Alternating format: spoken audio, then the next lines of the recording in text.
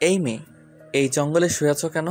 Hello হাতে থাকা কড়াই গাছের চিকন ডাল দিয়ে মেয়েটির গায়ে হালকা গুঁতো দিয়ে বলল রবি, মেয়েটির কোনো প্রকার হেলদুল নেই। নেতিয়ে পড়ে আছে শুকনো পাতার উপর। রবি মাটিতে এক হাঁটু গেড়ে বসল। আঁখি দুটি বিজ্ঞ ব্যক্তিদের মতো ছোট ছোট করে মেয়েটিকে পর্যবেক্ষণ করতে লাগল সে। চারদিক নিস্তব্ধতায় ছেয়ে আছে। মাথার ওপর থাকা বিশাল বৃক্ষের ওপর দিয়ে উপরন্ত পাঁচ পাখির ডাক ভয়ঙ্কর রূপে ভেসে এলো। গহীন জঙ্গল। চারপাশে পিনপিন নিরবতা বিরাজমান। কিয়ৎক্ষণ পরপর ছোট ছোট পাখির কিচিরমিচির ধ্বনিতে মুখশ্রীর এই গহীন জঙ্গল। এত বড় জঙ্গলে এই মেয়ে একা কী করতে এসেছে তা কিছুতেই বুঝতে পারছে না রবি। কাঁধের ব্যাগ থেকে হালকা বেগুনি রঙের পাতলা স্টিলের পানির বোতল বের করে পানি হাতে নিয়ে মেয়েটির মুখে ছিটে ফুটো দিল রবি।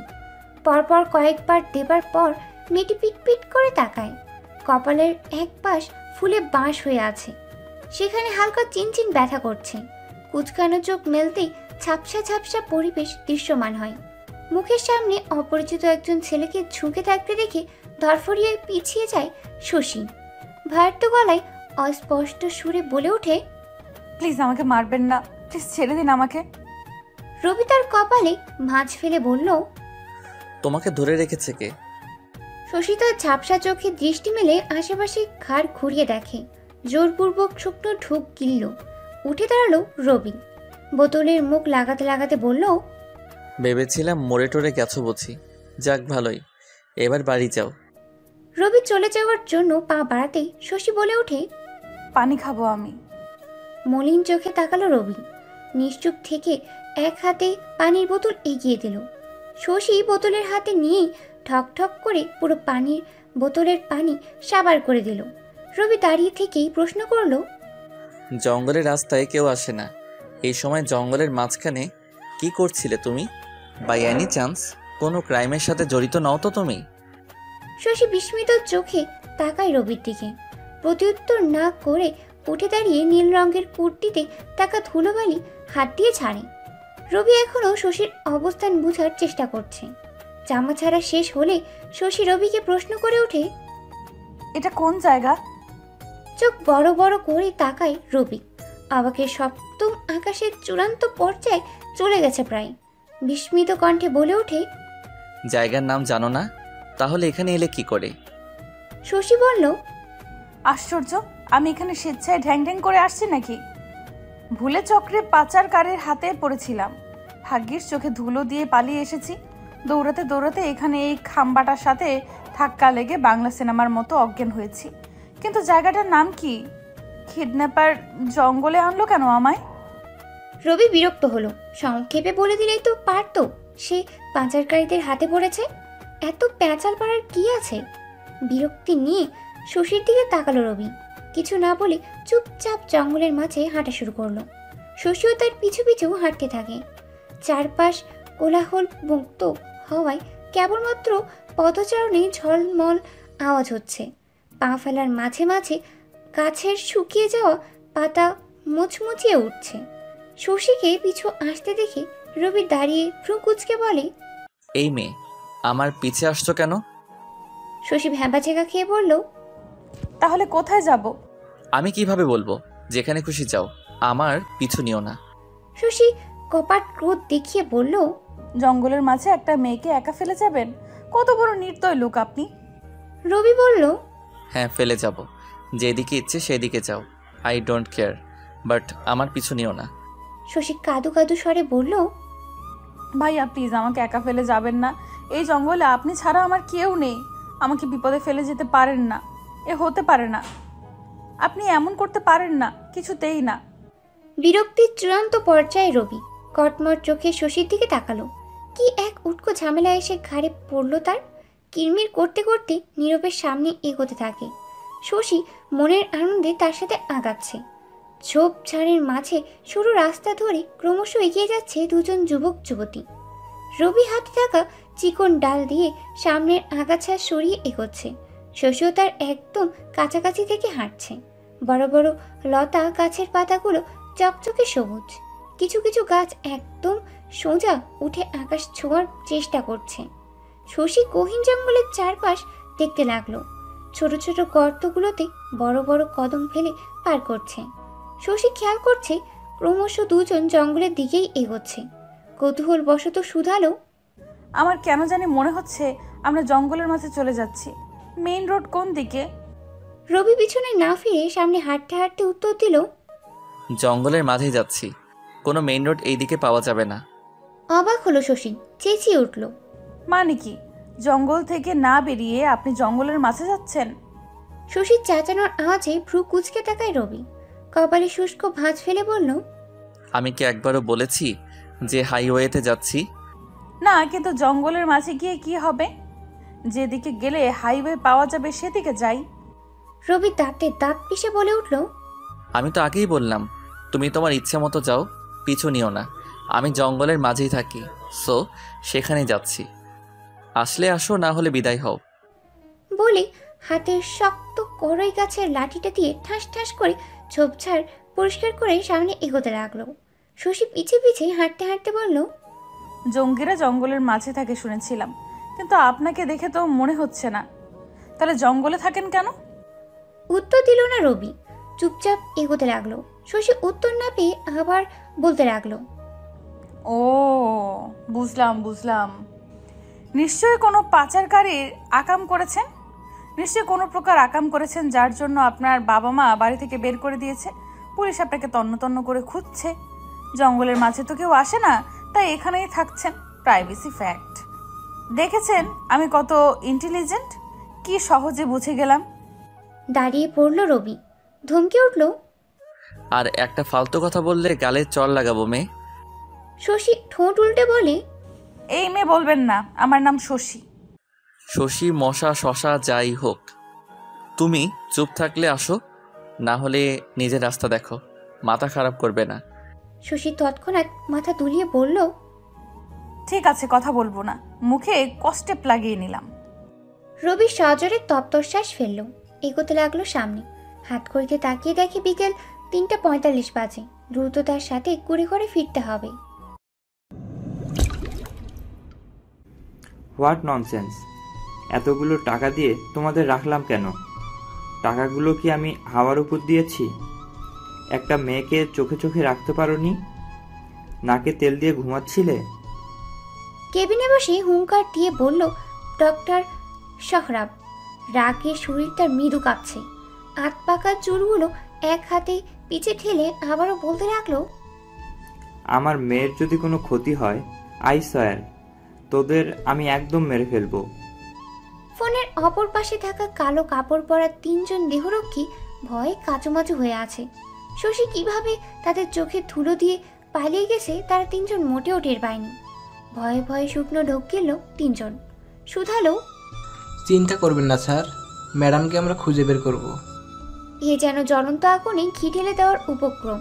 ডক্টর সোহরাব মাত্রা অতিরিক্ত ক্রোধে টেবিলের উপর থাকা ফ্লাওয়ার ভেস ছুঁড়ে ফেলে চেঁচিয়ে উঠল just shut up idiot. Immediately লোক লাগাও। আমি আমার মেয়েকে চোখের সামনে দেখতে চাই এবং সুস্থতার সাথে যেন তাকে পাই। তাড়াতাড়ি কাজে লেগে পড়ো। তিনজন সম্মতি দিল, অতপর হুড়মুড়িয়ে শশীকে খোঁজা শুরু করল।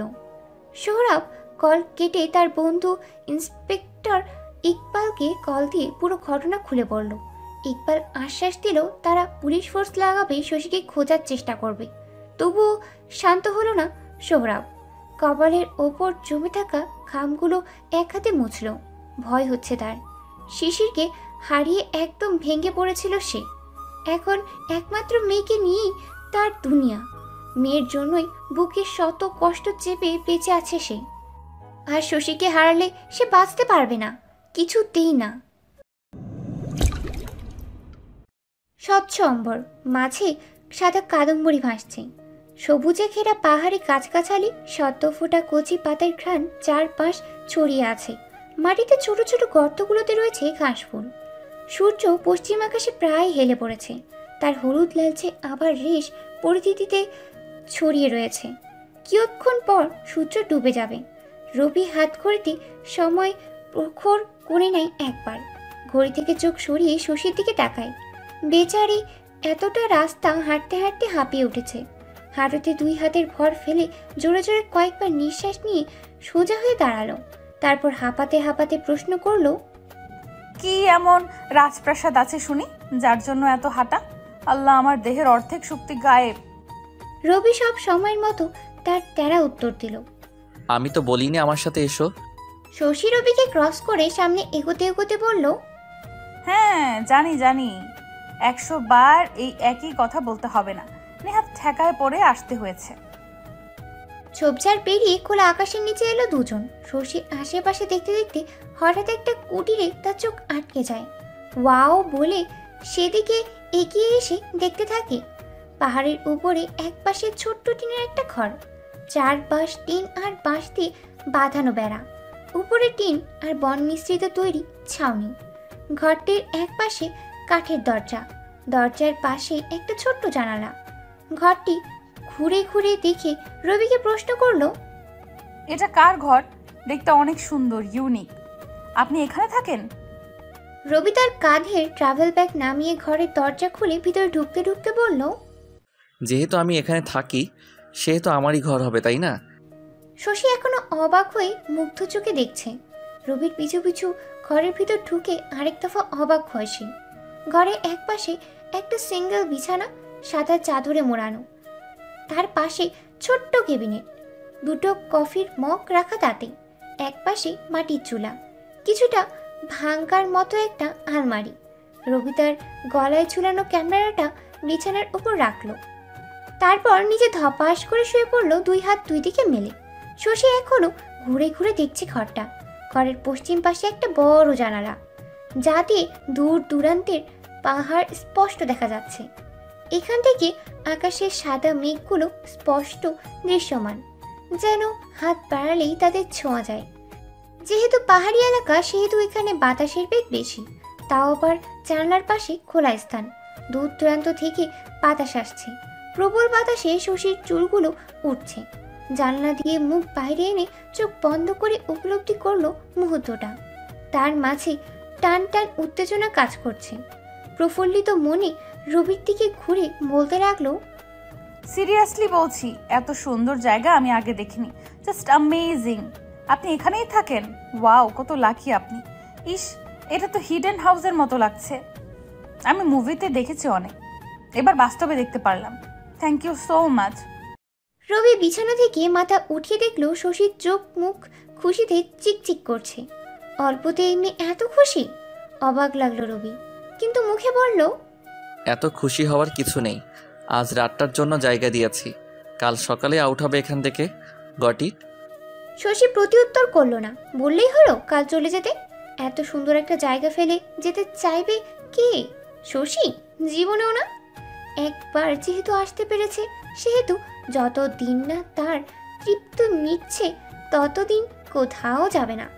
জানলা দিকে ঘুরে আকাশ দেখতে লাগল। দূরে সূর্যের হলুদ লাল সংমিশ্রণে রং আকাশে স্পষ্ট। সূর্য ডোবার মুহূর্তটা অসাধারণ। শশী এই মুহূর্তটাই উপভোগ করছে। রবির কিছু একটা মনে পড়তেই উঠে দাঁড়ায়। শশী তৎক্ষণাৎ প্রশ্ন ছুড়ে কোথায় যাচ্ছেন?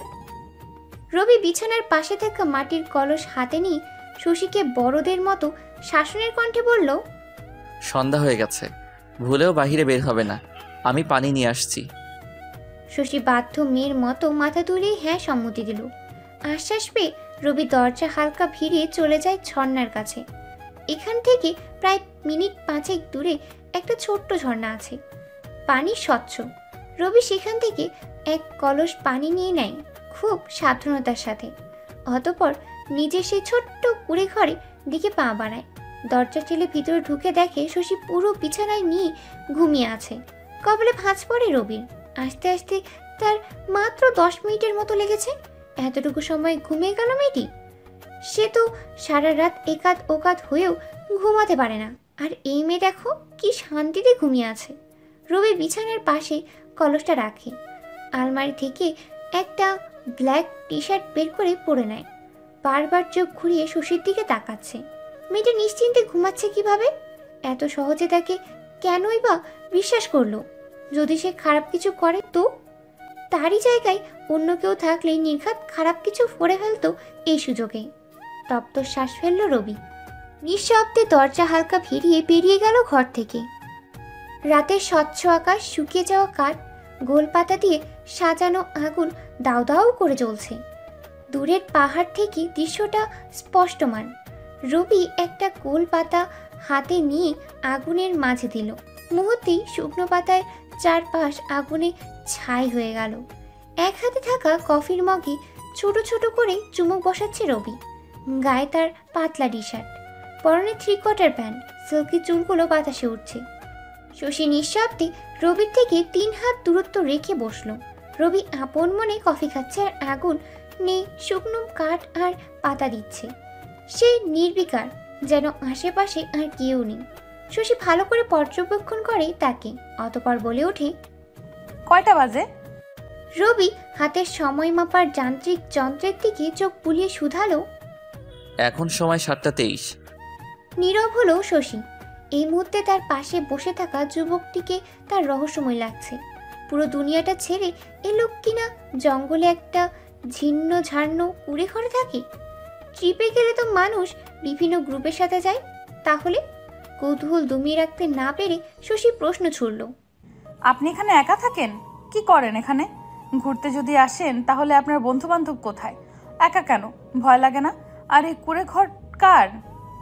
এটাতে থাকেন আপনি? কিন্তু এই জনমানবহীন জঙ্গলে এই বাড়ি কে বানালো? তার চেয়ে বড় কথা এখানে কাঠ টিন বেড আলমারি আনলো কীভাবে? হাও। শশীর কৌতূহল দেখে নীরবে মনে মনে হাসল রবি। ভাবলেশীন ভাবে শুধালো। কারণ ক্রিমিনালের সাথে কেউ থাকে না। কিন্তু তোমার কপাল খারাপ এই মুহূর্তে তুমি ক্রিমিনালের সাথে বসে আছো। একটু অবাক হলো না শশী বরঞ্চ বলল হ্যাঁ নাইস জোকস। বিস্ময়ের চোখে তাকালো রবি। এই মেয়েটাকে বিশ্বাস করে বসল কীভাবে? এতটাই সহজ। বিশ্বাস করলে আমায়? শশী নির্বিকারভাবে বলল হুম আপাতত এখানে আপনি ছাড়া কেউ নেই। তাই বিশ্বাসটা এমনি এমনি চলে আসছে। হাসলো রবি। আগুনে একটা ছোট্ট কাঠটি বলল দুনিয়াটা এত সহজ না। তুমি এখন স্বপ্নের রাজ্যে আছো বিধায় বাস্তবতা চোখে পড়েনি। এত সহজে কাউকে বিশ্বাস করতে নেই। পৃথিবীর সবাই বিশ্বাসঘাতক স্বার্থপর। কিছু বলল না শশী। হ্যাঁ বাস্তবতা কখনো উপলব্ধি করেনি সে। তাই বলে মানুষ চিনতে কখনোই ভুল করবে না। রবিকে সে ঠিকই চিনতে পেরেছে। কথা বাড়ল না। চুপচাপ রাতের মুহূর্তটা উপভোগ করতে লাগল। আচ্ছা পাপা কেমন আছে? কি করছে এখন? নিশ্চয়ই তাকে না পেয়ে চিন্তা করছে? অস্থির হয়ে আছে? মন ক্ষুণ্ণ হলো তার। রবিকে বলল আপনার কাছে মোবাইল আছে? একটু দিবেন পাপার সাথে কথা বলব? তেছড়া চোখে তাকালো রবি। শুধালো হ্যাঁ তোমার জন্য এখানে নেটওয়ার্ক এসে বসে আছে। প্রতি উত্তর করল না শশী। তপ্ত শ্বাস ফেলল। এই মুহূর্তে এমন দুশ্চিন্তা করে মুহূর্তটা নষ্ট না করাই ভালো। মাথা থেকে সকল প্রকার চিন্তা ঝেড়ে ফেলে মনোযোগ দিল জ্বলন্ত আগুনে। রবি দুই প্যাকেট নুডলস বের করে ছোট্ট পাতিলে ঢেলে সিদ্ধ করল। তারপর দুইটা বাটিতে ঢেলে দুজন তৃপ্তি সহকারে খেলো। রবি শশীকে ঘরে ঘুমাতে বলল। বাইরে ঘরের পাশে পাহাড়ের শেষ প্রান্তে বাঁশের মাচার মাঝে সে রাত কাটাবে বলে ঠিক করল। এমনিতেও খোলা আকাশের নিচে ঘুমিয়ে তার অভ্যাস আছে। শশী কিছু না বলে চুপচাপ ঘরের দরজা লাগিয়ে ঘুমিয়ে পড়ল। রবি মাচার মাঝে শুয়ে পড়ল। নীল আকাশের তারাগুলো দেখছে। মনে মনে গান বাজতেই কণ্ঠস্বরে সুর নিয়ে আসলো। ভালোবাসবো বাসবো রে বন্ধু, তোমায় যতনে, আমার মনের ঘরে চাঁদের আলো চুইয়া চুইয়া পরে পুষে রাখব রাখব রে বন্ধু, তোমায় যতনে। ভালোবাসবো, বাসবো রে বন্ধু, তোমায় যতনে। দুধে আলতা, গায়ের বরণ রূপ যে কাঞ্চা সোনা। আঁচল দিয়া ঢাইকা রাইকো চোখ যেন পরে না। ও আমি প্রথম দেখে পাগল হইলাম, মন তো আর মানে না। কাছে আইসো আইসো রে বন্ধু, প্রেমের কারণে। ভালোবাইসো, বাইসো রে বন্ধু আমায় যতনে। ইজি চেয়ারে গায়ে নিয়ে চিন্তিত মুখে বসে আছে ডক্টর সৌরভ।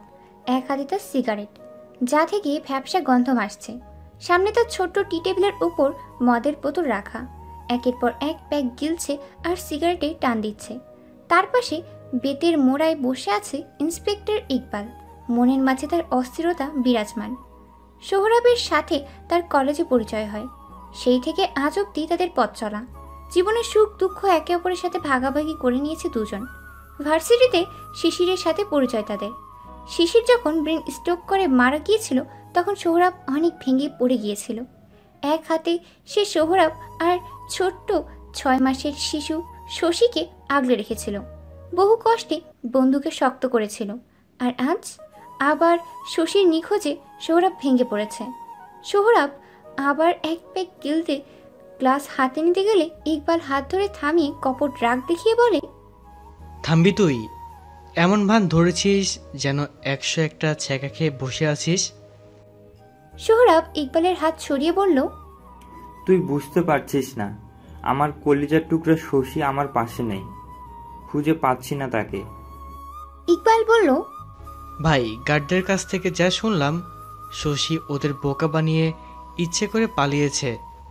এই বয়সে মেয়েরা স্বাধীনতা চায়। একা নিজের ইচ্ছা মতো ঘোরাঘুরি করতে চায়। আমার মনে হয় শশী তাদের ফ্রেন্ডের সাথে ট্রিপে গেছে। দেখবি দুই দিন পর ট্রাভেল শেষ হলে চলে আসবে। রেগে গেল সোহরাব চেঁচিয়ে বলল ট্রিপে গেছে মানে কি? আমাকে বললে আমি নিয়ে যেতাম না? একা গেল কেন? যদি কোনো ক্ষতি হয়? এইটাই তো তোর সমস্যা। তুই নিয়ে গেলে সাথে এই তিন হাম্বাকেও সাথে লাগিয়ে দিবি। শশী সব পছন্দ করে না। ভয় হয় আমার। শিশিরও আমাকে ছেড়ে চলে গেছে। এখন আমার জীবনে তুই আর শশী। তোদের হারাতে পারব না আমি। নিপল ইকবাল সৌরভকে বুঝিয়ে লাভ নেই। সে কিছুতেই বুঝতে চাইবে না। ফুস করে তপ্ত শ্বাস ফেলে টেবিলের থেকে মদের বোতল গ্লাস আর সিগারেটের প্যাকেট ছুঁড়ে ফেলল। তারপর সৌরভকে ধরে সামলানোর চেষ্টা চালালো।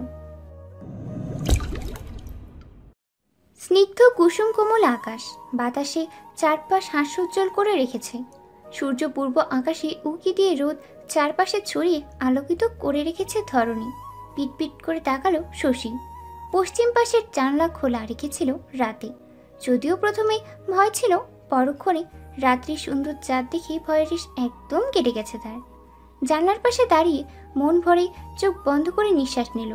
দূর দূরান্তের ছোট বড় পাহাড়গুলো এখান থেকে পিপেলিকার নাই এলোমেলো চুলগুলো পশ্চিমা বাতাসে উঠছে দরজা খুলে আশেপাশে তাকিয়ে রবিকে খুঁজতে লাগল। না, কোথাও পেল না। শশী বেশি পাত্তা না দিয়ে কলস থেকে পানি নিয়ে চোখ মুখ ধুয়ে নিল। উত্তর পাশে থাকা বাঁশের মাচার উপর গিয়ে বসল। প্রকৃতি দেখতে দেখতে কখন যে সময় পেরিয়ে গেল তা বুঝতে পারিনি। রবি এসে শশীর পাশে বসল। শশী প্রশ্ন ছুড়ল কোথায় গিয়েছিলেন? রবি ফল কাটার ছুরি দিয়ে আপেল কাটতে কাটতে জবাব দিল একটা গর্ত খুঁড়ে এলাম। তোমাকে মেরে সেখানে পুঁতে দিয়ে আসব? উচ্চস্বরে হেসে ফেলল শশী। হাসি যেন তার থামছেই না। রবি তাকে দেখতে লাগল। হাসলে দুগালে ছোট করে লম্বা টুল পড়ে। হাসি দিলে বা পাশের উপরের একটা গোছ দাঁত স্পষ্ট ভেসে ওঠে। রবি চোখ সরিয়ে নিল।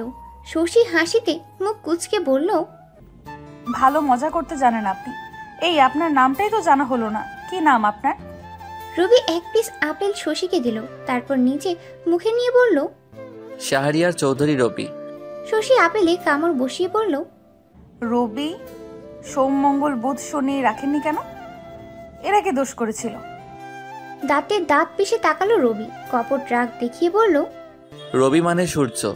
এই নামটা কোনো বার না। শশী হেসে মজা করে বলল সমস্যা নেই আমি ডাকবো না। আজ কি বার? বৃহস্পতিবার? তাহলে আজ আমি বৃহস্পতি বলে ডাকবো। নামটা জোস। ধমকে উঠল রবি। খবরদার এসব নামে আমাকে ডাকবে না। চুপচাপ খাও।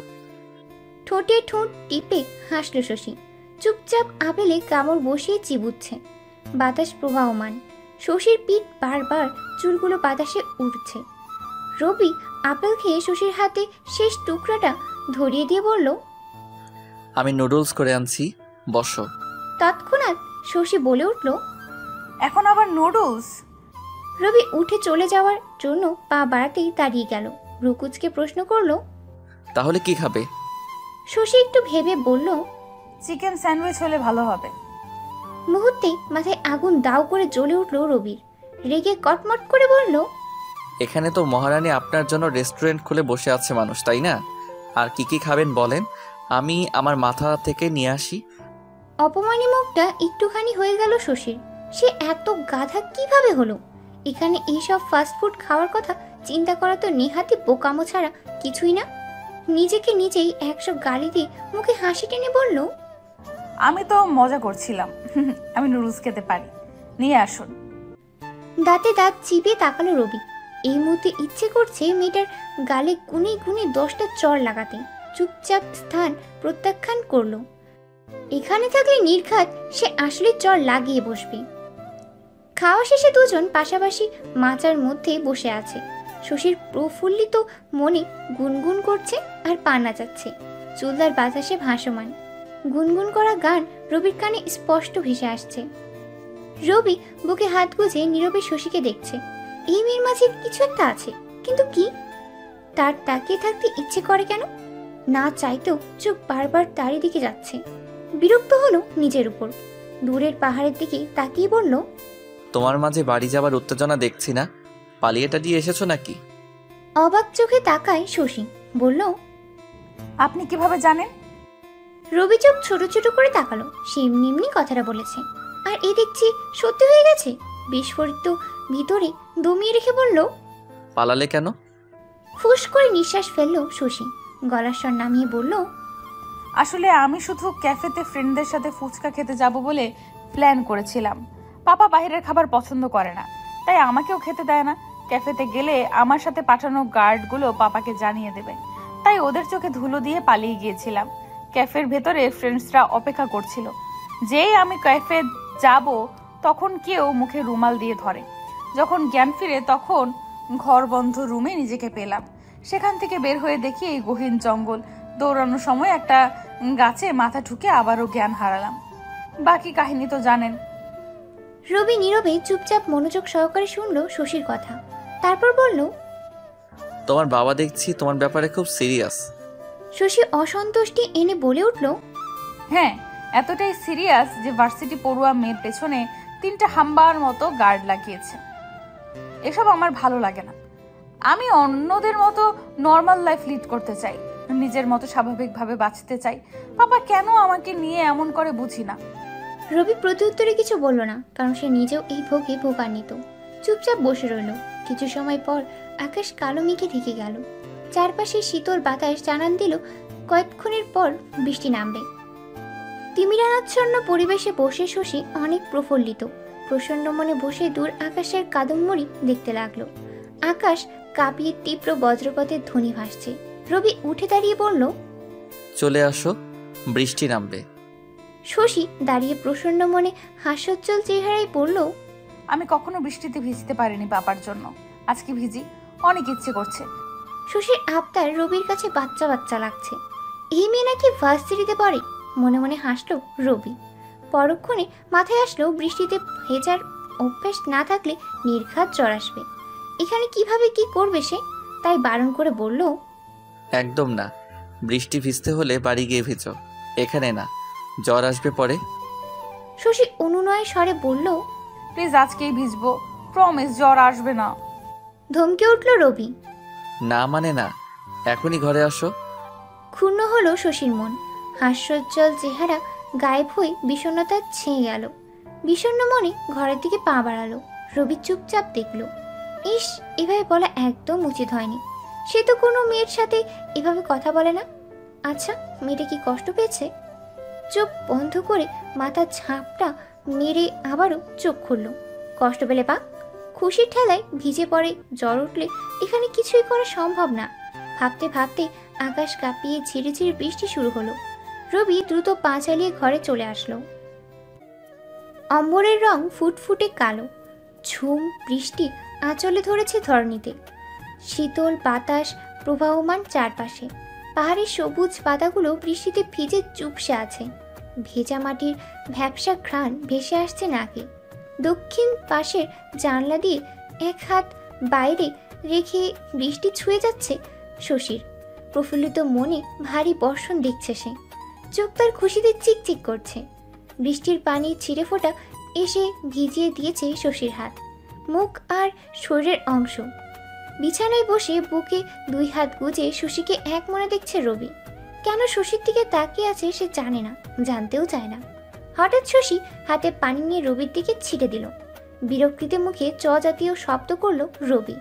এক হাতে মুখ মুছে বলল ফার্দার আমার সাথে এমন ফাইজলামি করবে না এসব আমি পছন্দ করি না। শশী গায়ে মাখলো না কথাটা পাল্টা প্রশ্ন ছুড়ল আমি কেন এখানে আসছি সেটা বললাম। আপনি কিছু বললেন না এখানে একা কি করছেন? এই ঘরটা কার? ঘরের আসবাবপত্র দেখে তো মনে হচ্ছে এখানে প্রায় মানুষের যাতায়াত হয়। রবি স্বাভাবিকভাবে উত্তর দিল হুম আমি বেশিরভাগ সময় এখানে একা আসি। কাউকে সাথে আনেন না কেন?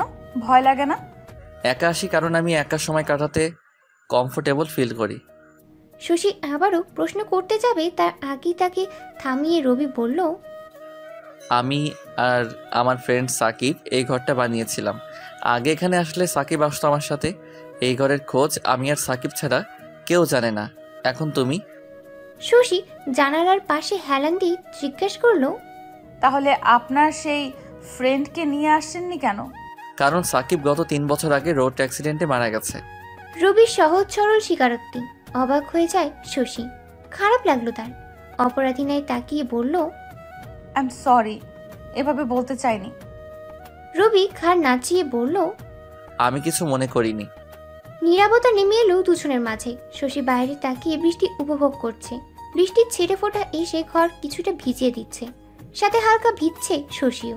কুর্তির সামনের অংশবিশেষ ভিজে গেছে প্রায়। বাইরে আকাশ কালো মেঘে ঢেকে আছে একদম। আকাশ আলোকিত করে বিদ্যুৎ চমকাচ্ছে। বাতাসে গাছের পাতারা নড়বড়ে বৃষ্টির পানি চুয়ে চুয়ে পড়ছে পাতা থেকে। বৃষ্টি ভিজার প্রবল ইচ্ছে পোষণ করল তার মন। এক পর্যায়ে নিজেকে দমিয়ে রাখতে না পেরে দৌড়ে বেরিয়ে আসে বাইরে। রবি সবেমাত্র চোখ বন্ধ করেছিল। শশীর দৌড়ানোর আওয়াজে চোখ খুলে তাকায়। তাকে বাধা দিতে উঠে এসে দরজার দাঁড়াল। কিন্তু ততক্ষণে শশী একদম কাক ভেজা হয়ে গেছে। প্রচণ্ড রকমের বিরক্ত এলো রবির মাঝে। মাত্রা অতিরিক্ত ক্রোধের কারণে শরীর তার মৃদু কাঁপছে। ঘর থেকেই হাঁক ছাড়লো। এই মেয়ে ভিতরে আসো বলছি। শশী বৃষ্টির পানিতে নাচতে নাচতে উত্তর দিল আমার নাম শশী এই মেয়ে বলে ডাকা বন্ধ করেন। আর একটু পরে আসি। ভালো লাগছে অনেক। রবি দেখল শশীকে। ভিজে আছে একদম। চুলগুলো গালে ঘাড়ের সাথে লেপটে আছে। দুহাত দুদিকে মিলে আকাশের দিকে মুখ করে চোখ বন্ধ করে দাঁড়াল শশী। এই মুহূর্তটা ক্যামেরা ফ্রেমে বন্দি করে নিল রবি। পরক্ষণে বাইরে এসে শশীকে খিচড়ে টান দিয়ে ঘরে নিয়ে এলো। কটমট চোখে তাকে থমকে উঠল। ফাজিল বেয়াদব মেয়ে কোথাকার? বারণ করা সত্ত্বেও বৃষ্টিতে ভিজলে কেন? থাপড়াইয়া গাল লাল করে ফেলব, শয়তান মেয়ে। জ্বর আসলে ডক্টর শহর থেকে জঙ্গলে উড়ে আসবে? লাফিয়ে যে বৃষ্টিতে ভিজলে, এখন পড়বে কি? ভেজা কাপড় পরে থাকবে, নাকি কাপড় ছাড়া? রবির কথায় প্রথমে অপমান বোধ করলেও শেষের কথায় লজ্জা পেল শশী। গাল লাল হয়ে এলো। কান গরম হলো তার। আসলে এতটা বোকা কেন সে? এখন কি পড়বে?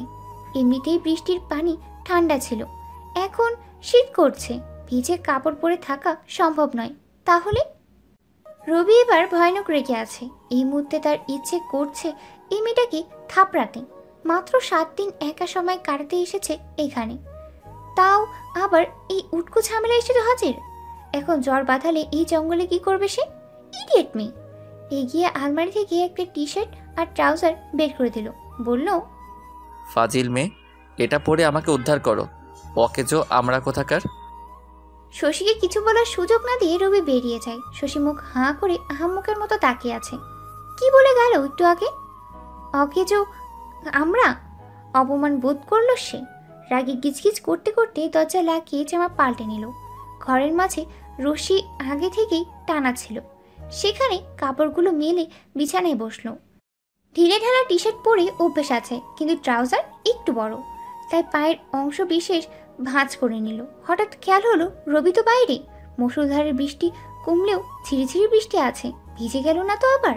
দরজার পাশের ছোট্ট জানলা খুলে মাথা বের করে ডাক দিল। হ্যালো শনি রবি সোম আসতে পারেন। রবি দক্ষিণ দিকে মাচার পাশে দাঁড়িয়েছিল শশী ডাকে ফিরে আসে। মাথার উপর তার বড় কচু পাতার ডাল।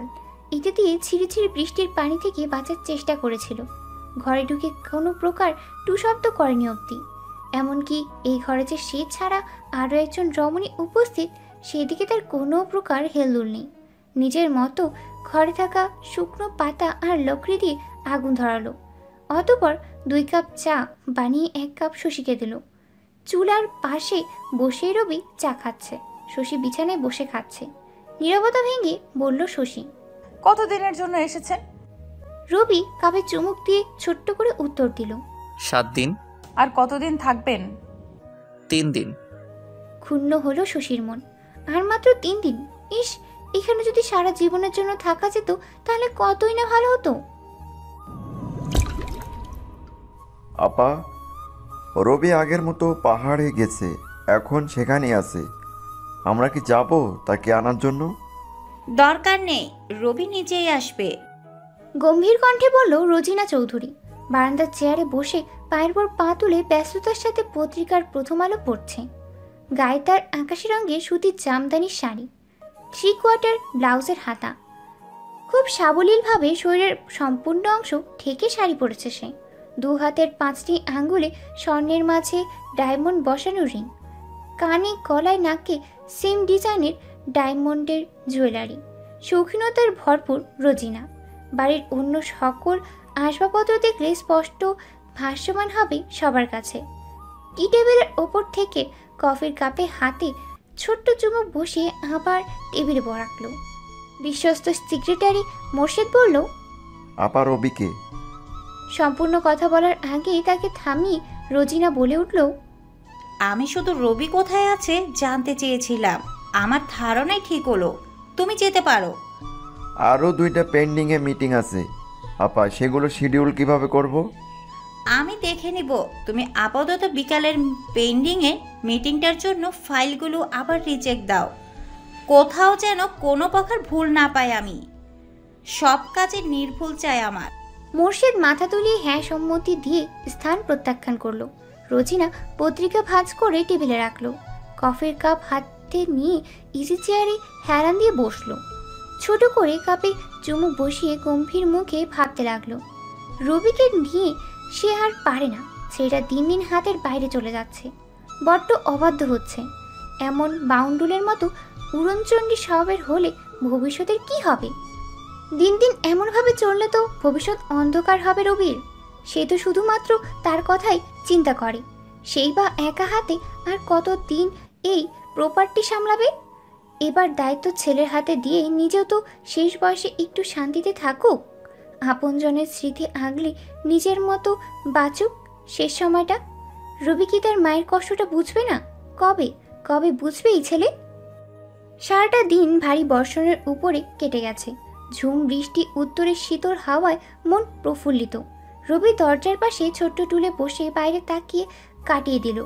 শশী একবার বিছানার ধারে, আরেকবার পশ্চিম পাশে জানলার ধারে দাঁড়িয়ে মিষ্টি বিলাস দেখছে। মাঝে মাঝে দু একটা কথা বলছে, যার প্রত্যুত্তর রবি অতি সংক্ষেপে দিয়েছে। এখন রাত্রির প্রথম ভাগ। বিকেলে বৃষ্টি কিছুটা কমার পর, অর্থাৎ যখন ঝিরিঝিরি বৃষ্টি ছিল, তখন রবি বাইরে গিয়ে কিছু ফল জোগাড় করে এনেছে। যেহেতু এই স্থানে রবি আর সাকিব এখানে আগে আসতো, সেহেতু এই স্থানে থাকায় কোথায় কি পাওয়া যায় খুব ভালো করেই জানতো তারা। হালকা শীতের শীতল স্রোত বিলীন করতেই সন্ধ্যায় কফি আর কিছু শুকনো খাবার খেলো দুজন। রবি নুডলস করে ফল কাটলো রাতের খাবার হিসেবে। শশী আপাতত চুপচাপ বিছানায় পা তুলে বসে আছে। আজ সারাটা দিন নীরব ছিল কথা না বলায় এখন পেটের ভিতর ইঁদুর দৌড়াচ্ছে। যদিও টুকিটাকি কথা বলেছিল তাতে শশীর পোষায়নি। অবশেষে মুখ খুলল। আচ্ছা আপনি থাকেন কোথায়? রবি ছোট করে উত্তর দিল। বাড়িতে। আরে এটা তো জানি। মানে আপনি থাকেন কোথায়? জায়গার নাম? ধানমন্ডি। তুমি? বনানীতে। আচ্ছা কিসে পড়েন? ঢাবিতে মাস্টার্স করছি। কোন সাবজেক্ট? আচ্ছা গার্লফ্রেন্ড আছে আপনার?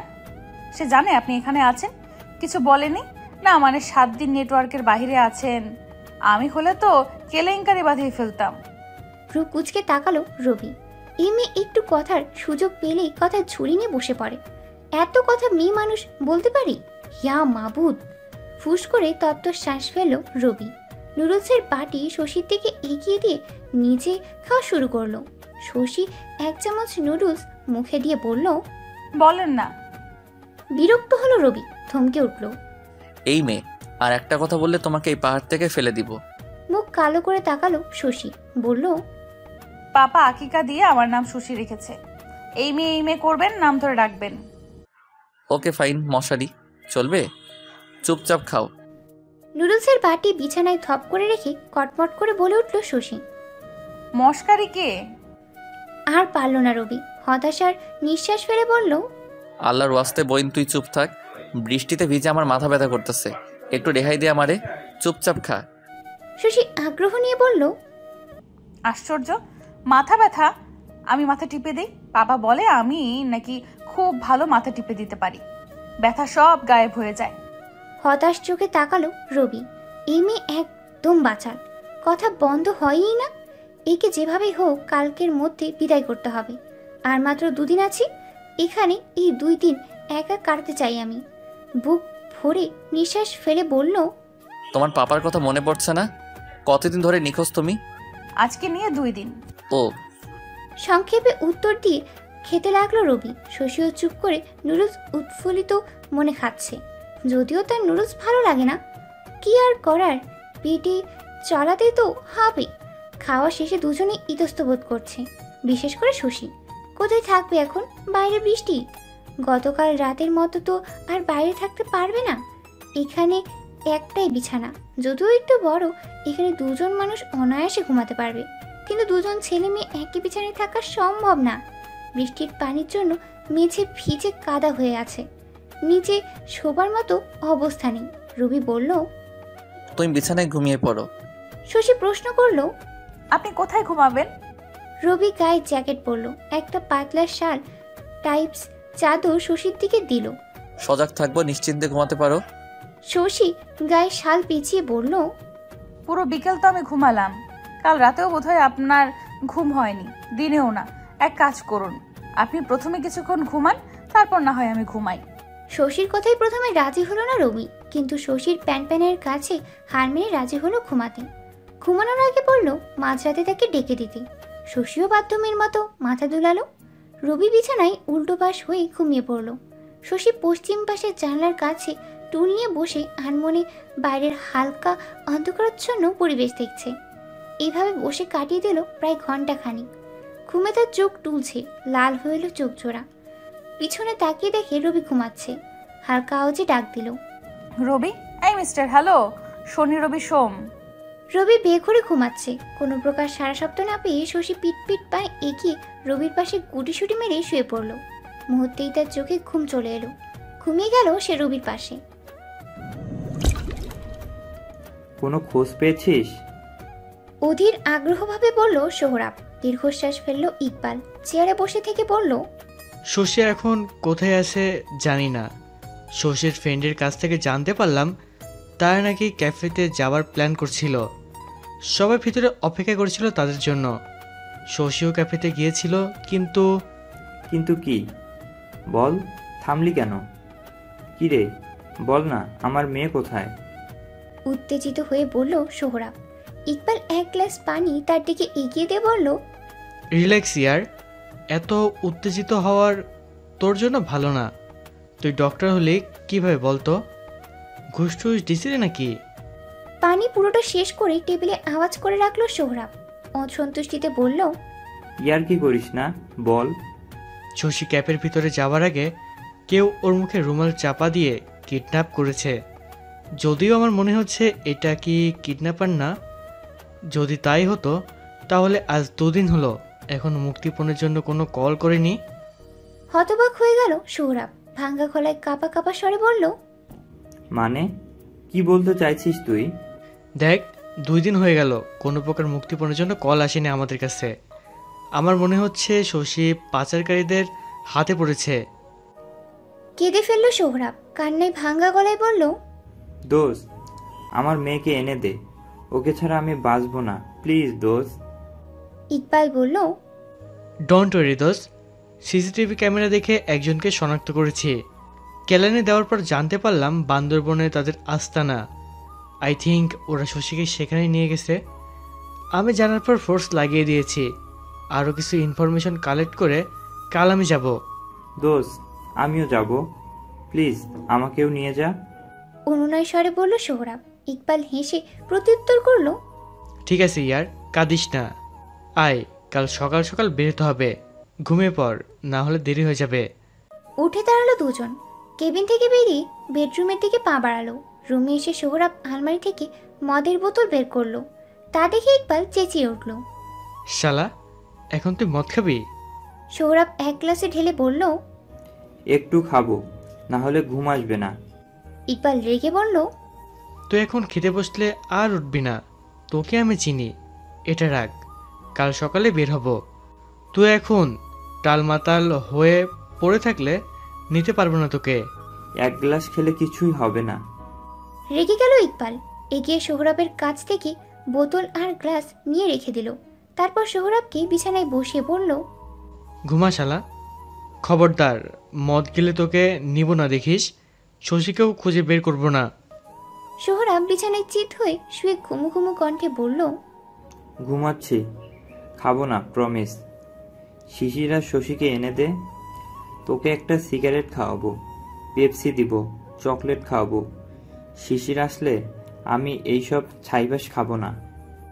বিড়বিড় করতে লাগল সোহরাব সব শুনতে পেয়ে দীর্ঘশ্বাস ফেলল ইকবাল। এই ছেলে পাগল হয়ে গেছে। শশীকে পেলে সৌরভকে আবার ডাক্তার দেখাতে হবে চিকিৎসার জন্য। কিছু করার নেই।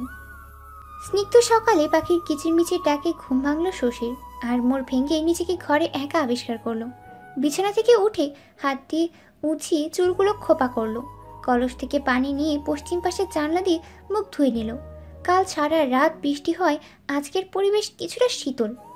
শশী গায়ের শালটা দিয়ে মুখ মুছে নিল।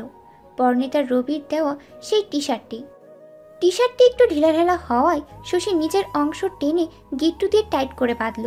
নিজেকে ঠিকঠাক করে বেরিয়ে এলো বাইরে। মাচার পাশে দাঁড়িয়ে একটা চিকন বড় ডালের এক অংশ বিশেষ সরু করে কাটছে রবি। শার্ট খুলে কোমরে বেঁধে রেখেছে। কপালে তার ঘাম জমে আছে। চুলগুলো এক হাতে পিছনে ঠেলে আবার কাটতে লাগল। শশী এগিয়ে তার পাশে দাঁড়িয়ে প্রশ্ন ছুড়ল, এটা দিয়ে কি করবেন? রবি হাতে ছুরি দিয়ে ডালে আঘাত করতে করতে বলল মাছ ধরবো।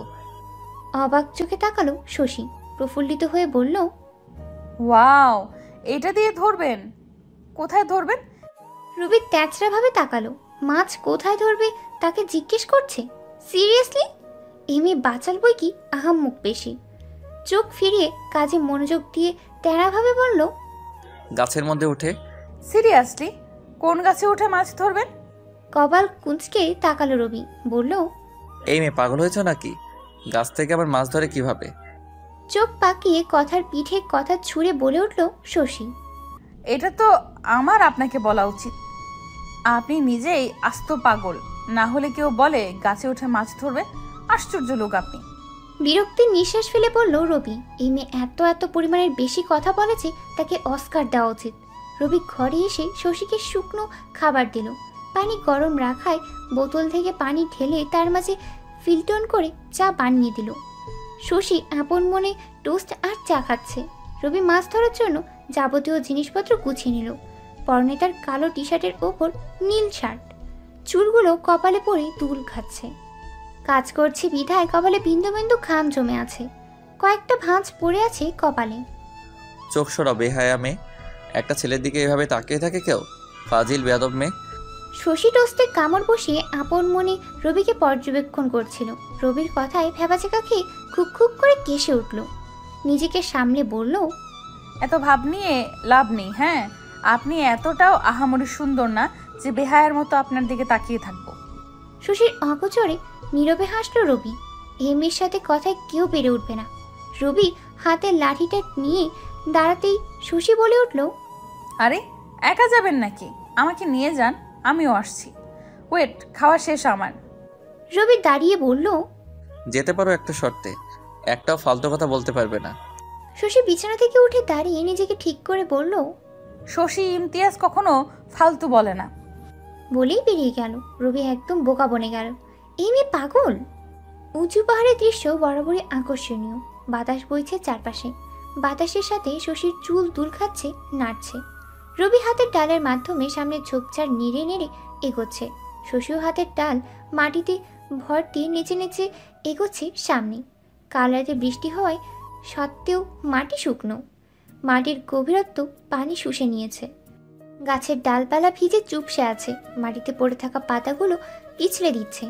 তাই ডাল দিয়ে নিজেদের ব্যালেন্স রাখার চেষ্টা করছে দুজন। পাহাড়ের ওপর থেকে প্রায় মিনিট বিশেক হাঁটার পর অবশেষে কাঙ্ক্ষিত স্থানে এলো দুজন। শশীর চোখে মুখে বিস্ময়কর রেখে তাকিয়ে আছে ঝর্ণার দিকে। ছোট ঝর্ণা হওয়ায় রিস্কের ব্যাপারটা সামান্য। রবি তার কোমরে বাঁধা শার্ট, জুতা, ঘড়ি খুলে একটা পাথরের উপর রাখল। খুব সাবধানতার সাথে পাথরে পা রেখে পানিতে নামার চেষ্টা করল। কাল বৃষ্টি হওয়ায় পাথর সহ ভিজে একাকার। তার উপর ঝর্নার পানিতে পাথরের উপর শৈবাল জমা আছে। ভুলবশত পা পড়লেই পিছলে পড়ার সম্ভাবনা বেশি। শশী একটা পাথরের উপর বসে রবির কাজ মনোযোগ সহকারে দেখছে। রবি হাঁটুর নিচ অবধি পানিতে নেমে নীরবে দাঁড়াল। খুব চতুরতার সাথে আশেপাশে দেখে মাছের অনুসন্ধান চালালো। তখন শশী উপর থেকে চেঁচিয়ে উঠল হ্যালো মিস্টার একটা রুই মাছ ধরবেন? আমার খুব প্রিয়। বিস্মিত চোখে তাকালো রবি। বলে কি এই মেয়ে নির্ঘাত পাগলাগারদ থেকে পালিয়েছে। নয়তো এত বড় মেয়ের জন্য কেউ তিন তিনটে গার্ড রাখে? রবিকে তাকিয়ে থাকতে দেখে শশী আবার চেঁচিয়ে উঠল। আমার দিকে তাকিয়ে আছেন কেন? বেহাইয়া লোক কোথাকার? আমি অনেক সুন্দরী জানি এভাবে তাকিয়ে থাকতে হবে না মাছ ধরে। বিরক্ত হলো রবি। দাঁতে দাঁত পিষে বলল দয়া কইরা বইন তোর মুখটা বন্ধ রাখ। কিন্তু শশী তো শশী সে আবার মুখ বন্ধ রাখবে কথার ভুলি চালিয়েই গেল। আমি আপনার কোন জন্মের বোন লাগি? দেখেন শনি রবি সোম রাস্তাঘাটে বোন বোন ডাকবেন না। একটা বোর বয়সী মেয়েকে বোন ডাকতে লজ্জা করে না? নিজের এমন কথায় নিজে ভ্যাবা চেকা খেয়ে গেল শশী। রবি চোখ ছোট ছোট করে তাকালো বলল বউ বয়সী তোমার মতো বাচাল মেয়ে যার কপালে সে বেচারা নির্ঘাত বংশের বাতি জ্বালানোর আগেই পরপারে চলে যাবে। বেচারার কপাল খারাপ। রাগে রিনঝিনিয়ে উঠল শশীর শরীর। বলল লিসেন যার কপালে আমি আছি তার মতো এত ভাগ্যবান এই দুনিয়াতে একটাও খুঁজে পাবেন না। হাই রবি বিড়বিড় করে বলল হ কত ভাগ্যবান সেটা তোর সাথে একদিন থাকলেই বুঝতে পারবে। তারপর সিরিয়াস হয়ে শশীর উদ্দেশ্যে চেঁচিয়ে বলল দেখো মশারি আর একটাও কথা বলবে না। কথা বললে মাছ ধরতে পারব না। চুপচাপ বসে থাকো। মশারি বলায় শশী আবারও চেঁচালো। শনি রবি সোমবার খবরদার আমাকে মশারি বলে ডাকবেন না না হলে আপনার চোদ্দ গোষ্ঠী উদ্ধার করব আমি। ধৈর্যহারা হয়ে রাগে হাতে থেকে লাঠিটা ছুঁড়ে মারল রবি দাঁতে দাঁত চিপিয়ে বলল তোকে এখন পানিতে চুবাবো আমি মেরে মাটিতে পুঁতে ফেলব। দাঁড়া তুই। সিরিয়াসলি রবিকে এগিয়ে আসতে দেখে শশী আহ বলে উঠে দাঁড়ায়। এক পা দু পা করে দৌড় লাগায়। তাকে দৌড়াতে দেখে রবিও পিছু নেয়। শশী আর্তনাদ করে বলতে লাগল ভাই আমার কলিজা দয়া করে এমন করো না। আমার এখনও বিয়ে করা বাকি বাসরও হয় নাই। জামাই আমার অল্প বয়সে বিধবা হয়ে যাবে। দেখো ভাই আমার নাতি নাতির বিয়ে খাওয়া এখনও বাকি। প্লিজ ছেড়ে দে ভাই কেঁদে বাঁচি। হাসি পেল রবির শশীর পিছু দৌড়ে ধরে ফেলল তাকে। এক হাতে টেনে পানির কাছে আনতে আনতে বলল বিয়ে করে ভালোই শখ দেখছি। বাসর বাকি নাতি নাতনির বিয়ে খাওয়া বাকি ভালোই এনার্জি আছে। শশী নিজেকে ছাড়ানোর চেষ্টা করতেই রবি জোরপূর্বক কোমরে হাত জড়িয়ে শশীকে পানিতে ফেলল। তৎক্ষণাৎ শশী পানিতে নাকানি চুবানি খেয়ে উঠল। রবি উপরে পাথরে দাঁড়িয়ে হাতে হাত তালি দিয়ে উচ্চস্বরে হেসে ফেলল। শশী চুলগুলো পিছে ঠেলে দাঁতে দাঁত চিবে কটমট চোখে রবির দিকে তাকালো। এখানে পানি শশীর কাঁধ বরাবর পর্যন্ত। রবিকে পেটে হাত দিয়ে হাসতে দেখে শশীও আনমনে হেসে ফেলল। হাত দিয়ে পানির ছিটে ফোটা রবির দিকে দিতে লাগল। রবি চেঁচিয়ে বলল এই মেয়ে খবরদার পানি ছিটাবে না। থামো। শশী থামলো না খিলখিল করে হাসতে লাগল। রবি দু হাত সামনে এনে পানি ছিঁড়ে ফোটা থেকে বাঁচার চেষ্টা করছে। হঠাৎ পায়ে কিছু একটা হ্যাঁচকা টান পড়তেই পানিতে ধরফরিয়ে পড়ে যায় রবি। সেও নাকানো চুবনি খেয়ে উঠল। পানি থেকে উঠে মাথা এপাশ থেকে ওপাশ করে পানি ছেড়ে শশীর দিকে তাকালো। শশী এখনও প্রাণ খুলে আসছে। উপরের মাড়ির বাঁকা দাঁতের জন্য হাসিটা মারাত্মক সুন্দর লাগছে। চোখে মুখের পানির বিন্দু কণাতগুলো মুক্তোর ন্যায় চিকচিক করছে। শশীর হাস্যোজ্জ্বল চেহারা দেখে ভালো লাগল রবির। বুকের বাঁ পাশে চিনচিন ব্যথা অনুভব করল। হার্টবিট দ্রুততার সাথেই কয়েকটা মিস হয়ে গেল। হাই, প্রথম প্রেমের আভাস। পাহাড়ের উপর উড়ন্ত সাদা মেঘ উড়ে বেড়াচ্ছে। দূর দূরান্ত থেকে ভেসে আসছে প্রবল বাতাস। শীতল হাওয়ায় মন উদযাতন। আগুন জ্বলছে পাহাড়ের উপর। তার পাশে বসে আছে রবি ও শশী। দুজন প্রাণ খুলে হাসছে কিছুক্ষণ আগের ঘটনায়। পানিতে কিছুক্ষণ ইচ্ছে মতো জমিয়ে ফুর্তি করে কয়েকটা মাছ ধরেছিল। এইগুলো দিয়ে আপাতত দুপুরের খাবারের চাহিদা মেটাবে। রবি পাহাড়ের উপরের আশেপাশে থেকে শুকনো কাঠ আর পাতা কুড়িয়ে আনে। মাছ পুরানো হয়ে গেলে দুজন তৃপ্ত সহকারে খেয়ে নেয়। সূর্য মাথায় উপর থেকে হেলে পড়েছে পশ্চিম আকাশে। বিকালের সময় ছুঁই ছুঁই প্রায়। শশী মাঝের উপর বসে দূরের পাহাড় দেখছে। রবি ঘরের দরজাতে হেলান দিয়ে শশীর দিকে তাকিয়ে রইল। এই মেয়ের মাঝে লুকায় তো কিছু আছে। মানতে হবে, বস। এগিয়ে শশীর পাশে বসলে শশী মুচকি হেসে তাকায়। সেই হাসিতে আবার আটকে পড়ে রবি। এমনিতেই বাঁকা দাঁতের হাসি, আবার গালি লম্বা চুল। আরে, প্রেমে পড়ে যাবার মতো উপক্রম। শশী উল্লাসিত কণ্ঠে বলল ট্রাস্ট মি এর আগে কখনো এত সুন্দর মুহূর্ত উপভোগ করিনি আমি। ঢাকার বড় বড় ইট দালান দেখতে দেখতে এই প্রাকৃতিক সৌন্দর্য উপভোগ করা হয়ে ওঠেনি। আপনাকে অনেক অনেক ধন্যবাদ। মিস্টার শনি রবি সোমবার। অসন্তুষ্টির চোখে তাকালো রবি। সিরিয়াস কথার মাঝেও মেয়ে ফাসলামি করে? প্রথম কথাগুলো ভালো লাগলেও, শেষ কথাটা বিকৃতি করার বিরক্ত লাগল তার।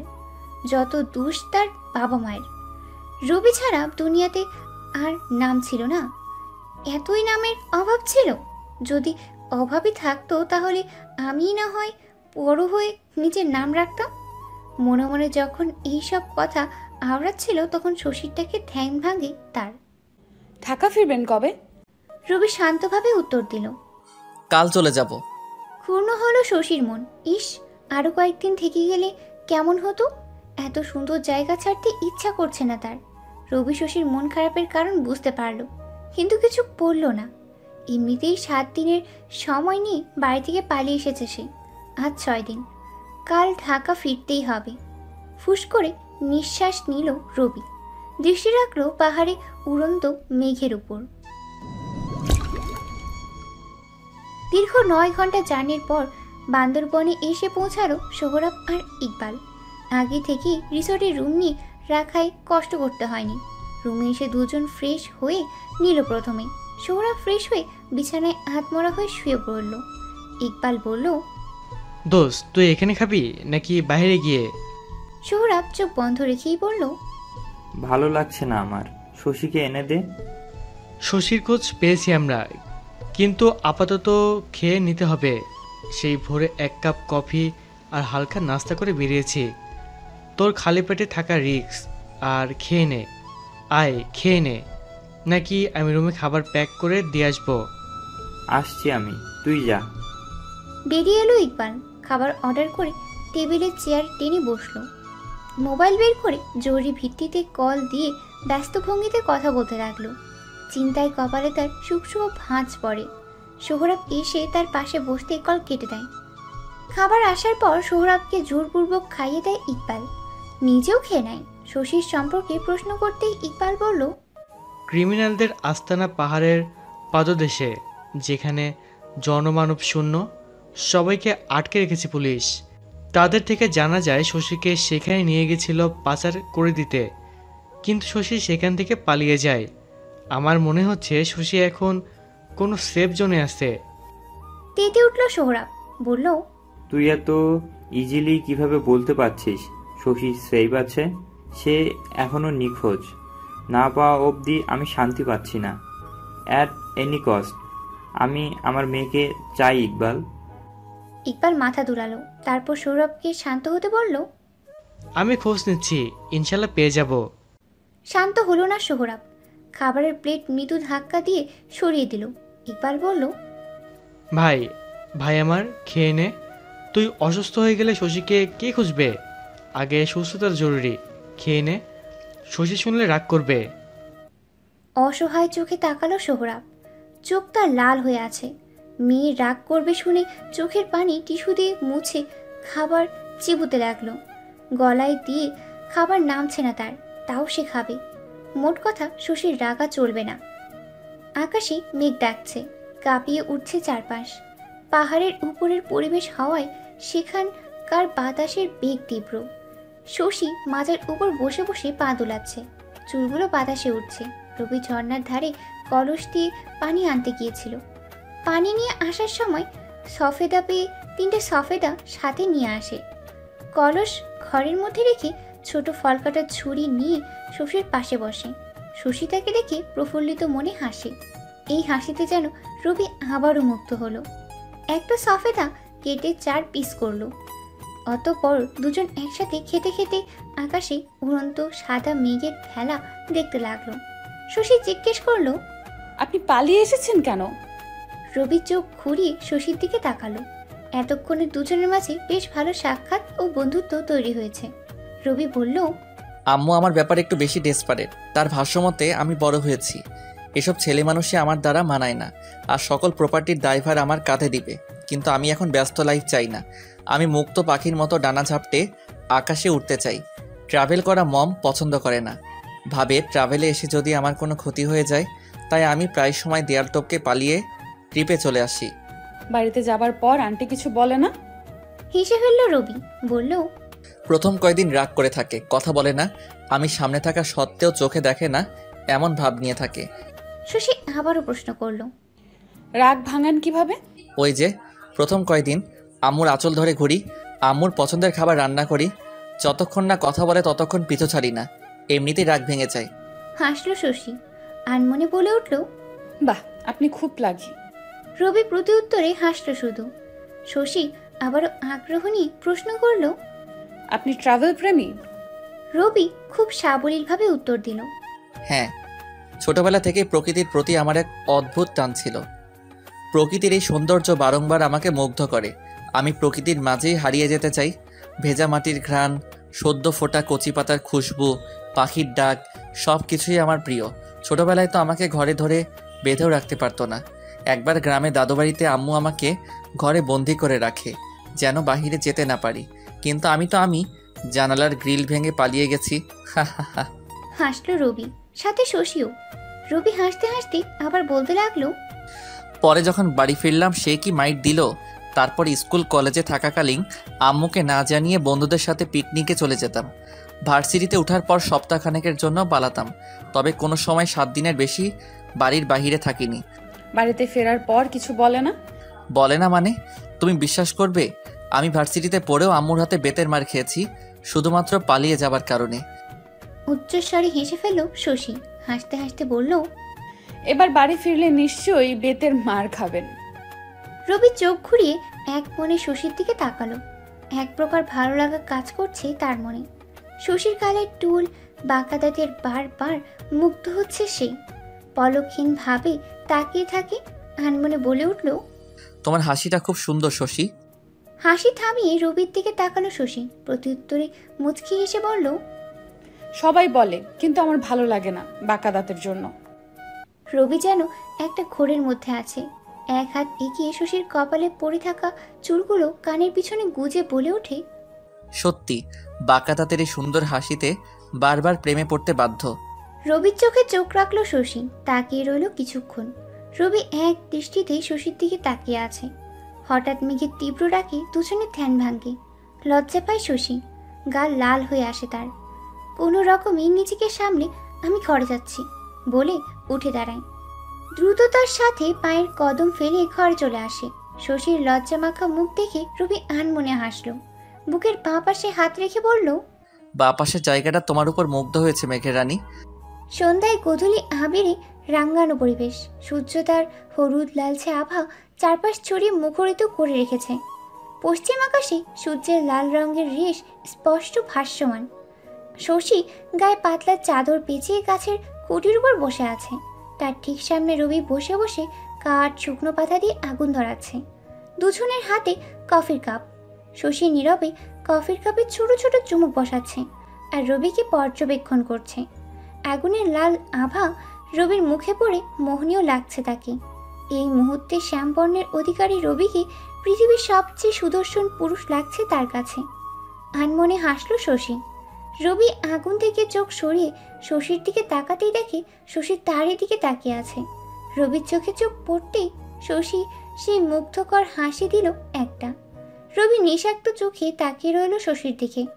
শশী হাত থেকে কফির কাপ মাটিতে রেখে বলল গান পারেন। রবি আগের মতোই তাকিয়ে থেকে বলল হুম। একটা গান শোনানোর জন্য জোর করল শশী। রবি প্রথমে নাকচ করল পরবর্তীতে রাজি হয়। শশী অধিক আগ্রহ নিয়ে তাকিয়ে রইল গান শোনবার জন্য। রবি আগুনে একটা শুকনো লাঠি দিয়ে গাইতে শুরু করল।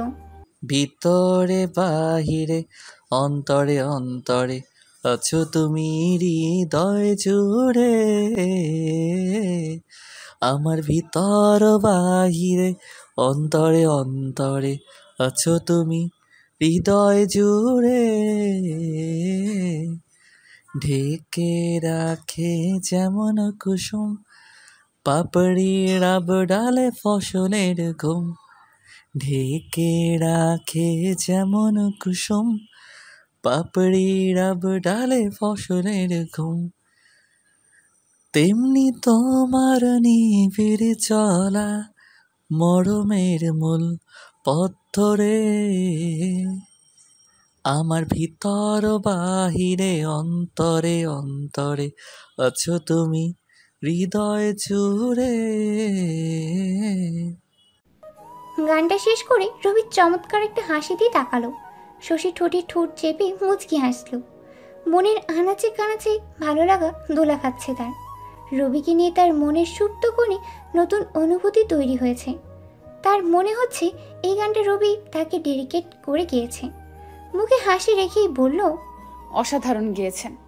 রবিও প্রতিউত্তরে মৃদু হাসলো। বলল গানটার গভীরতা অনেক। হুম আপনার কোনো গার্লফ্রেন্ড আছে? না মানে এমনি জিজ্ঞেস করেছি। এমন একটা প্রশ্ন করে শশী নিজেই ব্যাক্কাল বনে গেল। রবি নীরবে উত্তর দিল না ট্রাভেল করতে করতে গার্লফ্রেন্ড নিয়ে ভাবার সময় হয়নি। সন্তুষ্ট হলো শশী কিছু বলল না। হঠাৎ ঝিরিঝিরি কুয়াশার ন্যায় বৃষ্টি ছড়তে লাগল। শশী আর রবি আগুন নিভিয়ে ঘরে চলে আসে। এখন দুজন পশ্চিম পাশের জানলার কাছে পাশাপাশি বসে আছে। পরিবেশের মাঝে রয়েছে পিং পিং নীরবতা বিরাজমান। মৃদু বাতাস চারপাশে প্রবাহমান। বিশাল আকাশে থালার ন্যায় চারটা অসাধারণ লাগছে। জ্যোৎস্নার রাতটা মোহনীয়। শশী তার কথার ঝুলি খুলে বসে আছে। সে কখন থেকে একা একা এটা সেটা বলছে? রবিও মুগ্ধতার সাথে শুনছে সবটা। আশ্চর্যের ব্যাপার হলো প্রথম দিনের মতো বিরক্ত লাগছে না সে। বরং খুব মনোযোগীয় সাথে শুনছে সব। রাত গভীর হতে লাগল। রাতের খাবারের জন্য রবি নুডলস বের করলে শশী অসহায় কণ্ঠে বলল আবার নুডলস? রবি হাসলো উত্তর দিল এখনই শেষবার কাল সকাল সকাল বেরিয়ে যাব তখন হোটেলে খেয়ে নিব কিছু। প্রসন্ন হওয়ার বদলে শশীর মন ক্ষুণ্ণ হলো। এত তাড়াতাড়ি দিন কেটে গেল কীভাবে? আরও কয়েকদিন থেকে গেলে কি হতো? রবি নুডলস করার শেষে শশীর পাশাপাশি বসল। খাওয়ার সময় দুজনের একজনও কথা বলেনি। রবি খাওয়ার পর ব্যাগপত্র সব গুছিয়ে নিল। শশী বিছানায় বসে বিষণ্ণ মনে দেখছে সব। রবি শশীর মন খারাপের কারণ বুঝতে পেরেছে ঠিকই, কিন্তু সে আর কী বা বলবে? সব কিছু গুছানো শেষ হলে রবি শশীকে ঘুমাতে বলে বাইরে পা বাড়ালো। বাইরে মাচার উপর বসল সে। দূর আকাশের চাঁদের দিকে এক মনে তাকিয়ে আছে। আচ্ছা শশীর সাথে কি এটাই শেষ পথ দেখা হবে না আর? আমি কি শশীর জন্য কিছু অনুভব করছি? তাহলে সেটার নাম কি? কেবল মুগ্ধতা নাকি ভালোবাসা? কিছুক্ষণ ভাবল। ভাবনার মাঝে নিজের প্রশ্নের উত্তর নিজেই খুঁজে নিল। কিছু সময় পর শশী এসে তার পাশে বসল। তারপর বলল আর কিছুদিন থেকে গেলে হয় না? রবি শশীর চোখে চোখ রাখল প্রত্যুত্তর করল না তারও ইচ্ছে করছে থাকতে। শশীর সাথে সময় কাটাতে কিন্তু সেটা সম্ভব না। শশীর বাবার কাছে তাকে পৌঁছে দিতে হবে নিজে কেউ বাড়ি ফেরাতে হবে। কিছুক্ষণ নীরব থেকে শশী বলল আপনি জানেন আমার জীবনের সব থেকে বেশি সুন্দর মুহূর্তগুলো আপনার সাথে কাটিয়েছি। যদিও পাপার সাথে কাটিয়েছি তবে এখানে দুজনের ব্যাপার সম্পূর্ণ আলাদা। বিশ্বাস করুন আমার এই জায়গাটা ছেড়ে আপনাকে ছেড়ে একটুও যেতে ইচ্ছে করছে না। এতটুকু বলে থামলো শশী রবি দৃষ্টি সামনে। নীরবে শুনছে তার কথা। শশী একটু ঘুরে রবির দিকে ফিরে বসল তারপর বলতে লাগল আমার ইচ্ছে করছে আপনার সাথে আরও কিছু সময় এখানে থেকে যেতে। কেন বলুন তো? রবি শশীর দিকে তাকিয়ে মুচকি হেসে বলল আমার সাথে যদি অনেকটা পথ একসাথে হাঁটো তাহলে বাকি পথ তুমি একা যেতে চাইবে না।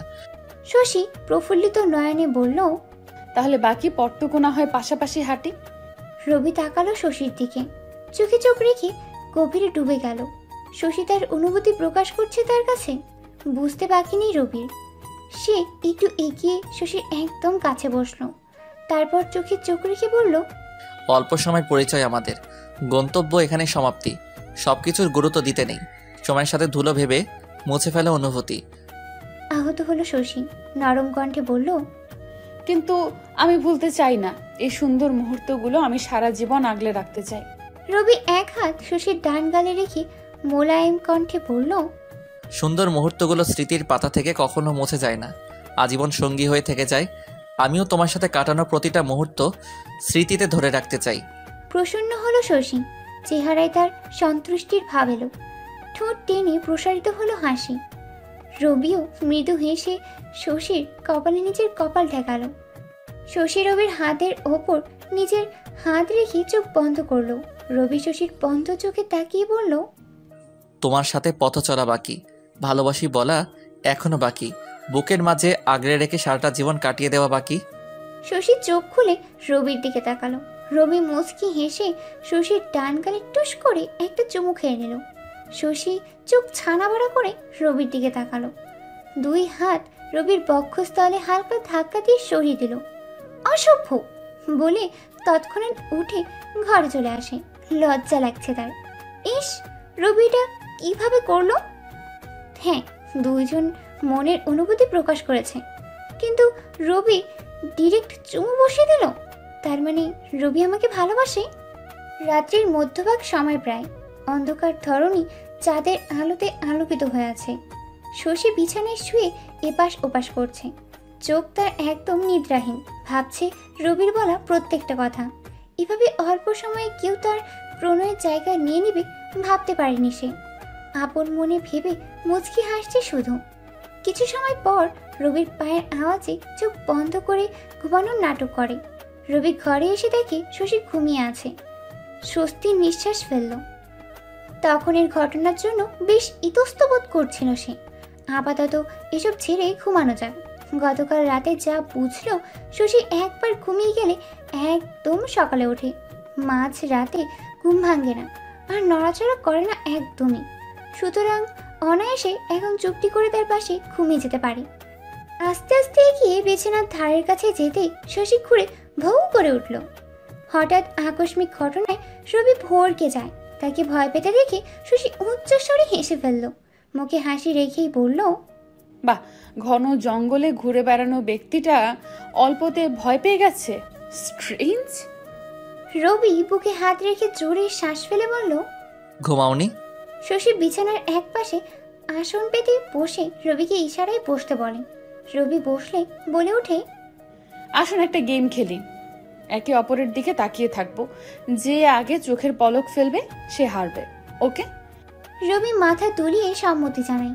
অতপর শশী তিন পর্যন্ত কাউন্ট করে। একে অপরের দিকে তাকায়। কেটে যায় কয়েক মিনিট। ইতিমধ্যে শশীর চোখে পানি জমে গেছে। জ্বালা পালা করছে। অথচ রবি পলকহীনভাবে শশীর দিকে তাকিয়ে আছে। শশী থাকতে না পেরে রবির চোখে এক আঙ্গুলে হালকা টোকা দেয়। রবি চোখ খিচে বন্ধ করে ফেলে। শশী বলে ওঠে ইয়ে আমি উইন। রবি চোখ খসলাতে খসলাতে বলল তুমি চিটিং করেছ না হলে আমি উইন হতাম? হাসলো শশী বলল আমি তুমি একই কথা। পশ্চিম পাশের জানলার দিকে ঘুরে বসল দুজন। শশী রবির পাশে বসে তার কাছে মাথা রাখল বিনা সংকোচে। রবি প্রথমে অবাক হলেও কিছু বলেনি। শশী মাথা রেখে চোখ বন্ধ করে বলল এখানটায় আমি আমার ভরসা শান্তি ভালোবাসার জায়গা বানাতে চাই। দিবেন কি? আমার মনটাকে তো বিনা অনুমতিতে তোমার করে নিলে। তাহলে এখন অনুমতি চাচ্ছ কেন? শশী প্রত্যুত্তর করল না। রবির এক হাতের বাহু জড়িয়ে ঘুমিয়ে পড়ল। এটাই তার শান্তির জায়গা। রবি এক হাতে আগলে নিল শশীকে। সকালের মুগ্ধকর আলো চোখে পড়তেই পিট পিট করে তাকালো শশী বাইরে স্নিগ্ধ হাওয়া। গাছে ফোটা সদ্য কুচি পাতার ঘ্রাণে মোমো করছে পরিবেশ। আর মোর ভেঙে শশী। গতকাল রাতের মতো বিছানায় নিজেকে একা আবিষ্কার করে সে। পুরো ঘরে একবার চোখ বুলিয়ে দেখে রবি নেই। শোয়া থেকে উঠে ফ্রেশ হয়ে নিল। রবির দেওয়া sky blue colour T shirt বদলে নিজের নীল কুর্তিটা পরে নিল। চুলগুলো হাত দিয়ে পিছে ঠেলে বেরিয়ে এলো ঘর থেকে। আশেপাশে ভালো করে খুঁজে রবিকে কোথাও পেল না শশী। হঠাৎ তার মনে জেগে উঠল এক রাশ ভয়। রবি তাকে ফেলে চলে গেল? এটা কীভাবে হতে পারে? শুকনো ঢোক গিলল শশী। চোখ লাল হয়ে উঠল। ঠোঁট কামড়ে কান্না আটকানোর চেষ্টা করতে লাগল। এমন সময় কাঁধে কারও স্পর্শ পেয়ে পিছনে তাকিয়ে রবিকে দেখল। রবি শশীর চোখের পানি দেখে অস্থির হয়ে উঠল। দুই হাত কালে রেখে বৃদ্ধাঙ্গুলের সাহায্যে চোখের পানি মুছে বলল, কাঁদছো কেন? কি হয়েছে? শশী কান্না আটকে অভিমানী গলায় বলে উঠল কোথায় ছিলেন? আমি ভেবেছি আপনি আমাকে ফেলে চলে গেছেন। ভ্রুজারা উঁচিয়ে তাকালো রবি বলল আগলে রাখার জন্য যখন হাতটা ধরেছি তখন সারা জীবনের জন্য ধরে রাখব। কেঁদো না বোকামে বান্দরবন বাস কাউন্টার চারপাশ কোলাহলপূর্ণ হয়ে আছে। মানুষজনের আনাগোনা চলছে। ট্যুরিস্টরা কাউন্টার থেকে টিকিট কাটছে। আবার কোনো কোনো ট্যুরিস্টরা বাস থেকে নেমে বান্দরবন ঘোরার প্রস্তুতি নিচ্ছে। সকলের মাঝে শশী আর রবি পাশাপাশি দাঁড়িয়ে আছে। রবির কাঁধে তার ট্রাভেলের ব্যাগ হাতের ঘড়িতে সময় দেখে শশীর উদ্দেশ্যে বলল তুমি এখানেই দাঁড়াও আমি টিকিট কেটে আসছি। শশী বাধ্য মেয়ের মতো মাথা তুলে সম্মতি জানায়। রবি এগিয়ে কাউন্টার থেকে ঢাকা যাওয়ার টিকিট কাটে দুইটা। ফিরে আসার সময় দোকান থেকে কিছু শুকনো জাতীয় খাবার আর পানি কিনে নেয়। শশী আগের জায়গায় দাঁড়িয়ে আছে। আশেপাশে তাকিয়ে মানুষের আনাগোনা দেখছে। কিছু সময় পর খেয়াল করে দুজন ছেলে তার দিকে কুদৃষ্টি মেলেই তাকিয়ে আছে। গা ঘিন করে উঠল শশীর। ছেলেগুলোকে পিছ দিয়ে দাঁড়াল। মিনিট পাঁচেক পর রবি আসে। শশী তাকে দেখিয়ে বলল এত দেরি হলো কেন?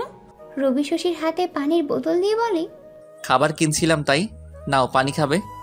শশীর সম্মতি দিয়ে বোতল হাতে নিয়ে পানি খেলো। শশীর পাশে দাঁড়ানো ছেলেগুলোর দিকে তীক্ষ্ণ চোখে তাকিয়ে শশীর এক হাত শক্ত করে ধরলো রবি। বাস আরও তিরিশ মিনিট পর ছাড়বে। তারই কিছু দূরে সোহরবরা গাড়িতে বসেছিল। গাড়ির সামনের কাছ দিয়ে রবি আর শশীকে পাশাপাশি হাত ধরে দাঁড়িয়ে থাকতে দেখে ফেলে সোহরাব মাত্রা অতিরিক্ত রাগান্বিত হয় সে। তৎক্ষণাৎ গাড়ি থেকে নেমে যায় সে। সোহরাবকে নামতে দেখে ইকবালও নেমে যায়। সোহরাব দ্রুততার সাথে পা বাড়ায় শশীর দিকে। কোথায় যাচ্ছিস? বলে পিছু ডাকতে থাকে ইকবাল। সৌরভ দৌড়ে এসে শশীর হাত থেকে রবির হাত ছাড়িয়ে নেয়। আকস্মিক ঘটনায় শশী আর রবি দুজনই অবাক হয়। সৌরভ হাত সরাতেই রবির শার্টের কলার চেপে ধরে বলে তোর এত বড় সাহস? তুই আমার মেয়ের হাত ধরেছিস? তোকে তো আজকে বলেই রবিকে খুশি দেয় একটা। পরপর কয়েকটা এলো মারল রবিকে। শশী এগিয়ে এসে সোহরাবের হাত টেনে ধরে দূরে সরিয়ে বলে ওঠে পাপা কি করছ তুমি? রবিকে মারছো কেন? সোহরাব এগিয়ে আবার মারতে যাবে তখনই ইকবাল এসে তাকে ধরে ফেলে। মুখ বারবার খুশি পড়ায় রবির ঠোঁট কেটে রক্ত এসে পড়ে তার। গাল লাল হয়ে থেঁতলে গেছে প্রায়। সুশি এগিয়ে রবিকে ধরে উঠায়। আবারও রেগে যায় সোহরাব। চেঁচিয়ে ওঠে এই ছেলের থেকে দূরে থাক শশী নয়তো এই ছেলেকে আমি মেরে ফেলব। রবি ঠোঁটের পাশে থাকা রক্ত বৃদ্ধাঙ্গুল দিয়ে মুছতে মুছতে ফিসফিস করে শশীকে বলল এটা তোমার বাবা? কেমন সাইকো সাইকো লাগছে। শশী কটমট চোখে রবির দিকে তাকালো। তারপর এগিয়ে সোহরাবকে ধরে বলল পাপা রবি খুব ভালো ছেলে। আমার ক্ষতি করবে না তুমি শুধু শুধু ভয় পাচ্ছ। শান্ত হলো না সোহরাব। শশীকে জড়িয়ে ধরে বলে কোথায় ছিলি তুই?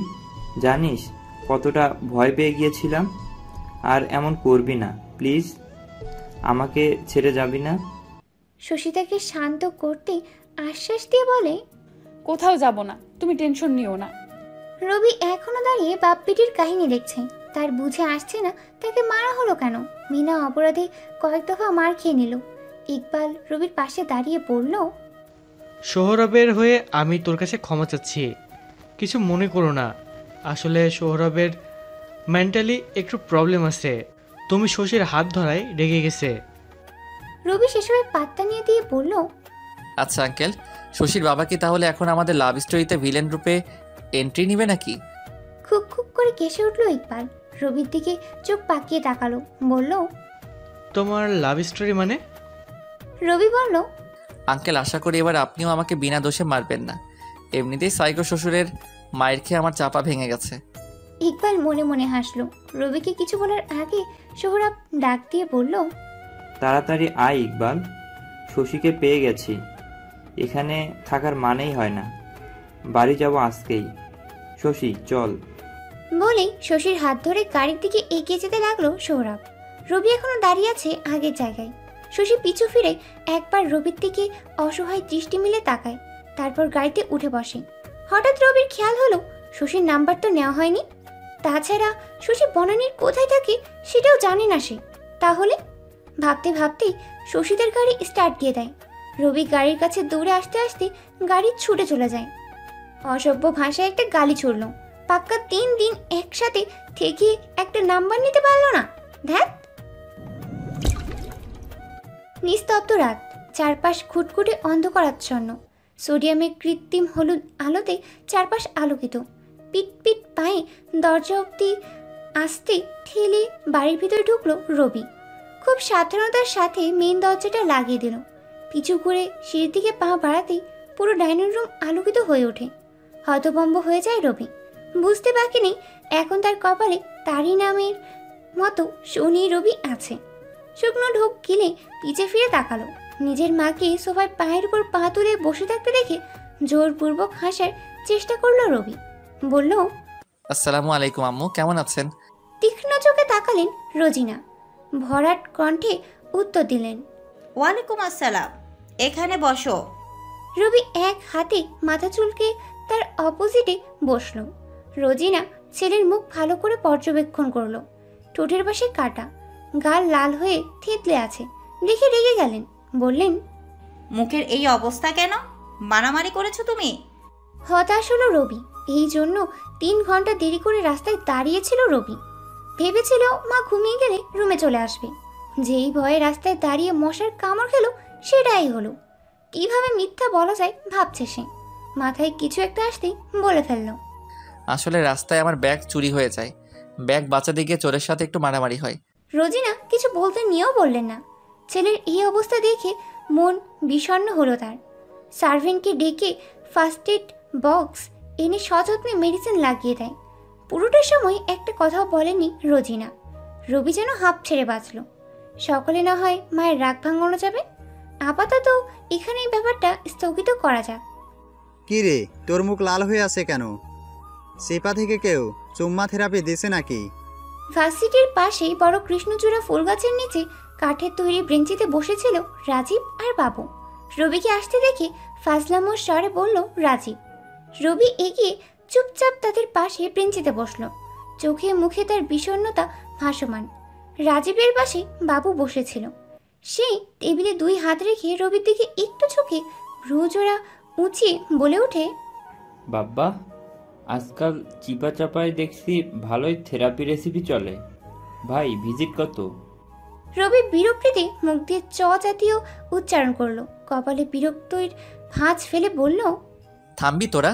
ফালতু পেঁচা ছাড়া কথা নেই তোদের। রাজীব সিরিয়াস হলো এবার।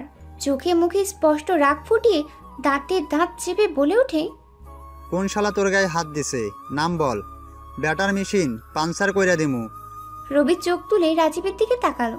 তারপর এক হাতের ইশারায় রাস্তার পাশে বসে থাকা চাওয়ালাকে তিন কাপ কড়া লিকারের চা দিতে বলল। রাজীব আর বাবু সম্পূর্ণ ঘটনা শুনতে আগ্রহ নিয়ে বসে আছে। রবি তাদের অবস্থা দেখে মনে হাসলো।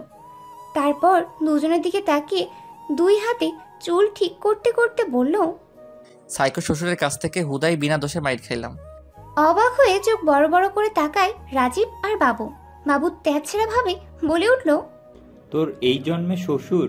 হাহ। রাজীব সিরিয়াসলি বলল সাইকো শ্বশুর। রবি মাথা দুলিয়ে হ্যাঁ বুঝালো। রাজীবের চোখ এখনও কোটরের বাইরে আসার উপক্রম। বাবু অবাক হলো অস্থির কণ্ঠে বলল ভাই বিয়ে করলি কবে? তোর না বান্দরবন যাওয়ার কথা ছিল তাহলে আমাদের রাইখা বিয়া কইরা ফেললি? কামটা ভালো করলি না। পাক্কা হারামি অপরাধী তুই। তপ্ত শ্বাস ফেলল রবি। দোকানে চা দিয়ে যাবার পর চায়ের কাপে চুমুক দিল। তারপর জঙ্গলের সম্পূর্ণ ঘটনা খুলে বলল দুজনকে। রাজীব চায়ের কাপে শেষ চুমুক দিয়ে বলল তুই যে এই পরিমাণের আ কামলা হইবি জানতাম না। নাম্বার চাইতে পারলি না। কমসে কম ভাস্ত্রীর নাম যায় না নীতি। হতবাক হলো রবি। নিজের বোকামতে নিজেকেই সখানে গালি দিতে মন চাইছে তার। এক হাতে মাথা চুলকিয়ে বলল আরে ইয়ার খেয়াল ছিল না একদম। বাবু বলল মেয়েটা যেহেতু বনানীতে থাকে তাহলে খুব সহজেই বের করা যাবে। চিন্তা করিস না। ক্যাম্পাসে চল অতপর উঠে দাঁড়াল তিনজন। ঢাবের ক্যাম্পাসের উদ্দেশ্যে পা বাড়ালো তারা। রবির মন ক্ষুণ্ণ। শশীর সাথে কীভাবে যোগাযোগ করবে বুঝতে পারছে না। তাহলে কি হারিয়ে ফেলল শশীকে? এত সহজে? না। কোলাহলপূর্ণ পরিবেশ। পুরো মাঠ জুড়ে শিক্ষার্থীদের আনাগোনা চলছে। বনানীর প্রাইভেট ভার্সিটির লাইব্রেরির এক পাশে বসে নোট তৈরি করছিল শশী আর তার বেস্ট ফ্রেন্ড মায়ারা। মোবাইলের কর্কশ আওয়াজ পেয়ে শশী ব্যাগ থেকে মোবাইল বের করে দেখে সোহরাব ভিডিও কল দিয়েছে। সোহরাব তাকে ঘন্টায় ঘন্টায় কল দিয়ে খোঁজ নেয়। সে কোথায় আছে কি করছে জানতে ভিডিও কল দেয়। নিজের বাবার মাঝে এমন অস্থিরতা দেখে কষ্ট হয় শশীর। লম্বা দম ফেলে কল রিসিভ করার পর মোবাইলের স্ক্রিনে সোহরাবের হাসি মুখ ভেসে ওঠে। মামুনি কোথায় আছো তুমি? শশী মুখে হাসি টেনে বলল ভার্সিটিতে আছি পাপা। বিশ্বাস হলো না সোহরাবের? সে যাচাই করতে বলল কোথায়? দেখি তো তোমার ভার্সিটিটা দেখাও। শশী ক্যামেরা ঘুরিয়ে পুরো লাইব্রেরিটা একবার দেখাল। তারপর নিজের দিকে ক্যামেরা ফিরিয়ে বলল পাপা আমি সত্যিই ভার্সিটিতে আছি টেনশন নিও না। আরও কিছুক্ষণ কথা বলে সোহরাবের সাথে। তাকে শান্ত করে কল কেটে মোবাইল রাখল। দীর্ঘশ্বাস ফেলল শশী। মায়েরা শশীর অসহায়ত্ব চেহারা দেখে প্রশ্ন করল আঙ্কেলকে কি আবার ডক্টর দেখাবি? শশী চুপচাপ বসেছিল। খাতা টেনে নীরবে লিখতে লিখতে উত্তর দিল জানি না পাপা। ডক্টর দেখাতে চায় না। ভালো লাগে না একদম। মায়ারা আবারও প্রশ্ন করল কিন্তু আমার বুঝে আসছে না আঙ্কেল রবিকে মারলো কেন? কারণ পাপা ভেবেছে রবি আমাকে তার থেকে দূরে নিয়ে যাবে। তাছাড়া কোনো বাবা যদি তার মেয়েকে অন্য ছেলের সাথে দেখে তাহলে মারবে। এটাই স্বাভাবিক। মায়েরা মাথা তুলিয়ে হুম সম্মতি দিল। তারপর আবার প্রশ্ন করল রবির সাথে যোগাযোগ করার কোনো রাস্তা নেই। তুই নাম্বার চাইতে পারতি? ক্ষুণ্ণ মনে তাকালো শশী। চোখে মুখে ক্লান্তির ভাব এনে বলল তখন এত কিছু মাথায় ছিল না। তাহলে এখন উপায়? শশী প্রতিউত্তরে ছোট্ট করে বলল জানি না। মন ভালো নি তার। থাকবেই বা কি করে? তিন দিন হলো এখনও রবির সাথে যোগাযোগ হয়নি তার। কীভাবে খুঁজবে রবিকে? আচ্ছা রবি কি আমাকে ভুলে গেছে? এত সহজে? রাত্রির প্রথম ভাগ। ডাইনিং টেবিলে সাজানো আছে হরেক রকমের খাবার। সার্ভেন্টার টেবিলে খাবার সাজিয়ে চলে যায়। রোজিনার টেবিলে বসে অপেক্ষা করছে রবির দেয়ালে থাকা বিশাল ঘড়িটার দিকে চোখ বুলিয়ে দেখে আটটা আটত্রিশ বাজে। ক্রোধান্বিত হলো সে। এই বাড়িতে কিছু নিয়মকানুন জারি করা হয়েছে। আর তার মাঝে একটা হলো রাত আটটা তিরিশে ডাইনিং টেবিলে সকলের উপস্থিতি চাই। যদিও বাড়িতে সার্ভেন্ট বাদে রোজিনা আর রবি আর মোর্শেদ থাকে। রবির বাবা গত হয়েছে প্রায় সাত বছর আগে আর মোর্শেদ সম্পর্কে রবির মামা হয়। বেচারার কপালে হয়তো কোনো বউ নেই, তাই অবিবাহিত। আরও কিছু সময় অপেক্ষা করার পর রবি ধরফরিয়ে এসে চেয়ারে টেনে বসে। মোর্শেদ আর চোখে রবির দিকে তাকিয়ে ইশারায় বুঝালো তোমার কপালে দুঃখ আছে বাজান। মামার ইশারা বুঝতে পেরে রবি ভয়ার্ত চোখে মায়ের দিকে তাকালো। রোজিনার তীক্ষ্ণ চোখে এখনও তার দিকে তাকিয়ে আছে। রবি জোরপূর্বক ঠোঁটে হাসি টেনে বলল আসলে ওয়াশরুমে গিয়েছিলাম তাই লেট হয়েছে। সরি মা। মিথ্যে বলল রবি আসলে সে সন্ধ্যার পর থেকে ল্যাপটপ নিয়ে বসেছিল। ভার্চুয়াল জগতে শশীর নাম সার্চ দিচ্ছিল সে।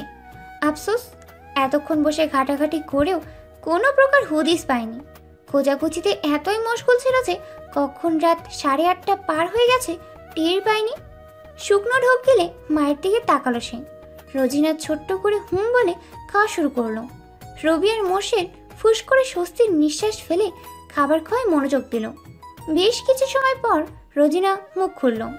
সামনের সপ্তাহ থেকে তুমি অফিসে যাবে। পানি খেতে নিলে থেমে যায় রবি। চটপট চোখে মোর্শেদের দিকে প্রশ্নসূচক দৃষ্টিতে তাকাতেই মোর্শেদ মাথা ঝুঁকিয়ে বোঝায় সে কিছু জানে না। রবি হাতের গ্লাসটা টেবিলে রেখে নিচু গলায় উত্তর দিল আম্মু আমার পড়াশোনা এখনও কমপ্লিট হয়নি। রোজিনা বলল আমি তোমার উপর সম্পূর্ণ কোম্পানির ভার দিচ্ছি না। আপাতত তুমি মোর্শেদের সাথে থেকে সব কিছু বুঝে নাও।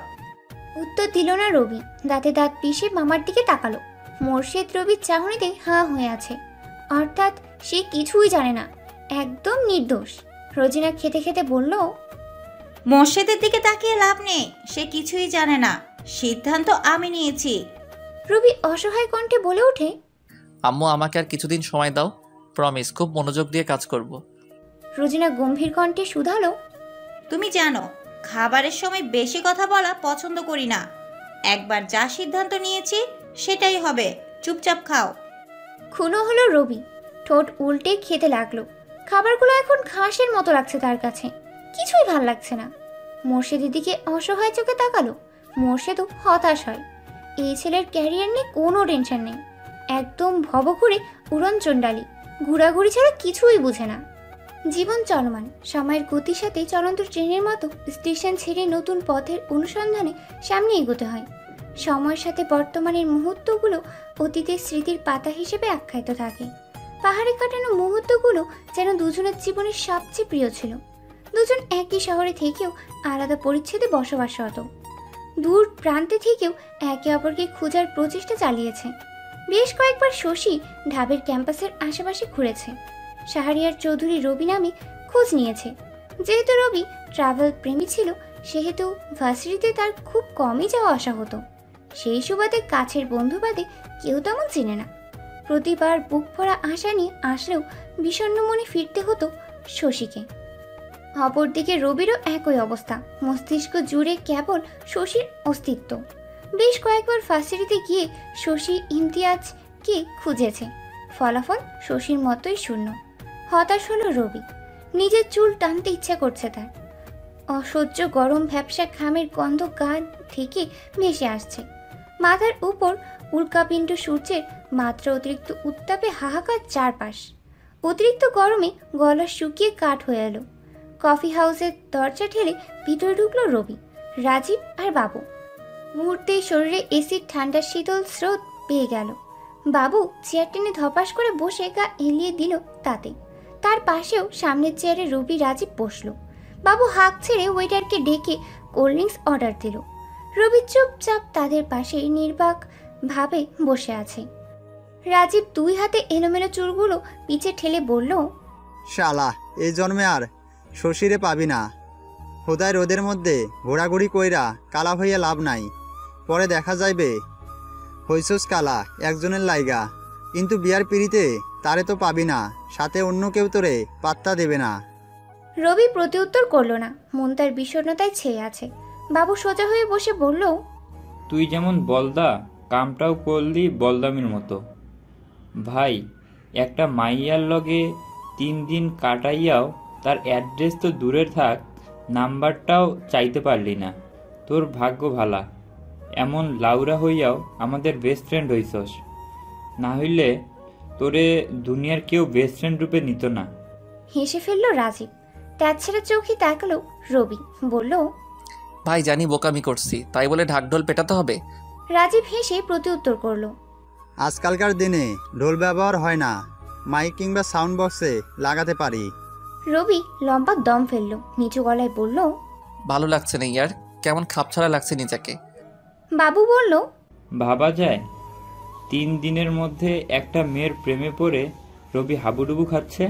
ভাবা যায় এগুলা? রবি প্রত্যুত্তরে হাসলো অতপর ঠান্ডা কোল্ড ড্রিঙ্কসে চুমুক বসিয়ে ঠান্ডা হলো তিন বন্ধু। নেক্সট টাইম কোথাও কোথায় খুঁজবে তার প্ল্যান করতে লাগল। রিপোর্টের কাগজে হাতে নিয়ে তার দিকে এক দৃষ্টিতে তাকিয়ে আছে শশী। অনুভূতির কৌটা তার শূন্য। বুক চিরে কেবলমাত্র দীর্ঘশ্বাস আসছে। কোনো মেয়েই বোধ হয় তার বাবার অসুস্থতা মেনে নিতে পারে না। সে নিজেও পারছে না।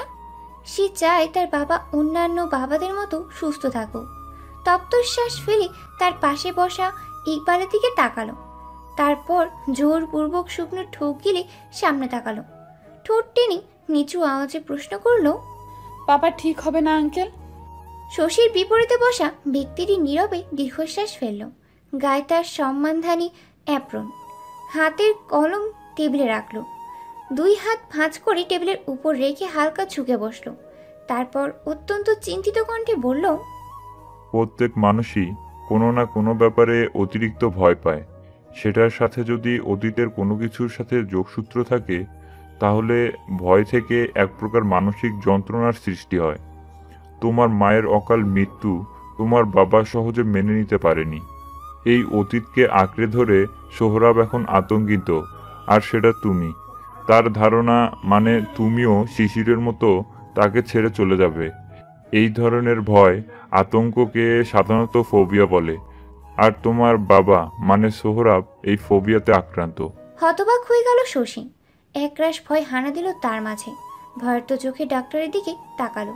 ইকবাল এক হাতে শশীর হাত ধরে চোখের ইশারায় আশ্বস্ত দিল। শশী সেদিকে তাকিয়ে কিছুটা আতঙ্ক মুক্ত হলেও বুক চিরে চাপা আর্তনাদ ভাসছে তার।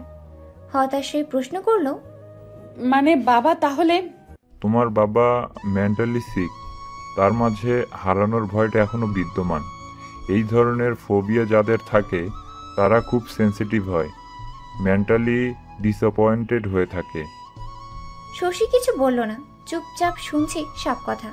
তখন ইকবাল সমাধান জানতে চেয়ে প্রশ্ন করল সবারকে সুস্থ করার উপায়? ঠোঁট কামড়ে মাথা হালকা ঝাঁকালো ডক্টর তারপর আবারও বলতে লাগল ফোবিয়া সাধারণত এক ধরনের মানসিক রোগ। আর এর অন্যতম চিকিৎসা হলো সাইকোথেরাপি অর্থাৎ বিহেভিয়ার থেরাপি এই থেরাপিতে আক্রান্ত ব্যক্তির অস্বাভাবিক আচরণকে ধীরে সুস্থে স্বাভাবিক আচরণে পরিবর্তন করা হয়। শশী বলল পাপা যখন হাইপার হয়ে যায় তখন তার অতিরিক্ত মাথা ব্যথা করে আর প্রচুর ঘেমে যায়। মানসিকভাবে অসুস্থ থাকলে অতিরিক্ত দুশ্চিন্তার কারণেও মাত্রাতিরিক্ত মাথা ব্যথা হয়ে থাকে। আর এই শারীরিক ও মানসিক উপসর্গ কমাতে মেডিসিন নিতে হয়।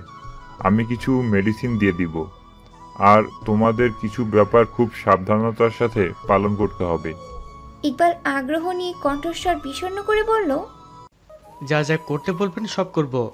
বিনিময়ে আমার বন্ধু যেন সুস্থ হয়ে যায় স্যার। বিস্মিত চোখে তাকালো ডক্টর তার পঞ্চাশ বছর বয়সে এমন মানুষ খুব কমই দেখেছে। বিপদের সময় আপন ভাই যেখানে পাশে থাকে না, সেখানে ইকবাল তার কিশোরকালের বন্ধুর জন্য কত মরিয়া। সোহরাবের চিকিৎসার ব্যাপারটা প্রথমে তিনি দেখেছিলেন। তার ধরন তিনি খুব কাছ থেকে সোহরাব আর ইকবালকে চেনে। এই কয়েক বছর ইকবাল আর সৌরভের এমন বন্ধুত্ব দেখে প্রসন্ন হলো তার মন। মনে মনে দোয়া করল সৌরভ যেন সুস্থ হয়ে যায়। রাত্রি প্রায় দুইটা ছুঁই ছুঁই। অন্যান্য দিনের মতো রবি চুপি চুপি পায়ে বাড়ির সদর দরজা খুলে ভিতরে ঢুকলো। খুব সাবধানতার সাথে দরজা লাগিয়ে পিট পিট পায়ে সিঁড়ি পেয়ে উপরে উঠল। রোজিনার রুম পেরিয়ে তার রুম। যাবার আগে মায়ের রুমের লাইট অফ দেখে ভাবলো ঘুমিয়ে আছে। হাঁপ ছেড়ে বাঁচল রবি। রোজিনার ভাস মতে রবি এখন তার রুমে ঘুমাচ্ছে। কারণ রাতের খাবার একসাথে খেয়েছে তারা সবাই। রবি অন্যান্য দিনের মতোই রাতের খাবার খেয়ে রুমে এসে শুয়ে পড়েছিল। রোজিনাও তাই জানে। রাত যখন প্রায় এগারোটা তখন রবি চুপি চুপি পায়ে বাড়ি থেকে বেরিয়ে গিয়েছিল। এখন রাত দুইটা ছুঁই ছুঁই। রাতে এতক্ষণ বাইরে ছিল রবি, ভাবতেই কেমন কেমন লাগছে তার। একমাত্র মা জানলে আর রেহাই নেই। এত সহজে কাজ শেষ করল, অথচ কেউ টের পায়নি, ভেবেই নিজেকে বাহবা দিচ্ছে সে। আস্তে করে রুমের দরজা লাগিয়ে ভাপ নিয়ে জ্যাকেটের কলার ঠিক করল। রুমের লাইট অন করে পিছনে ফিরতেই তার চোখ চড়ক গাছ প্রায়। চোখ বড় বড় করে তাকিয়ে শুকনো ঢোক গেল কারণ রোজিনা তার বিছানায় শুয়েছিল। লাইট অন হওয়ায় চোখ খুলে তাকালো। মাত্রা অতিরিক্ত রেগে আছে সে। এমন বিয়াদব ছেলে যে রাত বিরাতে বাইরে কাটায় সেই ছেলেকে চড়িয়ে গাল লাল করে দিতে ইচ্ছে করছে। শুয়া উঠে দাঁড়িয়ে তীক্ষ্ণ চোখে তাকিয়ে শক্ত গলায় প্রশ্ন ছুড়ল কোথায় ছিলে? রবি কাঁচুমাচু হয়ে দাঁড়িয়ে আছে। মিনমিনিয়ে গলায় উত্তর দিল চন্দ্রিমা উদ্যানে ছিলাম ফ্রেন্ডের সাথে। রোজিনা রাগি করে আবারও হেঁকিয়ে উঠল। এত রাতে সেখানে কি প্রয়োজন ছিল? রবি কিছুটা ভয় পেয়ে যায়। প্রত্যুত্তর করতে যাবে তার আগে রোজিনা তড়িঘড়ি করে এগিয়ে রবির হাত ধরে বলতে লাগল তোমার গায়ে এই সাদা পাউডার কেন? এগুলো কিসের? রোজিনা রবির বাহু গাল মুখ হাত ধরে দেখতে লাগল। সন্দেহ হলো তার। বলতে লাগল এগুলো ড্রাগস তুমি রাতে বাহিরে ড্রাগস নাও রবি? এই দিন দেখার বাকি ছিল আমার। হতবম্ব হয়ে গেল রবি। আহাম্মকের মতো ফ্যালফ্যাল চোখে তাকিয়ে রইল। বলল আরে আম্মু আমার কথা শোনো। রোজিনা রবির বাহু ছামটা মেরে ছাড়লো তারপর কড়া গলায় রেখে বলতে লাগল মাঝরাতে বাড়ির বাহিরে গিয়ে তুমি নেশা করো? এই শিক্ষা দিলাম তোমাকে। রবি গায়ে লেগে থাকা সাদা পাউডারগুলো ছাড়তে ছাড়তে বলল আম্মু এইগুলো ময়দা। সিফাতের বার্থডে আজ তাই চন্দ্রিমা উদ্যানে গিয়েছিলাম। সিফাতকে ময়দা ডিম দিয়ে গোসল করিয়েছি। আর তুমি এই ময়দাকে ড্রাগ বানিয়ে ফেললে? আমার বিশ্বাস হচ্ছে না তুমি আমাকে নিয়ে এত জঘন্য চিন্তা করতে পারো। মনের অস্থিরতা নিবল রোজিনার। লম্বা দম নিয়ে শুকনো ঢোক গেল। রবি প্রথমে স্বাভাবিক থাকলেও এখন আর নেই। গায়ের লেদার জ্যাকেট খুলে মেঝেতে ছুঁড়ে মেরে কাট কাট গলায় বলে উঠল আমি কলেজ পড়ুয়া কোনো বাচ্চা ছেলে না আম্মু। যথেষ্ট বড় হয়েছি আমি। আমাকে নিয়ে তোমার এইসব লেম টেনশনগুলো জাস্ট বোরিং লাগে। একটু বেশিই করো তুমি। আমাকে আমার মতো তো থাকতে দাও। রোজিনা প্রতিউত্তর করল না। চুপচাপ নীরব হয়ে দাঁড়িয়ে রইল। রবি এক হাতে চুলে থাকা ময়দাগুলো ছেড়ে ফেলে এগিয়ে রোজিনাকে বিছানায় বসালো। তার সামনে হাঁটু গেড়ে বসে দুই হাত মুষ্টিবদ্ধ করে বলতে লাগল ট্রাস্ট মি আম্মু আমি কখনো খারাপ কাজে লিপ্ত হব না। ভয় পাও কেন তুমি? আমাকে বিশ্বাস করো না? আমি বলছি তো কিছুদিন পর বিজনেস সামলাবো। একটা ব্যাপারে একটু টেনশনে আছি। সেটা শেষ হলে আমি অফিসে যাব। প্রমিস আম্মু? প্রসন্ন হলো রোজিনা। ঠোঁটে ফুটে এলো স্মিত মিষ্টি হাসি। রবির গালে এক হাত রেখে বলল আমি বিশ্বাস করি তোমাকে। বড় হও তুমি। জীবনের সকল সাফল্য আসুক তোমার। রবি খুশি হলো। উফ মা। বলে জড়িয়ে ধরলো রোজিনাকে।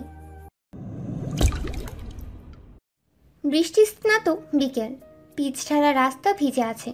গাছের ডালপালা পাতা বৃষ্টির পানিতে ভিজে চুপসে আছে। দুপুরে থেকে ঝুম বৃষ্টি হওয়ায় বিকেলের আবহাওয়া শীতল। মৃদু বাতাস বইছে চারপাশে।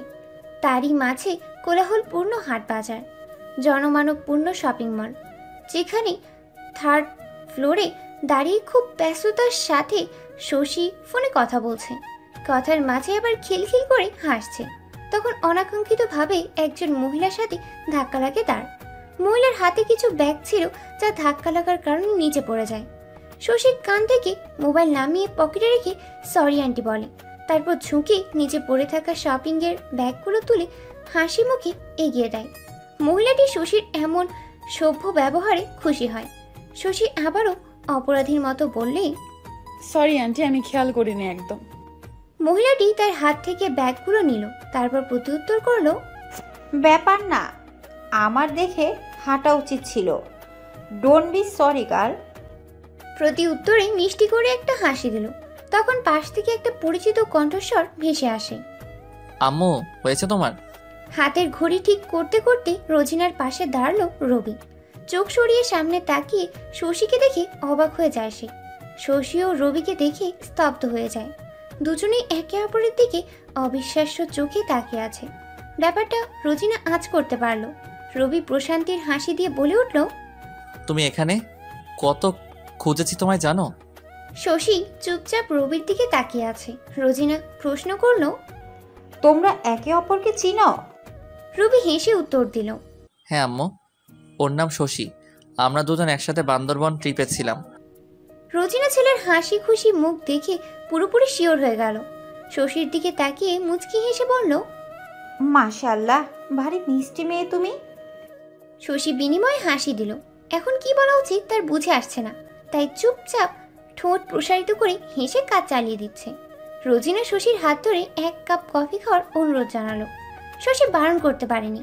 অতপর তিনজন ক্যাফেতে বসে বসে কফি খেল। এর মাঝে একে অপরের সম্পর্কে সব জেনে নিল তারা। রোজিনা আর শশীর মাঝে খুব ভালো ভাব জমলো। রবির লাইফ পার্টনার হিসেবে শশীকে ভালো লাগল রোজিনার। রবিও প্রসন্ন হলো। এতদিন ধরে যাকে খুঁজছে তাকে আজ অনাকাঙ্ক্ষিতভাবে পেয়ে গেছে। এবার ভালোই ভালোই প্রেমটা হয়ে গেলেই ভালো। ভেবে মনে মনে হাসলো সে।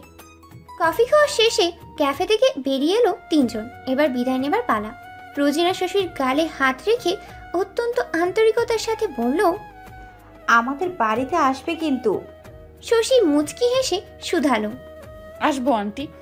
আরও কিছুক্ষণ কথা হলো শশী আর রোজিনার। রবির তো নিজেকে কাবাবের হাড্ডি লাগছে। সেও যে তাদের পাশে আছে তারা যেন তা বেমালুম ভুলে গেছে। হতাশার নিঃশ্বাস ফেলল রবি। তখন সোহরাব তাদেরকে দেখতে পায়। সোহরাব শশী আর ইকবাল শপিংয়ে এসেছিল একসাথে। শশীকে ভিতরে না পেয়ে বাইরে খোঁজার জন্য এসে তাদের দেখতে পায়। শশীর পাশে রবিকে দেখে চেঁচিয়ে ওঠে এই বিয়াদব ছেলে তুমি এখানে কি করছ? হঠাৎ আকস্মিক ঘটনায় তিনজনই অবাক হয়ে যায়। শশী কিছু বলতে যাবে তার আগে সৌরভ এগিয়ে রবির কলার ধরে বলতে লাগল ওই দিন মার খেয়েও শিক্ষা হয়নি? আমার মেয়ের সাথে আবার দেখা করতে এসেছিস? এত সাহস তোর? আজকে আমি তোকে মেরেই ফেলব। সৌরভ খুশি মারার জন্য হাত ওঠায়। রোজিনা আটকে ওঠে। তখন ইকবাল এগিয়ে সৌরভের হাত ধরে ফেলে। শশী আর ইকবাল মিলে সৌরভকে ছাড়িয়ে নেয়। রোজিনা রবির হাত টেনে দূরে সরিয়ে নিয়ে আসে। সৌরভ নিজেকে ছাড়ানোর চেষ্টা করে বলতে লাগল ছাড় ইকবাল এই ছেলেকে আমি মেরেই ফেলব আজ। রাগান্বিত হলো রোজিনা। বলল রাস্তাঘাটে এসব কি ধরনের অসভ্যতামি হচ্ছে? আপনার সমস্যা কোথায়? আমার ছেলেকে মারছেন কেন? সোহরাব বলল আপনার ছেলেকে সামনে রাখুন। আমার মেয়ের আশেপাশে যেন না দেখি। না হলে ওই দিনের মতো আবারও মারতে বাধ্য হব। ভ্রু কুচকালো রোজিনা। রবি এখনও নিশ্চুপ। রোজিনা রবির দিকে তাকিয়ে প্রশ্ন ছড়ল তার মানে ওই দিন ওই লোক তোমাকে মেরেছিল? রবি কিছু বলার আগে রোজিনা সোহরাবের দিকে তাকিয়ে কড়া গলায় বলে নিজের ভদ্রতা বজায় রাখবেন মিস্টার। খবরদার আমার ছেলের গায়ে একটা আঁচড় লাগলে আপনার অবস্থা আমি খারাপ করে দিব। পারলে নিজের মেয়েকে সামনে রাখবেন। তর্কাতর্কি শুরু হলো দুজনের মাঝে। শশী তার বাবাকে আর রবি তার মাকে থামানোর চেষ্টা করতে লাগল। কিন্তু কেউ থামছে না। হতাশ হয়ে একে অপরের দিকে তাকালো দুজন। শপিং মলের সামনে ঘটা এই আকস্মিক ঘটনায় চারপাশে মানুষের ভিড় জমে গেছে। ছকরার এক পর্যায়ে একে অন্যজনের দিকে তীক্ষ্ণ চাহনি দিয়ে আর কড়া থ্রেট দিল। তারপর শশীর হাত ধরে সৌরভ চলে যেতে লাগল। হতাশ হলো রবি। এগিয়ে শশীর কিছু বলতে যাবে? তার আগে রোজিনা তার হাত ধরে অন্যদিকে যেতে লাগল। রবি আর শশী দুজনেই নিরুপায়। রবি ঘাড় ঘুরিয়ে শশীর দিকে তাকালো। শশী গাড়িতে ওঠার আগে একবার অসহায় চাহনিতে রবিকে দেখল। তারপর ক্ষুণ্ণ মনে গাড়িতে উঠে বসল। বিষণ্ণতায় ছেয়ে এলো দুজনের মন। পুরো রাস্তায় কেউ কোনো প্রকার কথা বলেনি। শশী বাড়ি ফিরেই চুপচাপ দ্রুততার সাথে পা চালিয়ে নিজের রুমে চলে গেল। ইকবাল ক্রোধান্বিত হলো সোহরাবের উপর। দাঁতে দাঁত পিষে সোহরাবের দিকে কড়া চাহনি নিক্ষেপ করে সে তার রুমে চলে গেল। সোহরাব হতাশ হলো এইবার। গায়ের ব্লেজার খুলে সোফায় ফেলে গলার টাইট টেনে ঠিলে করে করল। সোফায় গা এলিয়ে বসল। অনুতপ্ত বোধ করছে সে। আসলে তখন এমন রিয়েক্ট করা উচিত হয়নি। আচ্ছা ছেলেটাকে কি শশী ভালোবাসে? তাহলে কি শশীকে আমার থেকে দূরে নিয়ে যাবে? কিন্তু শশীকে ছাড়া আমি থাকব কীভাবে? ছেলেটার গায়ে হাত তোলার জন্য কি শশী মামুনি আমার উপর রাগ করেছে? কথা বলা বন্ধ করে দিবে? চটপট চোখ খুলে তাকালো সোহরাব। শশী কোথায়? রেগে আছে? অস্থির হলো তার মন দ্রুততার সাথে উঠে দাঁড়াল। পা বাড়ালো শশীর রুমের উদ্দেশ্যে। আম্মু আমার কথা তো শুনো। রোজিনের পিছু হাঁটতে হাঁটতে বলল রবি। রোজিনা সিঁড়ি দিয়ে উপরে উঠছে। রবির কথার কর্ণপাত করেনি একদম। রবি আবারও বলতে লাগল ওই দিন ছোট একটা মিসআন্ডারস্ট্যান্ডিং হয়েছিল। তাছাড়া শশীর বাপ তো একটা সাইকো। উফ আম্মু শোনো তো। সিঁড়ির মধ্যভাগে দাঁড়িয়ে পড়ল রোজিনা। রবি তার তিন সিঁড়ির নিচে দাঁড়িয়ে আছে। গায়ের আঁচল পিছন থেকে সামনে টেনে শুধালো। তুমি সেদিন মিথ্যে বলেছিলে আমাকে। আমি কথা শেষ হওয়ার আগেই রবি বলে উঠল তার জন্য সরি আম্মু। শশী অনেক ভালো মেয়ে। শশীর বাপ হয়তো একটু সাইকো কিন্তু অনেক ভালো। প্লিজ এমন রিয়াক্ট করো না। শেষের কথাটা অনুনয় স্বরে বলল রবি। রোজিনা তার তীক্ষ্ণ চাহনিতে উত্তর দিল ভুলে যাও ওই মেয়েকে। এত কিছুর পরেও কীভাবে তুমি এই কথা বলছো? আমি কিছুতেই ওই লোকের মেয়েকে তোমার সাথে বিয়ে দিব না। অ্যান্ড ইটস ফাইনাল গটগট পায়ে চলে গেল রোজিনা। রবি আগের জায়গায় দাঁড়িয়ে রইল। বিরক্তি দিয়ে মুখ দিয়ে শীত বলল, এক হাত উঠিয়ে কপাল কুচকে বিরক্তি মুখ ভাবছে, কি করা যায়? শশীর বাবা কি আসলেই পাগল? হুদায় কেউ এভাবে রিয়াক্ট করে? সে একা থাকলে একটা কথা ছিল, কিন্তু না, তার গুণধর মা জননী তার সাথে ছিল। ব্যাটা যদি শশীর বাপ, তার হবু শ্বশুর না হতো, তাহলে ওখানেই দুই চার ঘা লাগিয়ে দিত। উফ ইয়ার, তার লাইফে কেন এত প্যারা? সব প্যারা খেয়ে খালি তাকেই দেওয়া লাগে? হুদাই। রাত্রির প্রথম ভাগ। বাইরে খুটখুটে অন্ধকারে পরিবেশ নীরব। রাস্তাঘাট সোডিয়ামের কৃত্রিম আলোতে আলোকিত। নিস্তব্ধ পরিবেশে মৃদু শীতল বাতাসে থাই গ্লাসের সামনে ঝুলানো সাদা পর্দাগুলো দুলছে। বিছানায় হেড সাইডে হেলান দিয়ে বসে আছে শশী। হাতের মোবাইলে রিংটং বাজতেই সাইলেন্ট করে বিছানার পাশে রেখে দিল শশী। বুকে দুই হাত গুছিয়ে বিছানায় বসে দরজায় তাকিয়ে আছে। বিকেলে রুমে এসে যে দরজা লাগিয়েছে, এখনও দরজা খুলেনি। আর সৌরভ, সেই থেকে দরজার বাইরে দাঁড়িয়ে নানান কথার প্রভাব করে শশী রাগ ভাঙানোর চেষ্টা করছে। সৌরভের এমন পাগলা পাগলামতে শশী মাঝে মাঝে বিরক্ত হলেও প্রচণ্ড ভালো লাগে তার। হাসি পায় প্রচুর। তার বাবা মাঝে মাঝে পাগলামো নয় বাচ্চামো করে। প্রতিটা মেয়ের কাছে হয়তো তার বাবার করা প্রত্যেক ভালো কৃতকর্ম পছন্দ হোক। শশীর ক্ষেত্রেও তাই। শশী মামুনি দরজা খুলো প্লিজ। আর এমন হবে না। দেখো কান ধরেছি। অস্থির কণ্ঠে বলল সৌরভ। তার পাশে ইকবাল দেয়ালে হেলান দিয়ে পকেটে হাত গুছে দাঁড়িয়েছিল। সেই শশীর উদ্দেশ্যে চেঁচিয়ে বলল শশী তোর বাপ নাকামি চোবানি ভালোই খাইতেছে। দরজা খুলিস না আর একটু হেনস্থা হতে দে। সৌরভ চোখ পাকিয়ে ইকবালের দিকে তাকালো বলল দুধ কলা দিয়ে কালসাপ পুষেছি আমি। তুই সামন থেকে যা নয়তো তোরেও ওই পোলার মতো অবস্থা করমু। ইকবাল কণ্ঠস্বর তেছড়া করে উত্তর দিল তুই হবু শ্বশুর হওয়ার ওই পোলা তোকে ছাড় দিবে? আমি? কোলে বসাইয়া চুম্মা দিমু ভাবসস ডাবল দিমু। ঠোঁট চেপে হাসলো শশী। হাসি আর থামছে না। আবার উচ্চস্বরেও হাসতে পারছে না। বাবা চাচার এমন ঝগড়া সে বেশ ভালো উপভোগ করে সবসময়। ছোট থেকেই দেখে আসছে ইকবাল আর সৌরভকে একে অপরের সাথে এভাবে ঝগড়া করে। তবে দুজনের পথ কখনো আলাদা হয় না। এমন বন্ধুত্ব বোধ হয় হাতে গোনা কয়েকটা পাওয়া যাবে। দুজনের এমন মিলমিশ দেখে প্রসন্ন হয় শশী। আবারও ডাকলো সোহরাব। শশী তার হাসি মুখখানা গম্ভীর করে দরজা খুলে বিছানায় বসল। সোহরাব ইকবাল রুমে আসলো।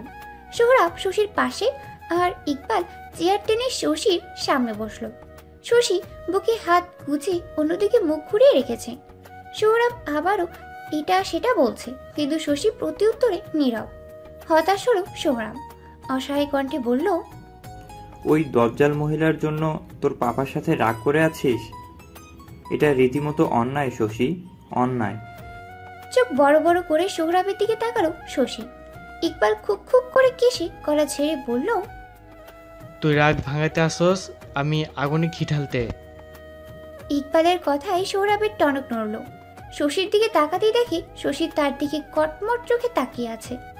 সৌরভ বোকা বোকা টাইপ হাসি দিয়ে বলল সরি ভুল বলেছি। ওই শাকচুন্নি মহিলা। সরি সরি ভদ্র মহিলা হবে। শশী নীরবে হতাশার নিঃশ্বাস ফেলে হালকা মাথা এদিক সেদিক দুলালো তারপর বলল পাপা তুমি? তো কি বলব? ওই মহিলা আসলেই শাকচুন্নি। দেখিসনি কীভাবে ঝগড়া করছিল? এই মহিলার ছেলের সাথে তোর বিয়ে ক্যান্সেল। ইকবাল সোহরাবকে অপদস্থ করে বলে উঠল তুই মনে হয় ভদ্র। তুই নিজেই বেটি মানুষের মতো কামড়ে অন্য রেখে ঝগড়া করতেছস। লাইক সিরিয়াসলি শোবার সোহরাব ইকবালের দিকে দাঁতে দাঁত পিষে তাকিয়ে বলল তুই বাহির হ যা ভাগ এখান থেকে। শশী এবার নিজেকে নিয়ন্ত্রণ করতে না পেরে উচ্চস্বরে হেসে ফেলল। ইকবাল সোহরাব দুজনে প্রসন্ন হলো তার হাসিতে। শশী হাসতে হাসতে শুধালো পারো তোমরা সারাদিন ঝগড়া করতে। শশীর হাসিতে প্রসন্ন হলো সোহরাব। সাথে ইকবালও। দুজনকে খুশি হতে দেখে শশী হাসি থামিয়ে গম্ভীর মুখে বলল বাই দ্য ওয়ে আমার রাগ ভাঙেনি। হতাশার চোখে তাকালো সোহরাব তপ্ত শ্বাস ফেলে বলল ওই শাকচুন্নির সাথে আমি কথা বলতে পারব না। শাকচুন্নি বলায় শশী আবারও তেতে উঠল। বাবাকে শাসনের সুরে বলল উনি খুব ভদ্র মহিলা। তুমি প্রথমে ওনার সাথে মিসবিহেভ করেছ। তাই তুমি আগে ওনাকে সরি বলবে। রবির সাথেও কথা বলে সব ঠিক করবে। সৌরভ কিছু বলতে যাবে? তার আগে শশী দাঁড়িয়ে বলে ওঠে। আমি কোনো এক্সকিউজ শুনতে চাই না। যা বলেছি তাই করবে। না হলে আমার সাথে কথা বন্ধ। গটগট পায়ে বেরিয়ে যায় রুম থেকে। সৌরভ অসহায় চোখে ইকবালের দিকে তাকাতেই ইকবাল বলল ওরা যদি একে অপরকে ভালোবাসে তাহলে তোর সমস্যা কোথায়? আমি আমার মেয়েকে হারাতে চাই না। ওরা শশীকে নিয়ে যাবে। আমি একা কীভাবে থাকব বল? বোকা। প্রত্যেক মেয়ের বিয়ের পর শ্বশুর বাড়ি যায়। শশী তো দেশ ছাড়ছে না। দেখা তো হবেই। শশীকে কি ঘরে বসিয়ে রাখতে পারবি? একদিন তো বিয়ে দিতেই হবে, তাই না? এত অবুজ কেন তুই? শশী তোর মেয়ে। তোর থেকে কেন কেউ দূরে রাখবে? যার রবি ছেলে হিসেবে অনেক ভালো। শশীকে ভালো রাখবে ট্রাস্ট মি সোহরাব প্রত্যুত্তর করল না। ভাবছে সে। সত্যিই তো। একদিন না একদিন শশীর বিয়ে হয়ে যাবে। এটাই তো নিয়ম। সেই আর বাঁচবে কয়দিন? দীর্ঘশ্বাস ফেলল সোহরাব। বসা থেকে উঠে আস্তে আস্তে পায়ের কদম ফেলে নিজের রুমে গেল। ড্রয়ার থেকে শিশিরের একটা ছবি বের করল। ইজি চেয়ারে গা এলিয়ে বসে দেখতে লাগল শিশিরকে। এক সময় বুকের মাঝে ছবিটা রেখে প্রশান্তির ঘুম দিল চেয়ারে বসে থেকেই। নিরাপত্তা পুরো বাড়ি জুড়ে চলছে নিস্তব্ধতা। জমকালো আলোতে পুরো বাড়ি আলোকিত। অভিজাত্য খাবারের টেবিলের এক পাশে জড়ো সড়ো হয়ে বসে আছে রবি। তার ঠিক সামনে মোর্শেদ। রবি একবার মোর্শেদের দিকে তাকালো। তারপর আর চোখে তাদের ডান পাশে বসে থাকা রোজিনার দিকে তাকালো। কিছু বলতে চাইছে রবি, কিন্তু রোজিনার তীক্ষ্ণ চাহনিতে জিভ চলছে না তার। সার্ভেন্ট খাবার দিয়ে গেলে রোজিনা খাওয়া শুরু করতে বলে। রোজিনা খাবার চিবুতে চিবুতে প্রশ্ন করল আমার মনে হয় কিছু বলতে চাইছো তুমি। রবি মামার দিকে প্রশ্নসূচক দৃষ্টিতে তাকালো। মোর্শেদ এক হাতে কপাল চুলকে চোখের ইশারায় বুঝায় বলে ফেল। রবি শুকনো ঢুক গেলে বলতে নিবে তার আগেই রোজিনা বলে ওঠে শশীর ব্যাপার বাদে অন্য কিছু বলতে পারো। নিবল রবি আহত হলো মায়ের কথায়। হতাশার নিঃশ্বাস ফিরে চামচ প্লেটে রাখল। টুং করে আওয়াজ হয় প্লেটে। শুধালো। তাহলে আর কিছু বলার নাই? রোজিনা হাসলো। তবে সেটা সকলের অগচরে। ছেলেটা ভালোই প্রেমে ফেসেছে। মনে মনে হাসি দমিয়ে রেখে বলল শশীকে আমার পছন্দ হয়েছে। অবাক হয়ে চকচকিয়ে তাকালো রবি আর মোর্শেদ। দুজনের এমন চাহনিতে রোজিনা হালকা গলা ছেড়ে আবারও বলল কিন্তু তার বাবার মিসবিহেভিয়ারের জন্য আমি তাকে আমার বাড়ির বউ করে আনতে পারব না। মোর্শেদ ফুস করে নিঃশ্বাস ফেলে পিড়বিড় করে বলল বাহ বোন বাহ। গিরগিটের মতো রং বদলাতে ভালোই পারো। কথাটা বলে সামনে তাকাতে দেখে রবি রোজিনা তার দিকে তাকিয়ে আছে। সে বিড়বিড় করে বললেও রোজিনা আর রবির কানে এলো কথাটা। মোর্শেদ বেক্কেল হয়ে বোকা হেসে দিয়ে বলল না মানে আমি কিছু বলিনি আমি তো খাবার খাচ্ছিলাম হে হে। কেউ কিছু বলল না মোর্শেদ হাঁপ ছেড়ে বাঁচল। রোজিনা ছেলের বিষণ্ণ মন দেখে আবারও মনে হাসলো। পানির গ্লাস হাতে নিয়ে বলল তবে একটা সত্য আছে। বলে পানির গ্লাসে চুমুক বসালো। রবি প্রশ্নসূচক দৃষ্টিতে তাকালো মোর্শেদ ইশারায় বলল রাজি হয়ে যা। রবি বলল কি শর্ত? রোজিনা পানির গ্লাস টেবিলে রেখে বলল আগে বলো তুমি রাজি কিনা? বিপাকে পড়ল রবি। কি এমন শর্ত দিবে তার মা? ঠোঁট কামড়ে ভাবতে লাগল। প্রত্যুত্তরে সম্মতি দিতেই রোজিনা বলল, শর্ত শোনার পর রবির মাথায় আকাশ ভেঙে পড়ল। বিস্ময় চোখ তার কোটর থেকে বেরিয়ে আসার উপক্রম। মোর্শের দাঁত গেলিয়ে হাসল, এবার কোথায় যাবে বাছা ধন? হতাশ হলো রবি, গালে হাত ঠেকিয়ে ক্ষুণ্ণ মনে খাবার চিবোতে লাগল। তার মা এত বড় কালপারেট হবে সেটা তো জানা ছিল না। হাই প্রেমে পড়ল কেন সে? কেন? কাঁচের টেবিলে ঝুঁকে গালে হাত দিয়ে বসে আছে রবি। চুলগুলো তার উস্কো খুস্কো চেহারায় স্পষ্ট ক্লান্তির ছাপ। কপালে জমে আছে বিন্দু বিন্দু খাম তার সামনে এক গাদা ফাইল হাতে দাঁড়িয়ে আছে মোর্শেদ। ঠোঁটে তার শয়তানির হাসি। বোঝা যাচ্ছে রবিকে এভাবে হ্যানস্তা হতে দেখে মোর্শেদ প্রচুর আনন্দ পাচ্ছে। রবি তার চিন্তার জগতে ডুবে থেকে প্রশ্ন ছড়ল, তুমি শিওর, মামা? হাসি মাখা মুখখানিতে মূর্তি আলো নিভে অন্ধকার নেমে এলো মোর্শেদের। ক্ষুণ্ণমণি বলে উঠল তুই এখনও আমাদেরকে নিয়ে সন্দেহ করছিস? রবি বলল তো কি করব? তুমি আর আম্মুর যদি নানার সন্তান হয়ে থাকো তাহলে দুজনের মাঝে এত তফাৎ কেন? বোঝাও আমাকে। মোর্শেদ হাতের ফাইলগুলো টেবিলে সজোরে রাখল। তারপর বলল সত্যি বলতে আ- আমারও মাঝে মাঝে সন্দেহ হয়। আপা এত রাগী কেন?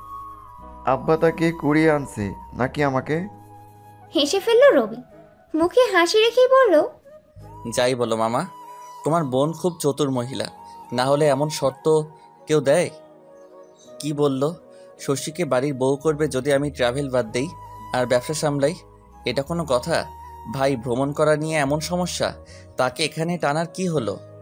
মোর্শেদও হাসলো বলল কি আর করবে? আপনি যে লুকিয়ে গায়েব হয়ে যান আমাদের তো প্রচুর টেনশন হয় নাকি? তাছাড়া এতদিন যাকে ধরে বেঁধে অফিসে আনা গেল না তাকে বিয়ে দিবে কিন্তু শর্ত দিয়ে অফিসে বসালো।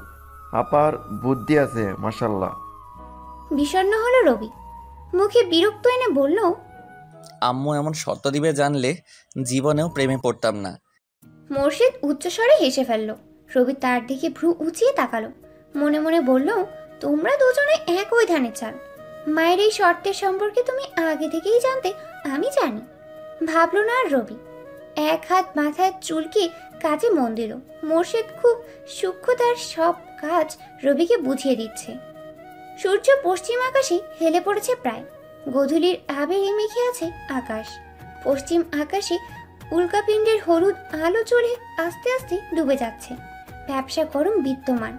অফিসে সারাটা দিন ব্যস্ততার সাথে কাটিয়ে বাড়ি ফিরল রবি। রুমে গিয়ে লম্বা শাওয়ার নিল, বিছানায় ধপাস হয়ে শুয়ে পড়ল। প্রায় সন্ধ্যা হয়ে গেছে। এসির শীতল হাওয়ার কারণে বাইরের ব্যবসা গরম ধরতে পারল না। রবি শুয়ে থেকেই মোবাইল হাতে নিল। শশীর নাম্বারে ডায়াল করে কানে মোবাইল ঠেকিয়ে সিলিংয়ের দিকে তাকিয়ে আছে। একবার, দুইবার, তিনবার, হবার পরেও কল রিসিভ হলো না। রবি আবারও ট্রাই করল।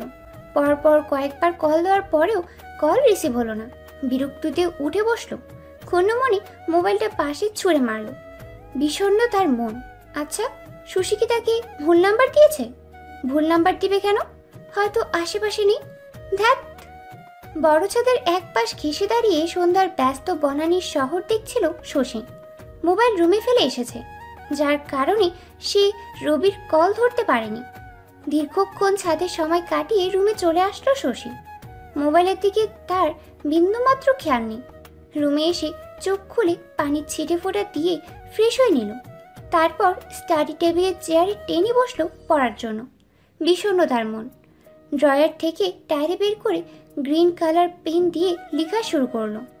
পাহাড়ে কাটানো প্রতিটা মুহূর্ত শশী এই ডায়েরিতে নোট করে রেখেছে।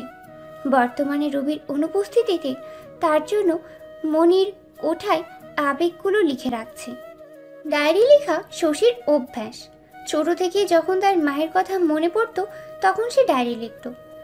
আর এখন শিশিরের পাশাপাশি রবির নামও ডায়েরির পাতায় স্থান পেয়েছে। নিজের অনুভূতিগুলো সুন্দর করে গুছিয়ে লিখছে শশী। লেখা শেষে ডায়েরিটা ভালো করে পর্যবেক্ষণ করল সে। তারপর খুব যত্নে টেবিলের ডয়ারে রেখে দিল। চুলগুলো উঠিয়ে উঁচু করে খোপা করল। বিছানায় বসে মোবাইল হাতে নিয়ে খেয়াল করে আন্নোর নাম্বার থেকে প্রায় চার পাঁচটা কল গুরুত্বপূর্ণ কিছু ভেবে কল ব্যাক করল সে। শশীর কল পেয়ে তড়িঘড়ি করে রিসিভ করল রবি। উত্তেজিত কণ্ঠে বলে ওঠে এতক্ষণ কোথায় ছিলে? সে কখন থেকে কল দিচ্ছি তোমাকে? কলের বিপরীত পাশের ব্যক্তিটির কথা শুনে ভরকে যায় শশী। কান থেকে মোবাইল নামিয়ে একবার নাম্বারটা ভালো করে দেখে আবার কানে রাখে। গলার আওয়াজ নামিয়ে আস্তে করে উত্তর দিল ছাদে ছিলাম। রবি চোখ বন্ধ করে নিঃশ্বাস ফেলে নিজেকে শান্ত করল। তারপর মোলায়েম সুরে শুধালো কেমন আছো? ভালো আপনি? ভালো। চুপ হয়ে গেল রবি। বলার মতো আপাতত কিছু খুঁজে পাচ্ছে না। শশীও নীরব থেকে রবির প্রতিউত্তর শোনার অপেক্ষায় আছে। নীরবতা নেমে এলো দুজনের মাঝে। শশীকে চুপ থাকতে দেখে রবি বলল কি ব্যাপার বলো তো শশী তুমি এত চুপচাপ কীভাবে? রো কুচকাল শশী। বুঝতে পেরে প্রশ্ন করল মানে? মানে জঙ্গলে তো প্যান প্যান করে আমার কান ঝালাপালা করে দিয়েছিলে। আজ এত চুপচাপ কিছু তো বলো। উত্তর দিল না শশী। ঠোঁটে ঠোঁট চেপে নীরব রইল। মূলত তার এখন রবির সাথে ফোনে কথা বলতে ভীষণ রকমের লজ্জা লাগছে। রবি তার ব্যাপারটা বুঝতে পেরে মনে আসলো। কিন্তু মুখে দুষ্টুমির হাসি রেখে বলল কি বলো তো শশী তুমি লজ্জা পাচ্ছ? লজ্জা পাওয়ায় নিশ্চয়ই গাল লাল হয়ে আছে লাইক রেড চেরি আরও লজ্জায় মুখরিত হলো শশী। কান গরম হয়ে এলো তার। রবি বলল প্রেয়সী তোমার লজ্জা মাখা মুখশ্রী দেখার প্রবল ইচ্ছা পোষণ করছে মন। কাছ থেকে দেখতে ইচ্ছে করছে লজ্জাবতীর লজ্জা মাখা মুখখানি। রোজিনার রুমে কাচুমাচু হয়ে বসে আছে রবি। কিছু বলার চেষ্টা করছে কিন্তু তার মা তাকে পাত্তা দিচ্ছে না। দিব্যি পায়ের উপর পা তুলে চেয়ারে বসে ফাইল দেখছে। জিপ দিয়ে ঠোঁট ভিজালো রবি। শুধালো আম্মু আমি কি তোমার আর ফাইলের মাঝে থার্ড পারসন হয়ে গেছি? পাতা দিচ্ছ না কেন? রোজিনা ঠোঁট চেপে হাসলো। ফাইল বন্ধ করে চোখের চশমাটা ঠিক করল। তারপর রবির দিকে তাকিয়ে বলল my prince always my first priority come here প্রফুল্লিত হলো রবি। একগাল হেসে মায়ের পাশে বসে কোলে মাথা রেখে শুয়ে পড়ল। এক হাত টেনে মুখে জড়িয়ে ধরলো। রোজিনা তার অপর হাত দিয়ে রবির মাথায় হাত বুলিয়ে দিচ্ছে। রবি উল্লাসিত কণ্ঠে বলল তুমি পৃথিবীর সবচেয়ে বেস্ট আম্মু। সন্তুষ্ট হলো রোজিনা। মনটা তার ভরে এলো ছেলের কথায়। কিছুটা ঝুঁকে রবির কপালে পরম স্নেহের চুমু এঁকে দিল। রবি ভাবলো এই সুযোগে আবদার করে ফেলা যাক। যেই ভাবা সেই কাজ। সে যে কথা বলতে এসেছিল তা বলেই ফেলল। আম্মু আমি তো বিজনেস সামলাতে রাজি হয়েছি তাই না? রোজিনাও সাথে সাথে মাথা দুলিয়ে উত্তর দিল হুম। রবি বলল অফিসে তো রেগুলার যাচ্ছি। ভালো মতো সব বুঝে দিচ্ছি এখন তো আর অবাধ্য অনিয়মিত হব না। তাহলে মাঝে মাঝে ছোট একটা ট্যুর দিতেই পারি তাই না? ভয়ে রবির বুক ধুকভুক করছে। মায়ের কোলে শুয়েই আছে সে। রেগে গিয়ে যদি দুই চার ঘা লাগিয়ে দেয় তো? হাই হাই রহিম ইয়া মামুদ, ইয়া খোদা, আল্লাহ রক্ষা করো তাকে। দরুদ পড়তে লাগল রবি, কিন্তু রোজিনা খুব স্বাভাবিকভাবে উত্তর দিল, আমি তো তোমাকে এমনি এমনি ট্যুরে যেতে বারণ করি না। আমার কথা শোনো তুমি। হুটহাট পাহাড়ে চলে যাও গার্ড ছাড়া। যদি কোনো বিপদ হয় তো? তুমি যেতে পারো। বান্দরবন, সিলেট, চট্টগ্রাম যেখানে ইচ্ছে, কিন্তু ভালো কোনো কটেজে উঠো। পাহাড়ে উঠলে গাইড নিয়ে যাও। তুমি তা করো না। তাই আমার টেনশন হয় এই জন্য তোমাকে নিষেধ দিয়েছি। রূপ কুচকে রইল রবি কপালে তার সরু ভাঁজ পড়েছে। শুয়া থেকে উঠে বসে প্রশ্ন চলল তুমি কীভাবে জানো আমি কোনো গাইডলাইন ছাড়া পাহাড়ে চড়ি?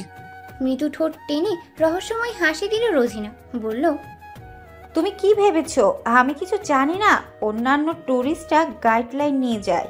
আর তুমি বাহাদুরি দেখিয়ে একা একা পাহাড়ে উঠো। আমার এত টাকা সত্ত্বেও তুমি সেখানে সাধারণ ফল খাবার খেয়ে দিন কাটাও।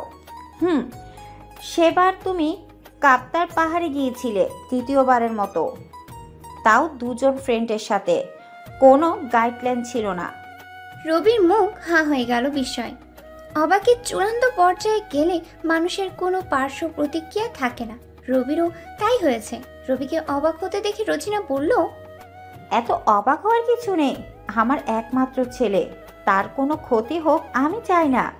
সন্তানের বাবা হয়ে যাও। তারপর পিতামাতার কষ্টটা বুঝতে তার আগে না। বুক ভরে শ্বাস নিয়ে ফুস করে নিঃশ্বাস ফেলল। তারপর এগিয়ে রোজিনাকে জড়িয়ে ধরে বলল আম্মু টেনশন করো কেন? আমি ট্র্যাকিং করতে জানি সব ধরনের টিপস আমার জানা আছে। তুমি টেনশন নিও না। রোজিনা কিছু বলল না। তার ছেলে এই জন্মে শুধরানোর নয়। কোলাহলপূর্ণ ক্যাফের একপাশে বসে আছে রবি আর শশী। বাইরে মুষলধারে বৃষ্টি হচ্ছে। রাস্তাঘাট গাছগাছালি ভিজিয়ে দিয়ে যাচ্ছে বৃষ্টির প্রতিটি ফোঁটা। পাখিরা নিজেদের বাসায় ঘাপটি বেড়ে বসে আছে। কেউ কেউ ছাতা মাথায় দিয়ে নিজ গন্তব্যের উদ্দেশ্যে পাড়ি বসাচ্ছে। রিক্সাওয়ালারা পলিথিন মাথায় দিয়ে পা দিয়ে ঠেলে রিক্সা সামনে এগোচ্ছে। ক্যাফের ভিতরে বসে বাহিরের বর্ষণ মুখরিত পরিবেশ স্পষ্ট ভাসমান। সেখানে এক পাশে দুজন সামনাসামনি বসে আছে। বুকে হাত গুজে শশীর দিকে বিরক্তি মাখা চোখ মুখে তাকিয়ে আছে রবি। শশী কোনো রকমে ঠোঁট কামড়ে হাসি থামানোর বৃথা চেষ্টা করছে। কিছুতেই হাসি কন্ট্রোল করতে পারছে না। এক পর্যায়ে সাধ্যের বাইরে গিয়ে হুহা করে হেসে দিল শশী। ঠোঁটে স্পষ্ট বাঁকা দাঁতটা ভেসে উঠল। রবি তাদের দাঁত পিষে কফির কাপ সজোরে টেবিলে রাখল। কফির কাপের আওয়াজে শশী হাসি থামালো। হাসির আওয়াজ থেমে গেলেও তার মুখের হাসি থামেনি। রবি রাগে গিজগিজ করতে করতে বলল সমস্যা কি তোমার? এখানে কি সার্কাস খুলে বসে আছি আমি? হাসছো কেন? শশী দুই হাতে খোলা চুলগুলো পিছে পিঠে সোজা করে বসল। শুধালো আমার হাসি বাবার কথা না আমার উচিত ছিল তোমার কষ্টের কারণে কষ্টিত হওয়া। কিন্তু কষ্টের ব্যাপার হলো আমার প্রচুর হাসি পাচ্ছে। বলেই আবারও হাসতে লাগল শশী। হতাশ হয়ে ফুস করে নিঃশ্বাস ফেলল রবি। এই মেয়ে এত ফালতু প্যাচাল পারতে পারে? আফসোস আমার। কেন গেলাম রিলেশনে? ভ্রমণ করার নিষেধাজ্ঞা পেলাম বিজনেস সামলানোর দায়িত্ব পেলাম ব্যানম্যানানি গার্লফ্রেন্ড পেলাম। আহ আর কি পাওয়ার বাকি আছে আমার? আর কি? শশী বলল আন্টি অনেক ইন্টেলিজেন্ট মানতে হবে। রবি হতাশ কণ্ঠে বলল হ্যাঁ মাত্রাতিরিক্ত ইন্টেলিজেন্ট বলেই আমার এই অবস্থা। ট্রাভেল নিয়ে আম্মুর কি সমস্যা? আমার বুঝে আসে না। একবার বিয়েটা হতে দাও। তারপর দেখো আমাকে সামলায় কে। চোখ ছোট ছোট করে তাকালো শশী। সন্ধিহান দৃষ্টিতে তাকিয়ে কাট কাট গলায় বলল বিয়ের পর মানে? কি করবে তুমি? দাঁত কেলিয়ে হাসলো রবি। বলল এখন হয়তো বিয়ে দিবে না বলে ট্রাভেল বাদ দিল। বিয়ের পর কি বলবে? তখন তো বউ এমনিতেও আমার। শশী হাতে থাকা কাটা চামচ টেবিলে হালকা আওয়াজে ধপ করে রেখে বলল খবরদার বিয়ের পর পালিয়ে কোথাও যাবে না? বিস্মিত হলো রবি। অবাক কণ্ঠে বলল আরে এক্ষুনি দেখেছি। তুমি খবরদারি শুরু করছ। বিয়ের পর তো আমি অবশ্যই ট্রিপে যাব। কেউ জানবে না? রেগে গেল শশী। বিয়ের পরও তাকে না জানিয়ে রবি চলে যাবে? কেন? বিয়ের পর এমন করবে কেন সে? তাহলে কি রবি বাধ্য হয়ে বিয়ে করছে? শশী কি তাকে বাধ্য করেছিল তাকে বিয়ে করতে? আরও কিছু কথা মাথায় ধরলো শশীর। ক্ষুণ্ণ হলো মন। বিষণ্ণতায় ছেয়ে এলো। চেয়ার ছেড়ে দাঁড়িয়ে পড়ল। রুক্ষ কণ্ঠে বলে উঠল বিয়ের পর যাবে মানে? তাও আবার না জানিয়ে আর খবরদারি করেছি আমি আমি কিছু বলতেও পারব না? এমন বিহেভ করছ যেন তুমি বাধ্য এই বিয়ে করতে? করলাম না তোমাকে বিয়ে। থাকো তুমি তোমার ট্রাভেল নিয়ে। গেলাম আমি। বলে পার্স হাতে নিয়ে টেবিল ছেড়ে সামনে হাঁটা ধরল শশী। রবি আকস্মিক ঘটনায় হতবাক হয়ে গেল। সে তো এভাবে বলতে চায়নি? দাঁড়িয়ে শশীকে থামাতে চাইলে শশীর তেজি গলায় শোধালো খবরদার আমার পিছু আসবে না। বেরিয়ে গেল কফি হাউস থেকে। রবি তাকে ডাকতে ডাকতে বেরিয়ে যাবে এমন সময় ওয়েটার তাকে আটকে ধরে। ভাই বিলটা পে করে যা। তাড়াহুড়োর মাঝে আরেক বিপত্তি। ওদিকে শশীও চলে যাচ্ছে আবার বাইরে বৃষ্টি হচ্ছে। অস্থির হয়ে উঠল রবি। পকেট থেকে টাকা বের করতে করতে বলল শালা আমার গার্লফ্রেন্ড চলে যাচ্ছে। আর তুই আসছস বিল নিয়ে এই নে টাকা। ওইটার ছেলেটা রবির সমবয়সী ছিল। এখানে রবি প্রায় সময় ফ্রেন্ডদের নিয়ে আসে। সেই সুবাদে তারা পরিচিত। ছেলেটি দাঁত কেলিয়ে হেসে বলল ভাই ব্রেকআপ পার্টিটা আমাদের হাউজেই দিস।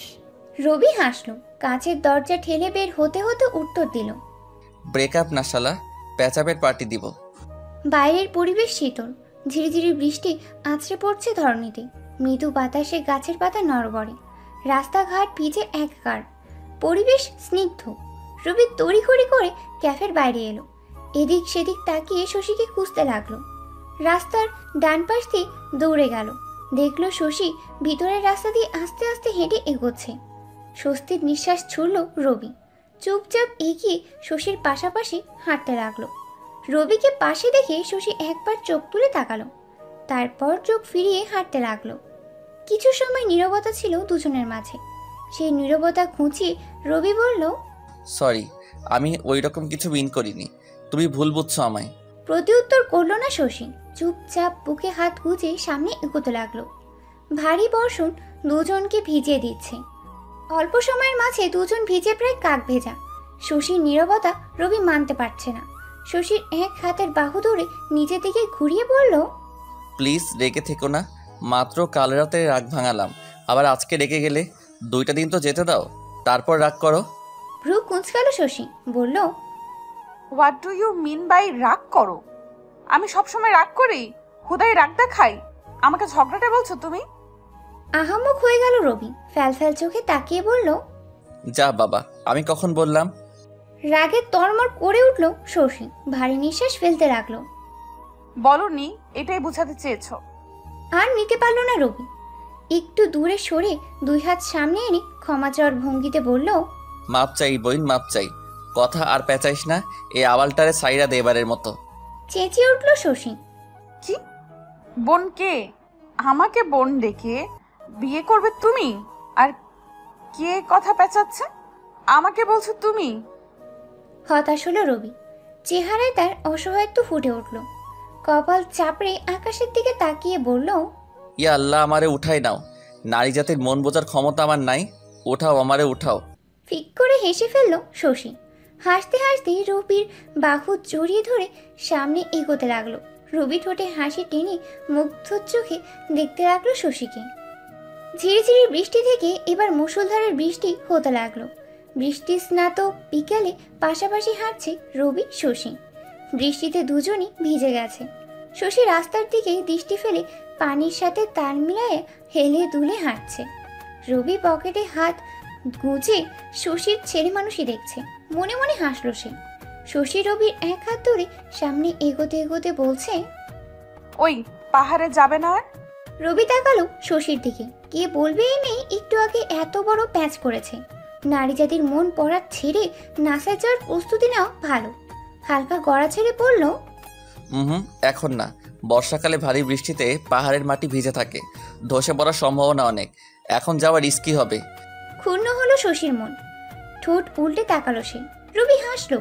এক হাত তুলে শশীর মুখে লেপটে থাকা ভিজে চুলগুলো কানের বিছে গুজে বলল বিয়ের পর তোমাকে নিয়ে হানিমুনে যাব সেখানে। তারপর চুটিয়ে প্রেম করব। শশী মুচকি হেসে রবির বুকে আস্তে করে কিল বসিয়ে বলল অসভ্য? রবিকে ঠেলে সরিয়ে সামনে হাঁটা ধরল শশী। রবি পিছন থেকে বুকে বাঁ পাশে হাত রেখে চেঁচিয়ে বলতে লাগল ভালোবাসি শশী অনেক বেশি ভালোবাসি তোমাকে। সময়ের সাথে কেটে যায় মানুষের ব্যস্ত জীবন। হঠাৎ দেখায় কখন মনের মাঝে ভালো লাগা কাজ করে কেউ বুঝতে পারে না। ভালো লাগা থেকেই শুরু হয় ভালোবাসা। ঠিক যেমন শশী আর রবির মাঝে হয়েছে এই কয়েকদিন দুজনের মাঝে ভালো সম্পর্ক তৈরি হয়েছে। একে অপরের সাথে দেখা করা, হাতে হাত রেখে পাশাপাশি ঘুরতে যাওয়া, রাত জেগে ফোন আলাপ করা তাদের নিত্যদিনের কাজ। তবে দেখা করাটা খুব বেশি সহজ হয় না, কারণ একটাই, শশীর বাবা। সোহরাব এখনও গার্ড ছাড়া শশীকে একা ছাড়তে চায় না, তাই শশী তাদের চোখে ধুলো দিয়ে লুকিয়ে রবির সাথে চলে যায়। আজও ঘোরাঘুরি শেষে বাড়ি ফিরল শশী। গুনগুন করে গান গেয়ে সিঁড়ি বেয়ে উপরে উঠছিল সে। তখন পিছন থেকে ডেকে উঠল সোহরাব। কোথায় গিয়েছিলে শশী? সিঁড়ির মধ্যভাগে এসে দাঁড়িয়ে পড়ল শশী। হাসি মুখে পিছে ফিরে প্রত্যুত্তর করল। ভার্সিটিতে ছিলাম। রূপ কুচকাল সোহরাব পরনে তার সাদা পাঞ্জাবি। দুই হাত পিছে নিয়ে গম্ভীর মুখে শটান হয়ে দাঁড়াল বলল তোমার আম্মু এককালে ছুটির দিনে ভার্সিটি যেত। বাবার কথা শুনে ভ্যাবাচেকা খেলো শশী। হ্যাঁ আজকে ভার্সিটি ছিল না তার। ছিল না বলতে গেলে তার ডিপার্টমেন্টের ক্লাস নিয়ে আজ। বাবা কীভাবে জানলো সেটা? আম্মু এমন করে পাপার সাথে দেখা করতো? হাসি পেল তার। সিঁড়ি থেকে নেমে সৌরভের সামনে এসে দাঁড়াল। তারপর ভু নাচিয়ে দুষ্টুমির কণ্ঠে বলল তোমরা লুকিয়ে লুকিয়ে প্রেম করতে? মৃদু হাসলো সৌরভ বলল লুকিয়ে বলতে গেলে আমাদের সম্পর্কের কথা বাসায় কেউ জানতো না। তাই শিশির আমার সাথে দেখা করতে আসলে মিথ্যা বলেই আসতো। ঠিক আজ যেমন তুমি বললে। খুক খুক করে কেসে উঠল শশী।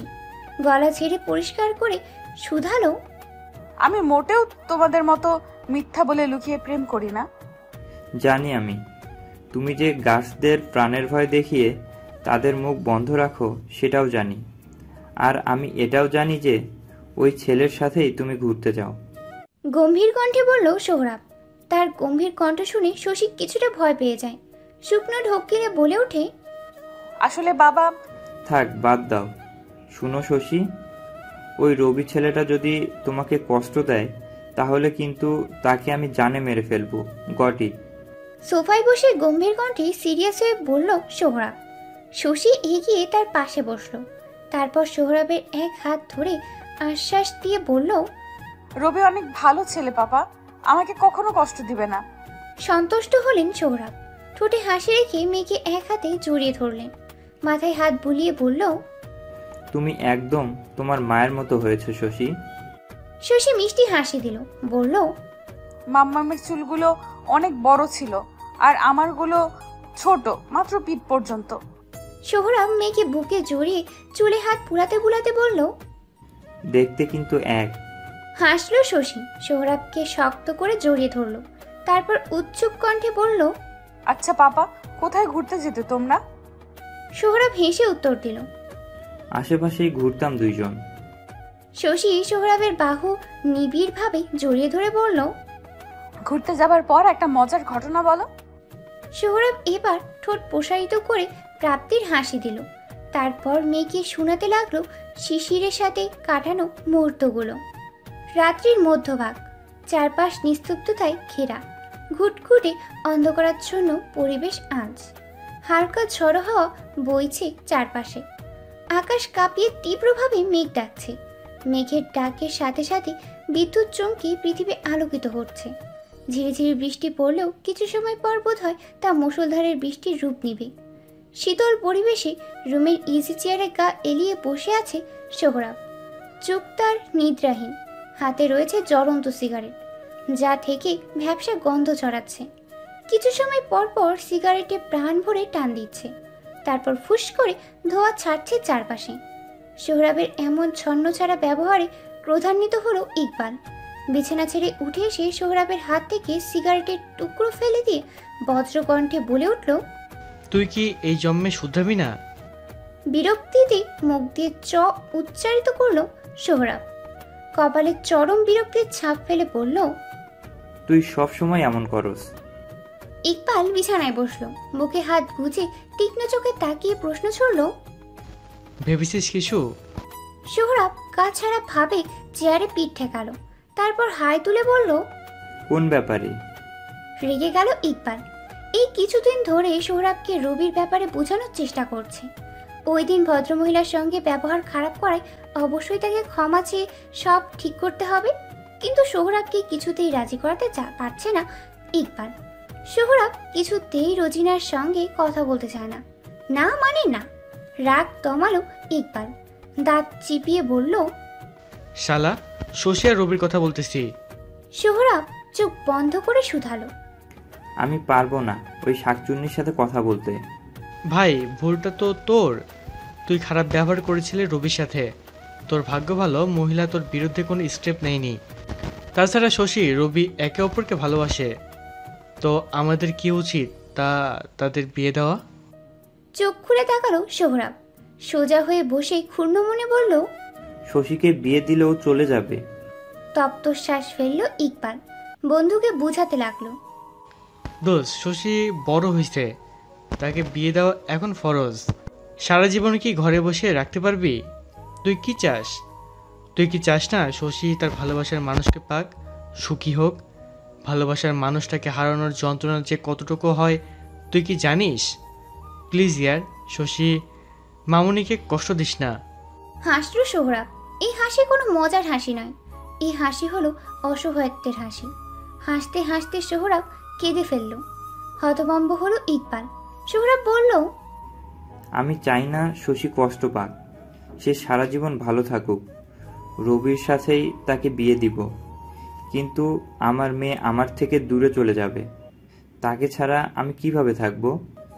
কাঁদতে লাগল সোহরাব এগিয়ে সোহরাবকে ধরে বুঝিয়ে বলে শশী দূরে যাবে না। প্রতিদিনই ওর সাথে তোর দেখা হবে। এত আপসেট হচ্ছিস কেন? বোকা তুই। কাল রবি মায়ের সাথে দেখা করতে যাবি। সব কিছু ঠিক করে বিয়ে দিবি তাদের। বুঝছিস? মাথা উপরে নিচে করে সম্মতি দিল সোহরাব। নাক টেনে চোখের পানি মুছল কিন্তু বেশিক্ষণ রইল না আবার বাচ্চাদের মতো কেঁদে ফেলল। ইকবালকে জড়িয়ে ধরে বলে উঠল ইকবাল আমার অনেক কষ্ট হচ্ছে। এখানে অনেক ব্যথা হচ্ছে রে। বুকের বাঁ পাশটা দেখিয়ে বলতে লাগল সোহরাব শিশির আমাকে ছেড়ে চলে গেল কেন? আমি কি ওকে কম ভালোবাসতাম? যথেষ্ট সময় দিয়েছি ওকে। কথা ছিল, কেউ কাউকে কখনো ছাড়বো না। এখন দেখ, সে ঠিকই চলে গেছে, কিন্তু আমাকে সাথে নিয়ে গেল না।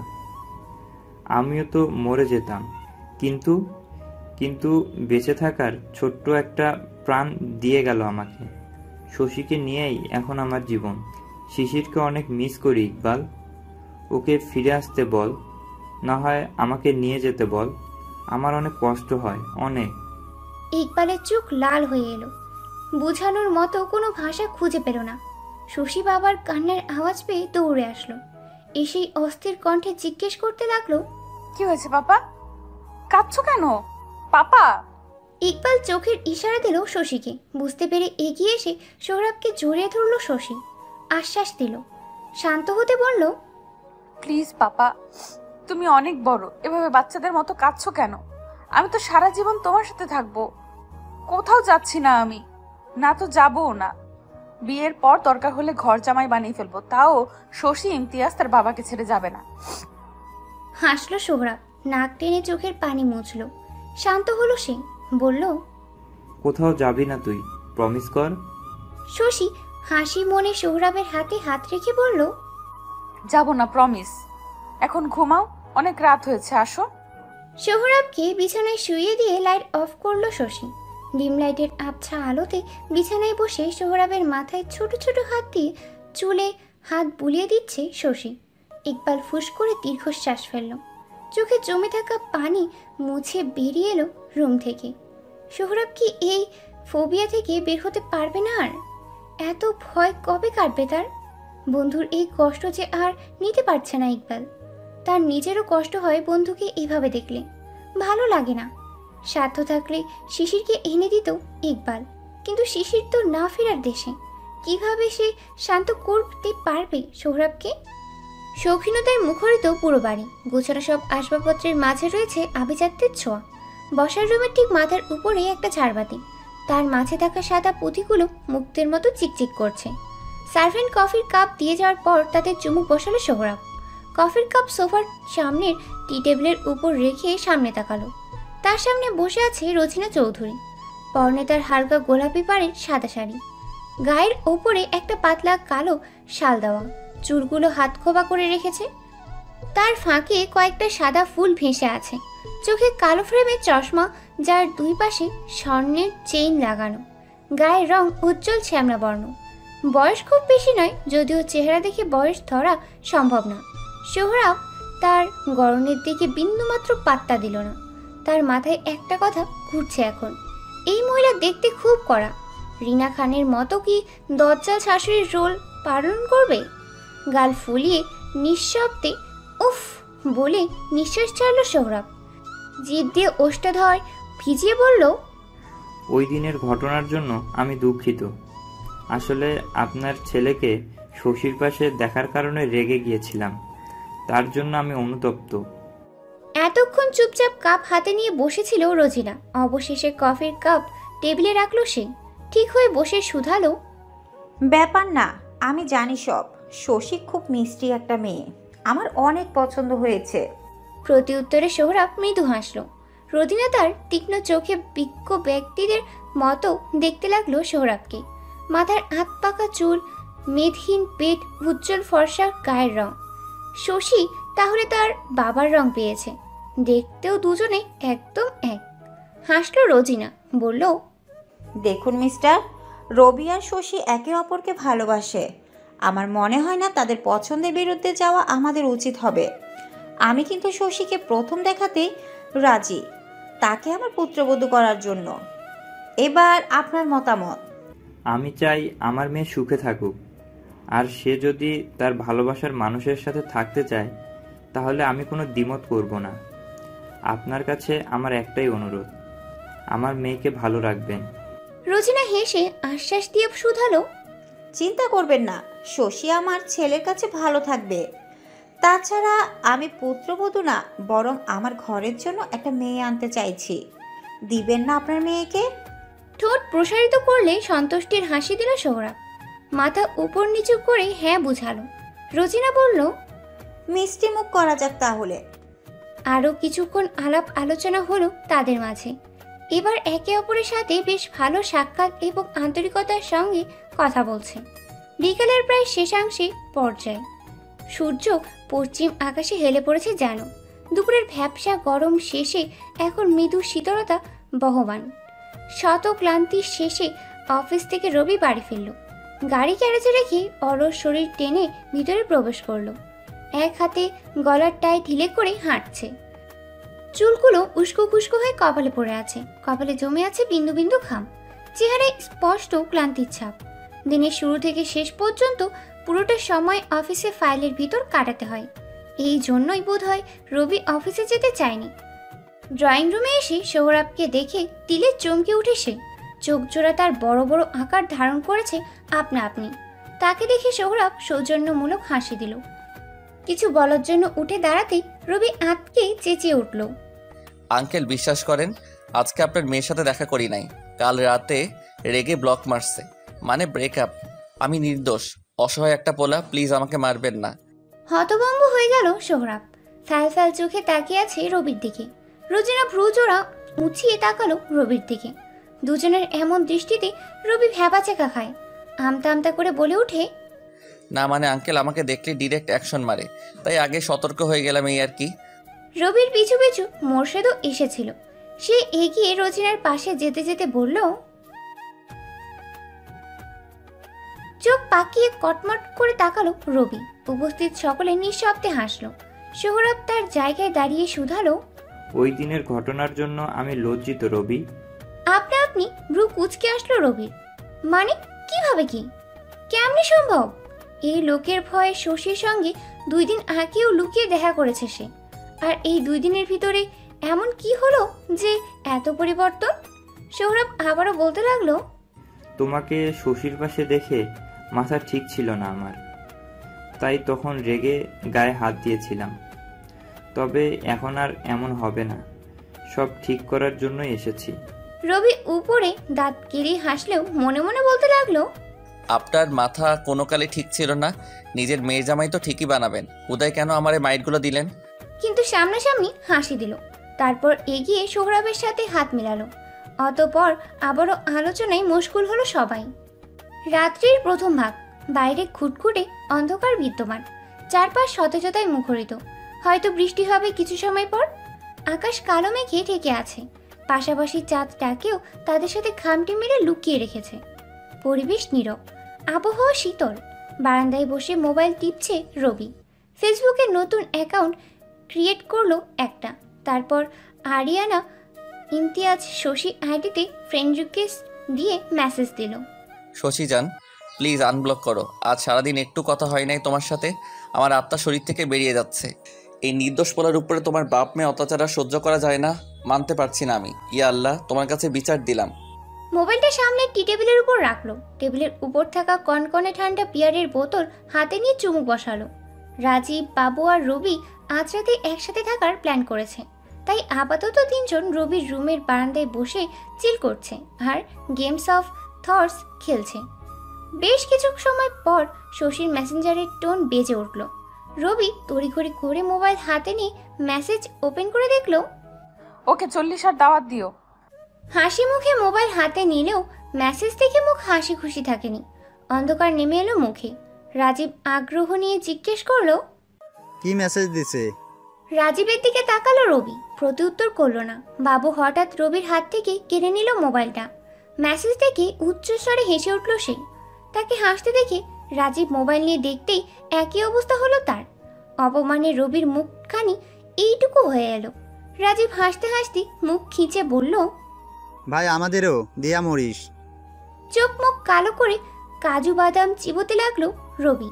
বলল ভাই রিলেশনে যাবার পর থেকে নিজের নামের পাশে ছেঁচটা উপাধি লাগাতে হয়েছে। রাজীব হেসে প্রত্যুত্তর করল প্রেম করলে একটু স্যাঁচরামি করতেই হয় না হলে প্রেম টেকে না। বাবু চেয়ারে হেলান দিয়ে আড়মোড়া ভেঙে বলে তোরা স্যাসরামি কর আমি ফ্রি থাকি। Single life is the best কোনো প্যারা নাই খালি চিল আর চিল রাজীব বাবুর কাঁধে চাপড় মেরে বলল শালা তোরে কেউ চয়েস করে না তাই তুই সিঙ্গেল এখন ভাব মারতে আসিস না। বাবু ঠোঁট দিয়ে আফসোসের সুর তুলল রবি হাসল। আরও কিছুক্ষণ আড্ডা মস্তি হলো। তখন শশী কল দিল। রবি সবাইকে ইশারায় চুপ হতে বলে কল রিসিভ করে। হ্যালো অপর পাশ থেকে শশীর কাট কাট কলার আওয়াজ ভেসে এলো। সমস্যা কি তোমার? মেসেজ দিলে রিপ্লাই দিচ্ছ না কেন? অবাক হলো রবি। কিছুক্ষণ আগের দেওয়া মেসেজটারই তো রিপ্লাই দেয়নি। ওই রকম মেসেজের কী বা রিপ্লাই দিবে? আফসোস হলো তার। নিজের উপর নিজেরই দয়া হতে লাগল। কেন প্রেম করতে গেল? বলল সব কিছু থেকে ব্লক দিলে কেন? ইচ্ছে হয়েছে তাই দিয়েছি। এবার রেগে গেল রবি। রাগে তার চিবিয়ে বলল সব কিছুর মাঝে নিজের ইচ্ছাটাকে বেশি প্রায়োরিটি দাও তুমি। যা ইচ্ছে তাই করো। আর এইদিকে আমি ছাঁচটার মতো তোমার পিছে পড়ে থাকি। হতবাক হলো শশী। ফিচেল গলায় বলল আমি একটু পরেই আনব্লক করে দিতাম। জাস্ট শাট আপ প্রত্যেক মানুষেরই সেলফ রেসপেক্ট আছে। সারাটা দিন অফিস থেকে সন্ধ্যার পর সময় পাই তোমার সাথে কথা বলার। আর এইটুকু সময়ের মাঝেও তুমি এসব ফালতু পেঁচাল করো। কাজের প্রেশার তোমার এসব জাস্ট আমাকে টায়ার্ড করে দেয়। এমন হলে আমি এই সম্পর্কে থাকতে পারব না। শশীর প্রতি উত্তর না শুনেই রবি কল কেটে দিল। টেবিলের উপর মোবাইল ছুঁড়ে মারল রবি। চোখে মুখে তার স্পষ্ট রাগের ছাপ। রাজীব বাবু ফাজলামোর মুড ছেড়ে সিরিয়াস হয়ে বসল। রবি কিছুক্ষণ চুপচাপ বসে থেকে উঠে দাঁড়াল। বলল কাল দেখা হবে তোদের সাথে। কারোর প্রতিউত্তর শোনার আগে রবি রুমে চলে আসে। বাবু রাজীব ব্যাপারটা বুঝতে পেরে চুপচাপ রবিকে বিদায় দিয়ে বেরিয়ে যায়। অপর প্রান্তে মোবাইল কানে নিয়ে স্তব্ধ হয়ে আছে শশী। তার কানে এখনও বাজছে রবির বলা শেষ কথাটি। ভুল বুঝলো রবি? এত সহজে? রবিকে প্যারা দেয়? আসলে তো? সারাদিন অফিসে কাজ করে বিকালের পর ফ্রি হয়। আর সে কিনা ঝগড়া করে? উফ, ক্ষুণ্ণ হলো তার মন। রবিকে কল দিল কয়েকবার, কিন্তু প্রতিবার কল কেটে দিয়েছিল রবি। আবারও ট্রাই করল, কিন্তু এবার বন্ধ পেল নাম্বার। কান্না পেল শশীর। চোখ লাল হয়ে এলো তার, নাক টেনে শুয়ে পড়ল। চোখ থেকে অঝরে পানি ঝরতে লাগল। আকাশ খোলাটে, বাইরের তিমিরাচ্ছন্ন পরিবেশের সঙ্গে বিষণ্ণতায় ছেয়ে আছে মন। ঝিরিঝিরি বৃষ্টি ছিল সকালে। এখন আকাশে মেঘ জমে পরিবেশ করেছে স্নিগ্ধ। ঘোলাটে আকাশের দিকে একবার চোখ বুলিয়ে আবারও ফাইলে মন দিল রবি। মোবাইল সাইলেন্ট করে রেখেছে। কল আসছে বারবার, কিন্তু জবাব দিচ্ছে না। এতদিন তাকে যেভাবে নাকানি চুবানি খাইয়েছে, ঠিক সেভাবে শশীকেও খাওয়াবে ভেবে পণ করেছে তার মন। বুঝুক এবার হ্যাঁ সারাদিন কথা বলতে না পারায় মন ক্ষুণ্ণ হয়ে আছে তার। তবুও কথা বলবে না সে। শশীর ভাবনায় এতটাই বিলীন যে কাজে ঠিকভাবে মন দিতে পারছে না। মে আই স্যার ধ্যান ভাঙল রবি অল্প বয়সী এক যুবতী অফিসের এমপ্লয়ি দরজায় নক করল। ভিতরে আসতে বলল সে। মেয়েটি এগিয়ে এসে রবিকে কিছু ফাইল দেখাতে লাগল। কাজ নিয়ে আলোচনায় মশগুল হলো দুজন। বেশ কিছুক্ষণ আলোচনা হলো তাদের মাঝে। তখনই কেবিনে আসে শশী। এখানে রবিকে সারপ্রাইজ দিতে এসেছিল সে। ফুরফুরে মেজাজ নিয়ে আসলেও তা ধরে রাখতে পারেনি। দুজনকে একসাথে একই কেবিনে দেখে রেগে উঠে সে। ও আচ্ছা আচ্ছা। আমার কল না ধরে আপনি এখানে আটটা দিচ্ছেন? শশীর কথা কর্ণগ্রোচর হতেই অবাক চোখে তাকায় দুজন। তাকে এখানে দেখে বিস্মিত হয় রবি। তাই ভ্রু কুচকে প্রশ্ন করে তুমি এখানে? তেতে উঠল শশী। তাচ্ছিল্য কণ্ঠে বলে উঠল কেন আমার এখানে আসা উচিত ছিল না? হ্যাঁ হ্যাঁ। আড্ডা দিচ্ছ তো ডিস্টার্ব করলাম তাই না? Personal types personal time spend করছ। ওহো। পার্সোনাল টাইম বলাই চোখ বড় বড় করে তাকায় মেয়েটি। একবার রবির দিকে তাকিয়ে শশীর দিকে তাকায়। রবি চিপ দিয়ে ওষ্ঠদয় ভিজিয়ে নিঃশব্দে মুচকি হাসলো। রাগানোর জন্য উল্টো বলে উঠল কেবিনে আসার আগে নক করে আসতে হয় জানো না? অবাক হলো শশী। মুখ তার হাঁ হয়ে গেল আপনা আপনি। অবাক কণ্ঠে বলে উঠল আমাকে নক করে আসতে বলছো? বাহ! তোমরা ছেলেরা এক গোয়ালেরই করু একজন থাকতেও মন ভরে না। কাল একটু ঝগড়া হলো আর আজ নতুন একজন। বাহ! তারপর মেয়েটির দিকে তাকিয়ে বলল সাবধান বই এই পোলা আস্ত লুচ্চা। দেখো এক রাতের মাঝে নতুন একজন জুটিয়ে ফেলছে। পরে তোমাকেও ছেড়ে আরেকটা খুঁজবে। একে পারলে দুইটা। বলে কটমট করে তাকালো রবির দিকে। তারপর গটগট পায়ে বেরিয়ে গেল। শশীর শেষ কথায় রবি আহমক হয়ে রইল। মেয়েটি ঠোঁট চেপে হেসে বলল স্যার আমার মনে হয় আপুটার আপনার কাছে যাওয়া উচিত। ফালফাল চোখে তাকালো রবি। প্রতিক্রিয়া নেই তার। কি বলে গেল শশী? সে লুচ্চা? সিরিয়াসলি? শশীর পিছে যাবার জন্য উঠে দাঁড়ায় রবি। কেবিনের দরজার কাছে গিয়ে পিছু ঘুরে মেয়েটির উদ্দেশ্যে বলল জীবনে যদি প্রেম করো তাহলে দয়া করে বয়ফ্রেন্ড বেচারাকে একটু রেখে দিও। না হলে বাতি জ্বালানোর আগে ভাইগনা আমার পরপারে হয়ে যাবে। বেরিয়ে গেল রবি। সে যেতেই উচ্চস্বরে হেসে ফেলল মেয়েটি। রবি বাইরে এসে হাত ঘড়িতে সময় দেখে নেয় একবার। আশেপাশে পরখ করে দেখে শশী নেই। এত তাড়াতাড়ি চলে গেল? মোবাইল বের করে কল দিল। রিং হয়ে কেটে গেল কিন্তু রিসিভ করল না। শশী চলে গেছে ভেবে অফিসের ভিতরে যাওয়ার জন্য পা বাড়াতেই পিছন থেকে চেঁচিয়ে ওঠে শশী। আরে সময় নেই আপনার। আমাকে খোঁজার সময় আপনার নেই। আশেপাশে একটু ঘাড় ঘুরিয়ে দেখে ওই মেয়ের সাথে আড্ডা দিতে চলে যাচ্ছেন। বাহ বাহ। মৃদু হেসে ফেলল রবি। তার ধারণাই ঠিক। শশী যায়নি এখান থেকে। এক হাতে কপাল কুচকে উত্তর দিল যাওনি তুমি? ঠোঁট উল্টালো শশী। চেহারায় কাদু কাদু ভাবেনে বলল তুমি কত খারাপ। আমি রাগ করেছি তাও রাগ ভাঙাচ্ছ না। উল্টো জিজ্ঞেস করছ যাইনি কেন? তুমি আগের মতো আমাকে ভালোবাসো না। আমি থাকব না তোমার সাথে। ব্রেকআপ এবার ফাইনাল ব্রেকআপ তোমার সাথে। রবি হাসি ধরে রাখতে পারল না। ফিক করে হেসে উঠল। তার হাসি দেখে শশীর রাগ তরতর করে বেড়ে গেল। ক্ষুণ্ণ হলো তার মন। চোখে পানি জমে গেল। চলে যাওয়ার জন্য পা বাড়াতেই রবি তার হাত ধরে নিল। রিক্সা ডেকে তাতে জোরপূর্বক শশীকে বসালো। বর্ষাকাল মানে এই মুষলধারের বৃষ্টি, এই ইলচেগুড়ি বৃষ্টি, আর আকাশ মানেই মেঘলা। ঘন কালো কালো মেঘে আবৃতিকরণে মাতানো হাওয়া। বৃষ্টির ঝমঝম আওয়াজে মুখরিত পরিবেশ। বাতাসের শীতলতায় শরীরের পশম কাটা দিয়ে ওঠার উপক্রম। গরম গরম কফির কাপ থেকে ছড়াচ্ছে ধোঁয়া। কিছু সময় পর পর মৃদু চুমুক বসাচ্ছে তাতে শশী। জড়সড় হয়ে বসে আছে সে। পরনে কেবলমাত্র টপ শার্ট আর জিন্স আগে যদি জানতো বিকালের দিকে এত ঠান্ডা পড়বে, তাহলে সাথে শাল কিংবা হুডি নিয়ে আসতো। ফুস করে নিঃশ্বাস ফেলে সামনে তাকালো। রবি এখনও গালে হাত দিয়ে তার দিকে তাকিয়ে আছে। লজ্জা পেল শশী। গাল লাল হয়ে এলো তার। তখন রবি তাকে জোর করে কফি হাউসে নিয়ে এসেছে। এখন দুজন একটা টেবিলে সামনাসামনি বসে। রবি গালে হাত রেখেই আনমনে বলে উঠল রাগ কমেছে? শশী ঠোঁট চেপে মুচকি হাসল প্রতিউত্তর করল না। রবি সোজা হয়ে বসে বলল আমি কিন্তু পাহাড়ে কাটানো সময়গুলোকে অনেক মিস করি। শশী হেসে প্রফুল্লিত কণ্ঠে বলল আমিও ওই ঝর্ণাটা কিন্তু আরও সুন্দর। উফ এত কাছ থেকে কখনো ঝর্ণা দেখিনি আমি। পাপা কখনো কাছে যেতে দিত না। আর ওই দিন ঝর্ণার পানিতে গোসল করেছি। নিঃশব্দে হাসলো রবি বলল ঘোরাঘুরি অনেক পছন্দ তোমার? হ্যাঁ প্রচুর ভালো লাগে। একবার বিয়েটা হতে দাও তারপর পুরো বাংলাদেশ তোমাকে নিয়ে ঘুরবো। শশী খুশি হলো তার খুশি দেখে রবি হাসলো। হঠাৎ তার মাথায় কিছু একটা হাসতেই বলে উঠল তুমি এত সুন্দর কেন জানো? কপাল কুচকালো শশী হেসে বলল কেন? কারণ তুমি মেকআপ করো। বলেই ফিক করে হেসে ফেলল রবি। রাগে অপমানে রিনঝিনিয়ে উঠল শশী। কাটা চামচ শক্ত করে ধরলো দাঁতে দাঁত চিপিয়ে বলল কি বললে? হাসির মাত্রা কিছুটা কমালো রবি। শশীর দিকে তাকিয়ে কফির কাপে চুমুক দিতে দিতে বলল আজকের ওয়েদারটা রোমান্টিক আর কফিটা অনেক হট। শশী কিছুক্ষণ ভ্রুকুচকে তাকিয়ে রইল রবির দিকে। পরক্ষণে রবির ইঙ্গিত বুঝতে পেরে চোখ রসগোল্লার মতো করে তাকালো।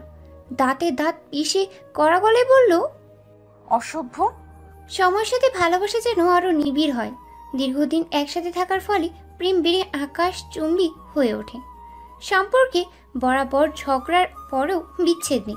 সম্পর্ক বাঁচিয়ে রাখার জন্য দরকার দুটো প্রণয়ের সমান প্রচেষ্টা। এক পাক্ষিক কোনো কিছু কখনো সম্ভব নয়। রবি শশীর পরিচয় আরও দীর্ঘ ছয় মাস যাবৎ।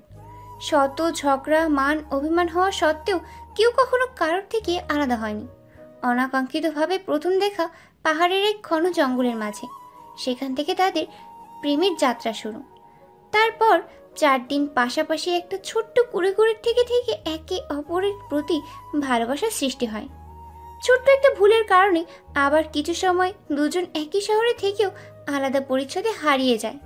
যোগাযোগ নেই কারোর মাঝে।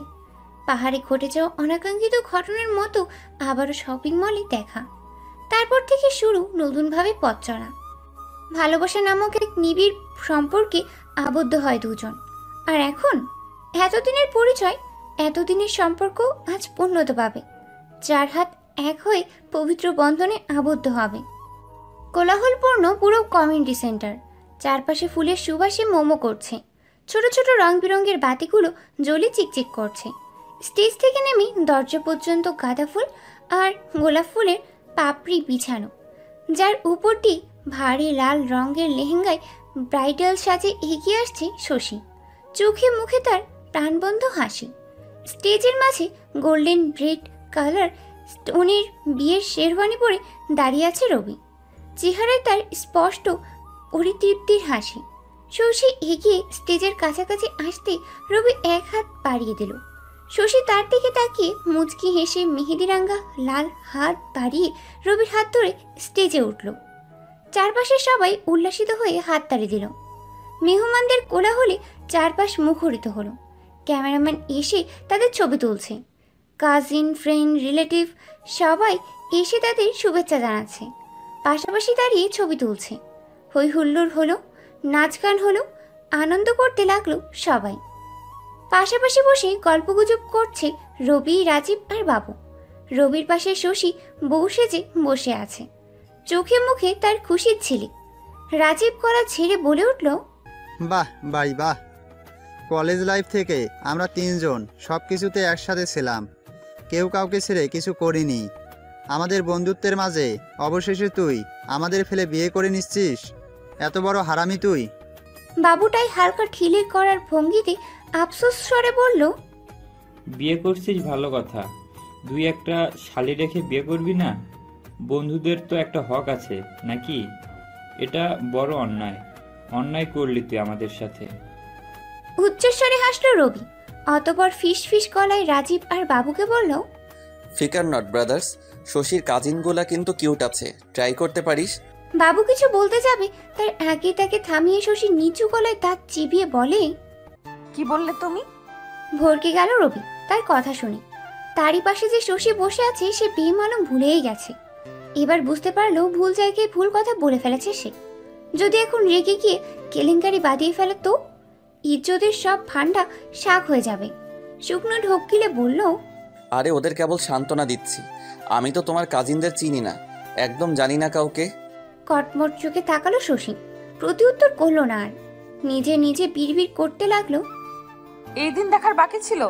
শেষে কিনা একটা লুচু প্রকৃতির ছেলের সঙ্গে বিয়ে হচ্ছে আমার? আসতে বললেও সম্পূর্ণ কথা রবির কান অব্দি গেল।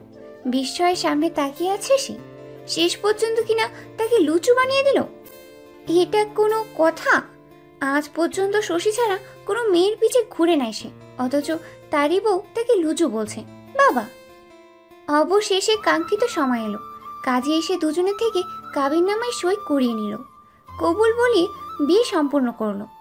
আবদ্ধ হলো দুজন বিয়ে নামক পবিত্র বন্ধনে। পূর্ণতা পেল দুটি প্রণয়ের এক হলো ভালোবাসার চারটি হাত। দীর্ঘ সময় ধরে ফটোশ্যুট করে বিদায়ের সময় এলো এবার। বিষণ্ণতায় ছেয়ে এলো সকলের মন। চেহারায় মলিনতায় স্পষ্ট ভাসমান। শশীর মন ক্ষুণ্ণ হলো। ফুফিয়ে কাঁদার উপক্রম হলো সে। আর অন্যদিকে রবি আঁকুপাকু করছে তার শ্বশুরের কাহিনী দেখার জন্য। নিশ্চয়ই এখন মেয়ের বিদায় দেওয়ার উছিলায় কেঁদে কেটে দুনিয়া ভাসিয়ে দিবে? শশী এগিয়ে সোহরাবের কাছে গেল। সোহরাবের মন ভালো নেই। কান্না পাচ্ছে তার। সেই ছোট্ট শশী আজ কত বড় হয়ে গেল? এই তো কিছুদিন আগেই বোধ হয় হাতে ধরে হাঁটা শিখিয়েছিল সে। আর আজ? আজ বিদায় নিয়ে নিজের সংসার সাজাতে চলে যাবে। চোখ জোড়া লাল হয়ে এলো তার। ইকবাল সোহরাবের কাঁধে হাত রেখে চোখের ইশারায় আশ্বাস দিল। সোহরাব ঠোঁটে হাসি ফুটিয়ে এগিয়ে এসে শশীকে বুকে জড়িয়ে ধরল। ফুপিয়ে উঠল শশী। তার মাথায় হাত বুলিয়ে বুঝাতে লাগল কান্না করো না। তোমার কান্না সহ্য হয় না আম্মু আমার। সাবধানে থাকবে। সবাইকে নিজের মনে আগলে রেখো। সুখী হও জীবনে দোয়া করি। বেশ কিছুক্ষণ ফুপিয়ে কাঁদল শশী। কাঁদেনি সোহরাব কিন্তু চোখ তার লাল হয়ে আছে। অবাক হলো রবি। তার ধারণা ছিল সৌরভ এখন ভিলেনের মতো কাহিনী করবে। বলবে তার মেয়েকে নিয়ে যাওয়ার কথা বললে মেরে ফেলবে। এমনই চিন্তা করছিল সে, আর সেই চিন্তা অনুযায়ী নিজেকে প্রস্তুতও করেছিল। কিন্তু তার ধারণা ভুল প্রমাণ করে সৌরভ একদমই কাঁদেনি। বাবা মেয়ের কান্নার মাঝে সে কেবল নীরব দর্শকের ভূমিকা পালন করছে। ইকবাল আর সোহরাব মিলে শশীকে শান্ত করে গাড়িতে উঠিয়ে দিল। সোহরাব রবির উদ্দেশ্যে কাপা কাপা গলায় বলল, আমার মেয়েকে ভালো রেখো রবি। তোমার উপর ভরসা করেই ওকে তোমার হাতে তুলে দিয়েছি। আমার ভরসার মান রেখো রবি। আমার মেয়েকে কষ্ট দিলে মেরে ফেলব একদম। প্রথম কথায় সৌজন্যতামূলক হাসি দিলেও শেষের কথায় ভরকে গেল রবি। সরাসরি থ্রেট বাবা ভাগ্য করে একখানা শ্বশুর পেয়েছে বলতে হবে। মনে মনে এসব আওড়ালেও উপরে আশ্বাস দিয়ে বলল চিন্তা করবেন না শশীকে আমি সবসময় ভালো রাখব। অন্ধকার রাস্তা চিরে গাড়ি চলছে উদ্দেশ্য হচ্ছে রবিদের বাড়ি। দীর্ঘ সময় গাড়ি চলার পর নির্দিষ্ট গন্তব্যে এসে বড় গেট পাড়িয়ে থামল গাড়ি। সদর দরজার সামনেই রোজিনা চৌধুরী তার পুত্রবধূকে বরণ করার জন্য অপেক্ষা করছে। রবি, শশী এগিয়ে আসলে রোজিনা সহ অন্যান্য আত্মীয়রা ব্যস্ত হয়ে পড়ল শশীকে নিয়ে। ড্রয়িং রুমে এসে একে একে সকলে পরিচিত হয়ে আলাপ জমালো বেশ। সবার সাথে পরিচিত হয়ে ভালো লাগল শশী তবে একদিক দিয়ে বেশ অস্বস্তিতে পড়েছে সে। চোখ ঘুরিয়ে এদিক সেদিক তাকিয়ে রবিকে খুঁজছে। এত ভারী সাজ, ভারী লেহেঙ্গা সামাল দেওয়া কষ্টসাধ্য হয়ে পড়েছে তার জন্য। রোজিনা বোধ হয় তার অস্বস্তি বুঝতে পেরে তাকে রুমে পাঠানোর ব্যবস্থা করলেন। রাত্রির প্রায় একটা ছুঁই ছুঁই। বাইরে কোলাহলে ভরপুর। ঘুটঘুটে অন্ধকারে আলোকিত চারটা ভাষ্যমান শশী বিছানার উপর বড় ঘোমটা টেনে বসে আছে। রবির কাজিনরা তাকে রেখে কিছুক্ষণ আগে বেরিয়ে গেছে। পুরো রুমে চোখ বুলিয়ে নিল শশী পছন্দ হলো তার। হঠাৎ দরজা খুলের আওয়াজে চমকে উঠল। রবি এসেছে। তার চেহারায় ক্লান্তির ছাপ স্পষ্ট। শশীর মুখখানা দেখে সকল ক্লান্তি মুছে মুখে পরিতৃপ্তির হাসি এলো। বুকের বাঁ পাশে হাত রেখে বলে উঠল কত যোগ অপেক্ষার প্রহর শেষে তোমায় পেয়েছি আমার বধূ বেশে। লজ্জা পেল শশী গাল লাল হয়ে এলো তার। গুটিয়ে গেল আরও। রবি এগিয়ে তার পাশে বসল। একটা আংটি বের করে শশীকে পরিয়ে দিল। শশী আংটিটা ভালো করে দেখে বলল অনেক সুন্দর তো। এটা তুমি পছন্দ করে কিনেছো? হুম এটা আমার নিজের টাকায় কেনা। খুশি হলো শশী প্রশান্তির হাসি দিল। তার বাঁকা দাঁতের হাসি দেখে রবি বলল তোমার হাসিতে আমি বারংবার মুগ্ধ হই আর এই মুগ্ধতা আমি আমার ভাবনার মাঝে রাখতে চাই। ভাবনা কে? শশীর রাগী গলা শুনে ভেবাচেকা খেলো রবি। আহাম্মকের মতো তাকিয়ে রইল সে। শশীর দাঁত চিবিয়ে রবিকে ধাক্কা দিয়ে বিছানা থেকে নামিয়ে দিল। কটমট করে বলে উঠল ওই অফিসার মাইয়াটার পর এখন আবার ভাবনা এই তোমার লজ্জা করে না বিয়ে করা বউয়ের সামনে অন্য মেয়ের নাম বলতে? তারপর একটা বালিশ রবির দিকে ছুঁড়ে মেরে আবার বলে উঠল খবরদার বিছানায় আসবা না না হলে কেলেঙ্কারি বাঁধিয়ে ফেলব। লাইট অফ করে ধপাস করে শুয়ে পড়ল শশী। রবি এখনও আহাম্মকের মতো বিছানার পাশে দাঁড়িয়ে আছে। হায়, এ কাকে নিয়ে পড়ল সে? বিয়ের প্রথম রাতে বউ তাকে বিছানায় যেতে নিষেধ করেছে। কি লজ্জা কি লজ্জা। আফসোস হলো তার, অসহায় মুখে সোফায় এসে শুয়ে পড়ল। ভাবল শ্বশুর মশাই তো ভালোই থ্রেট দিছে। তার হয়ে কে থ্রেট দিবে? সে কার কাছে বিচার দিবে? কাকে? পরিশেষ্ট বাঙালির রিলেশনশিপ কখনো শান্তিপূর্ণ হয় না। সারা জীবন ঝগড়া লেগেই থাকে। আর মিলও হবে। রবি শশীও তাই। Okay tata bye bye. সমাপ্ত।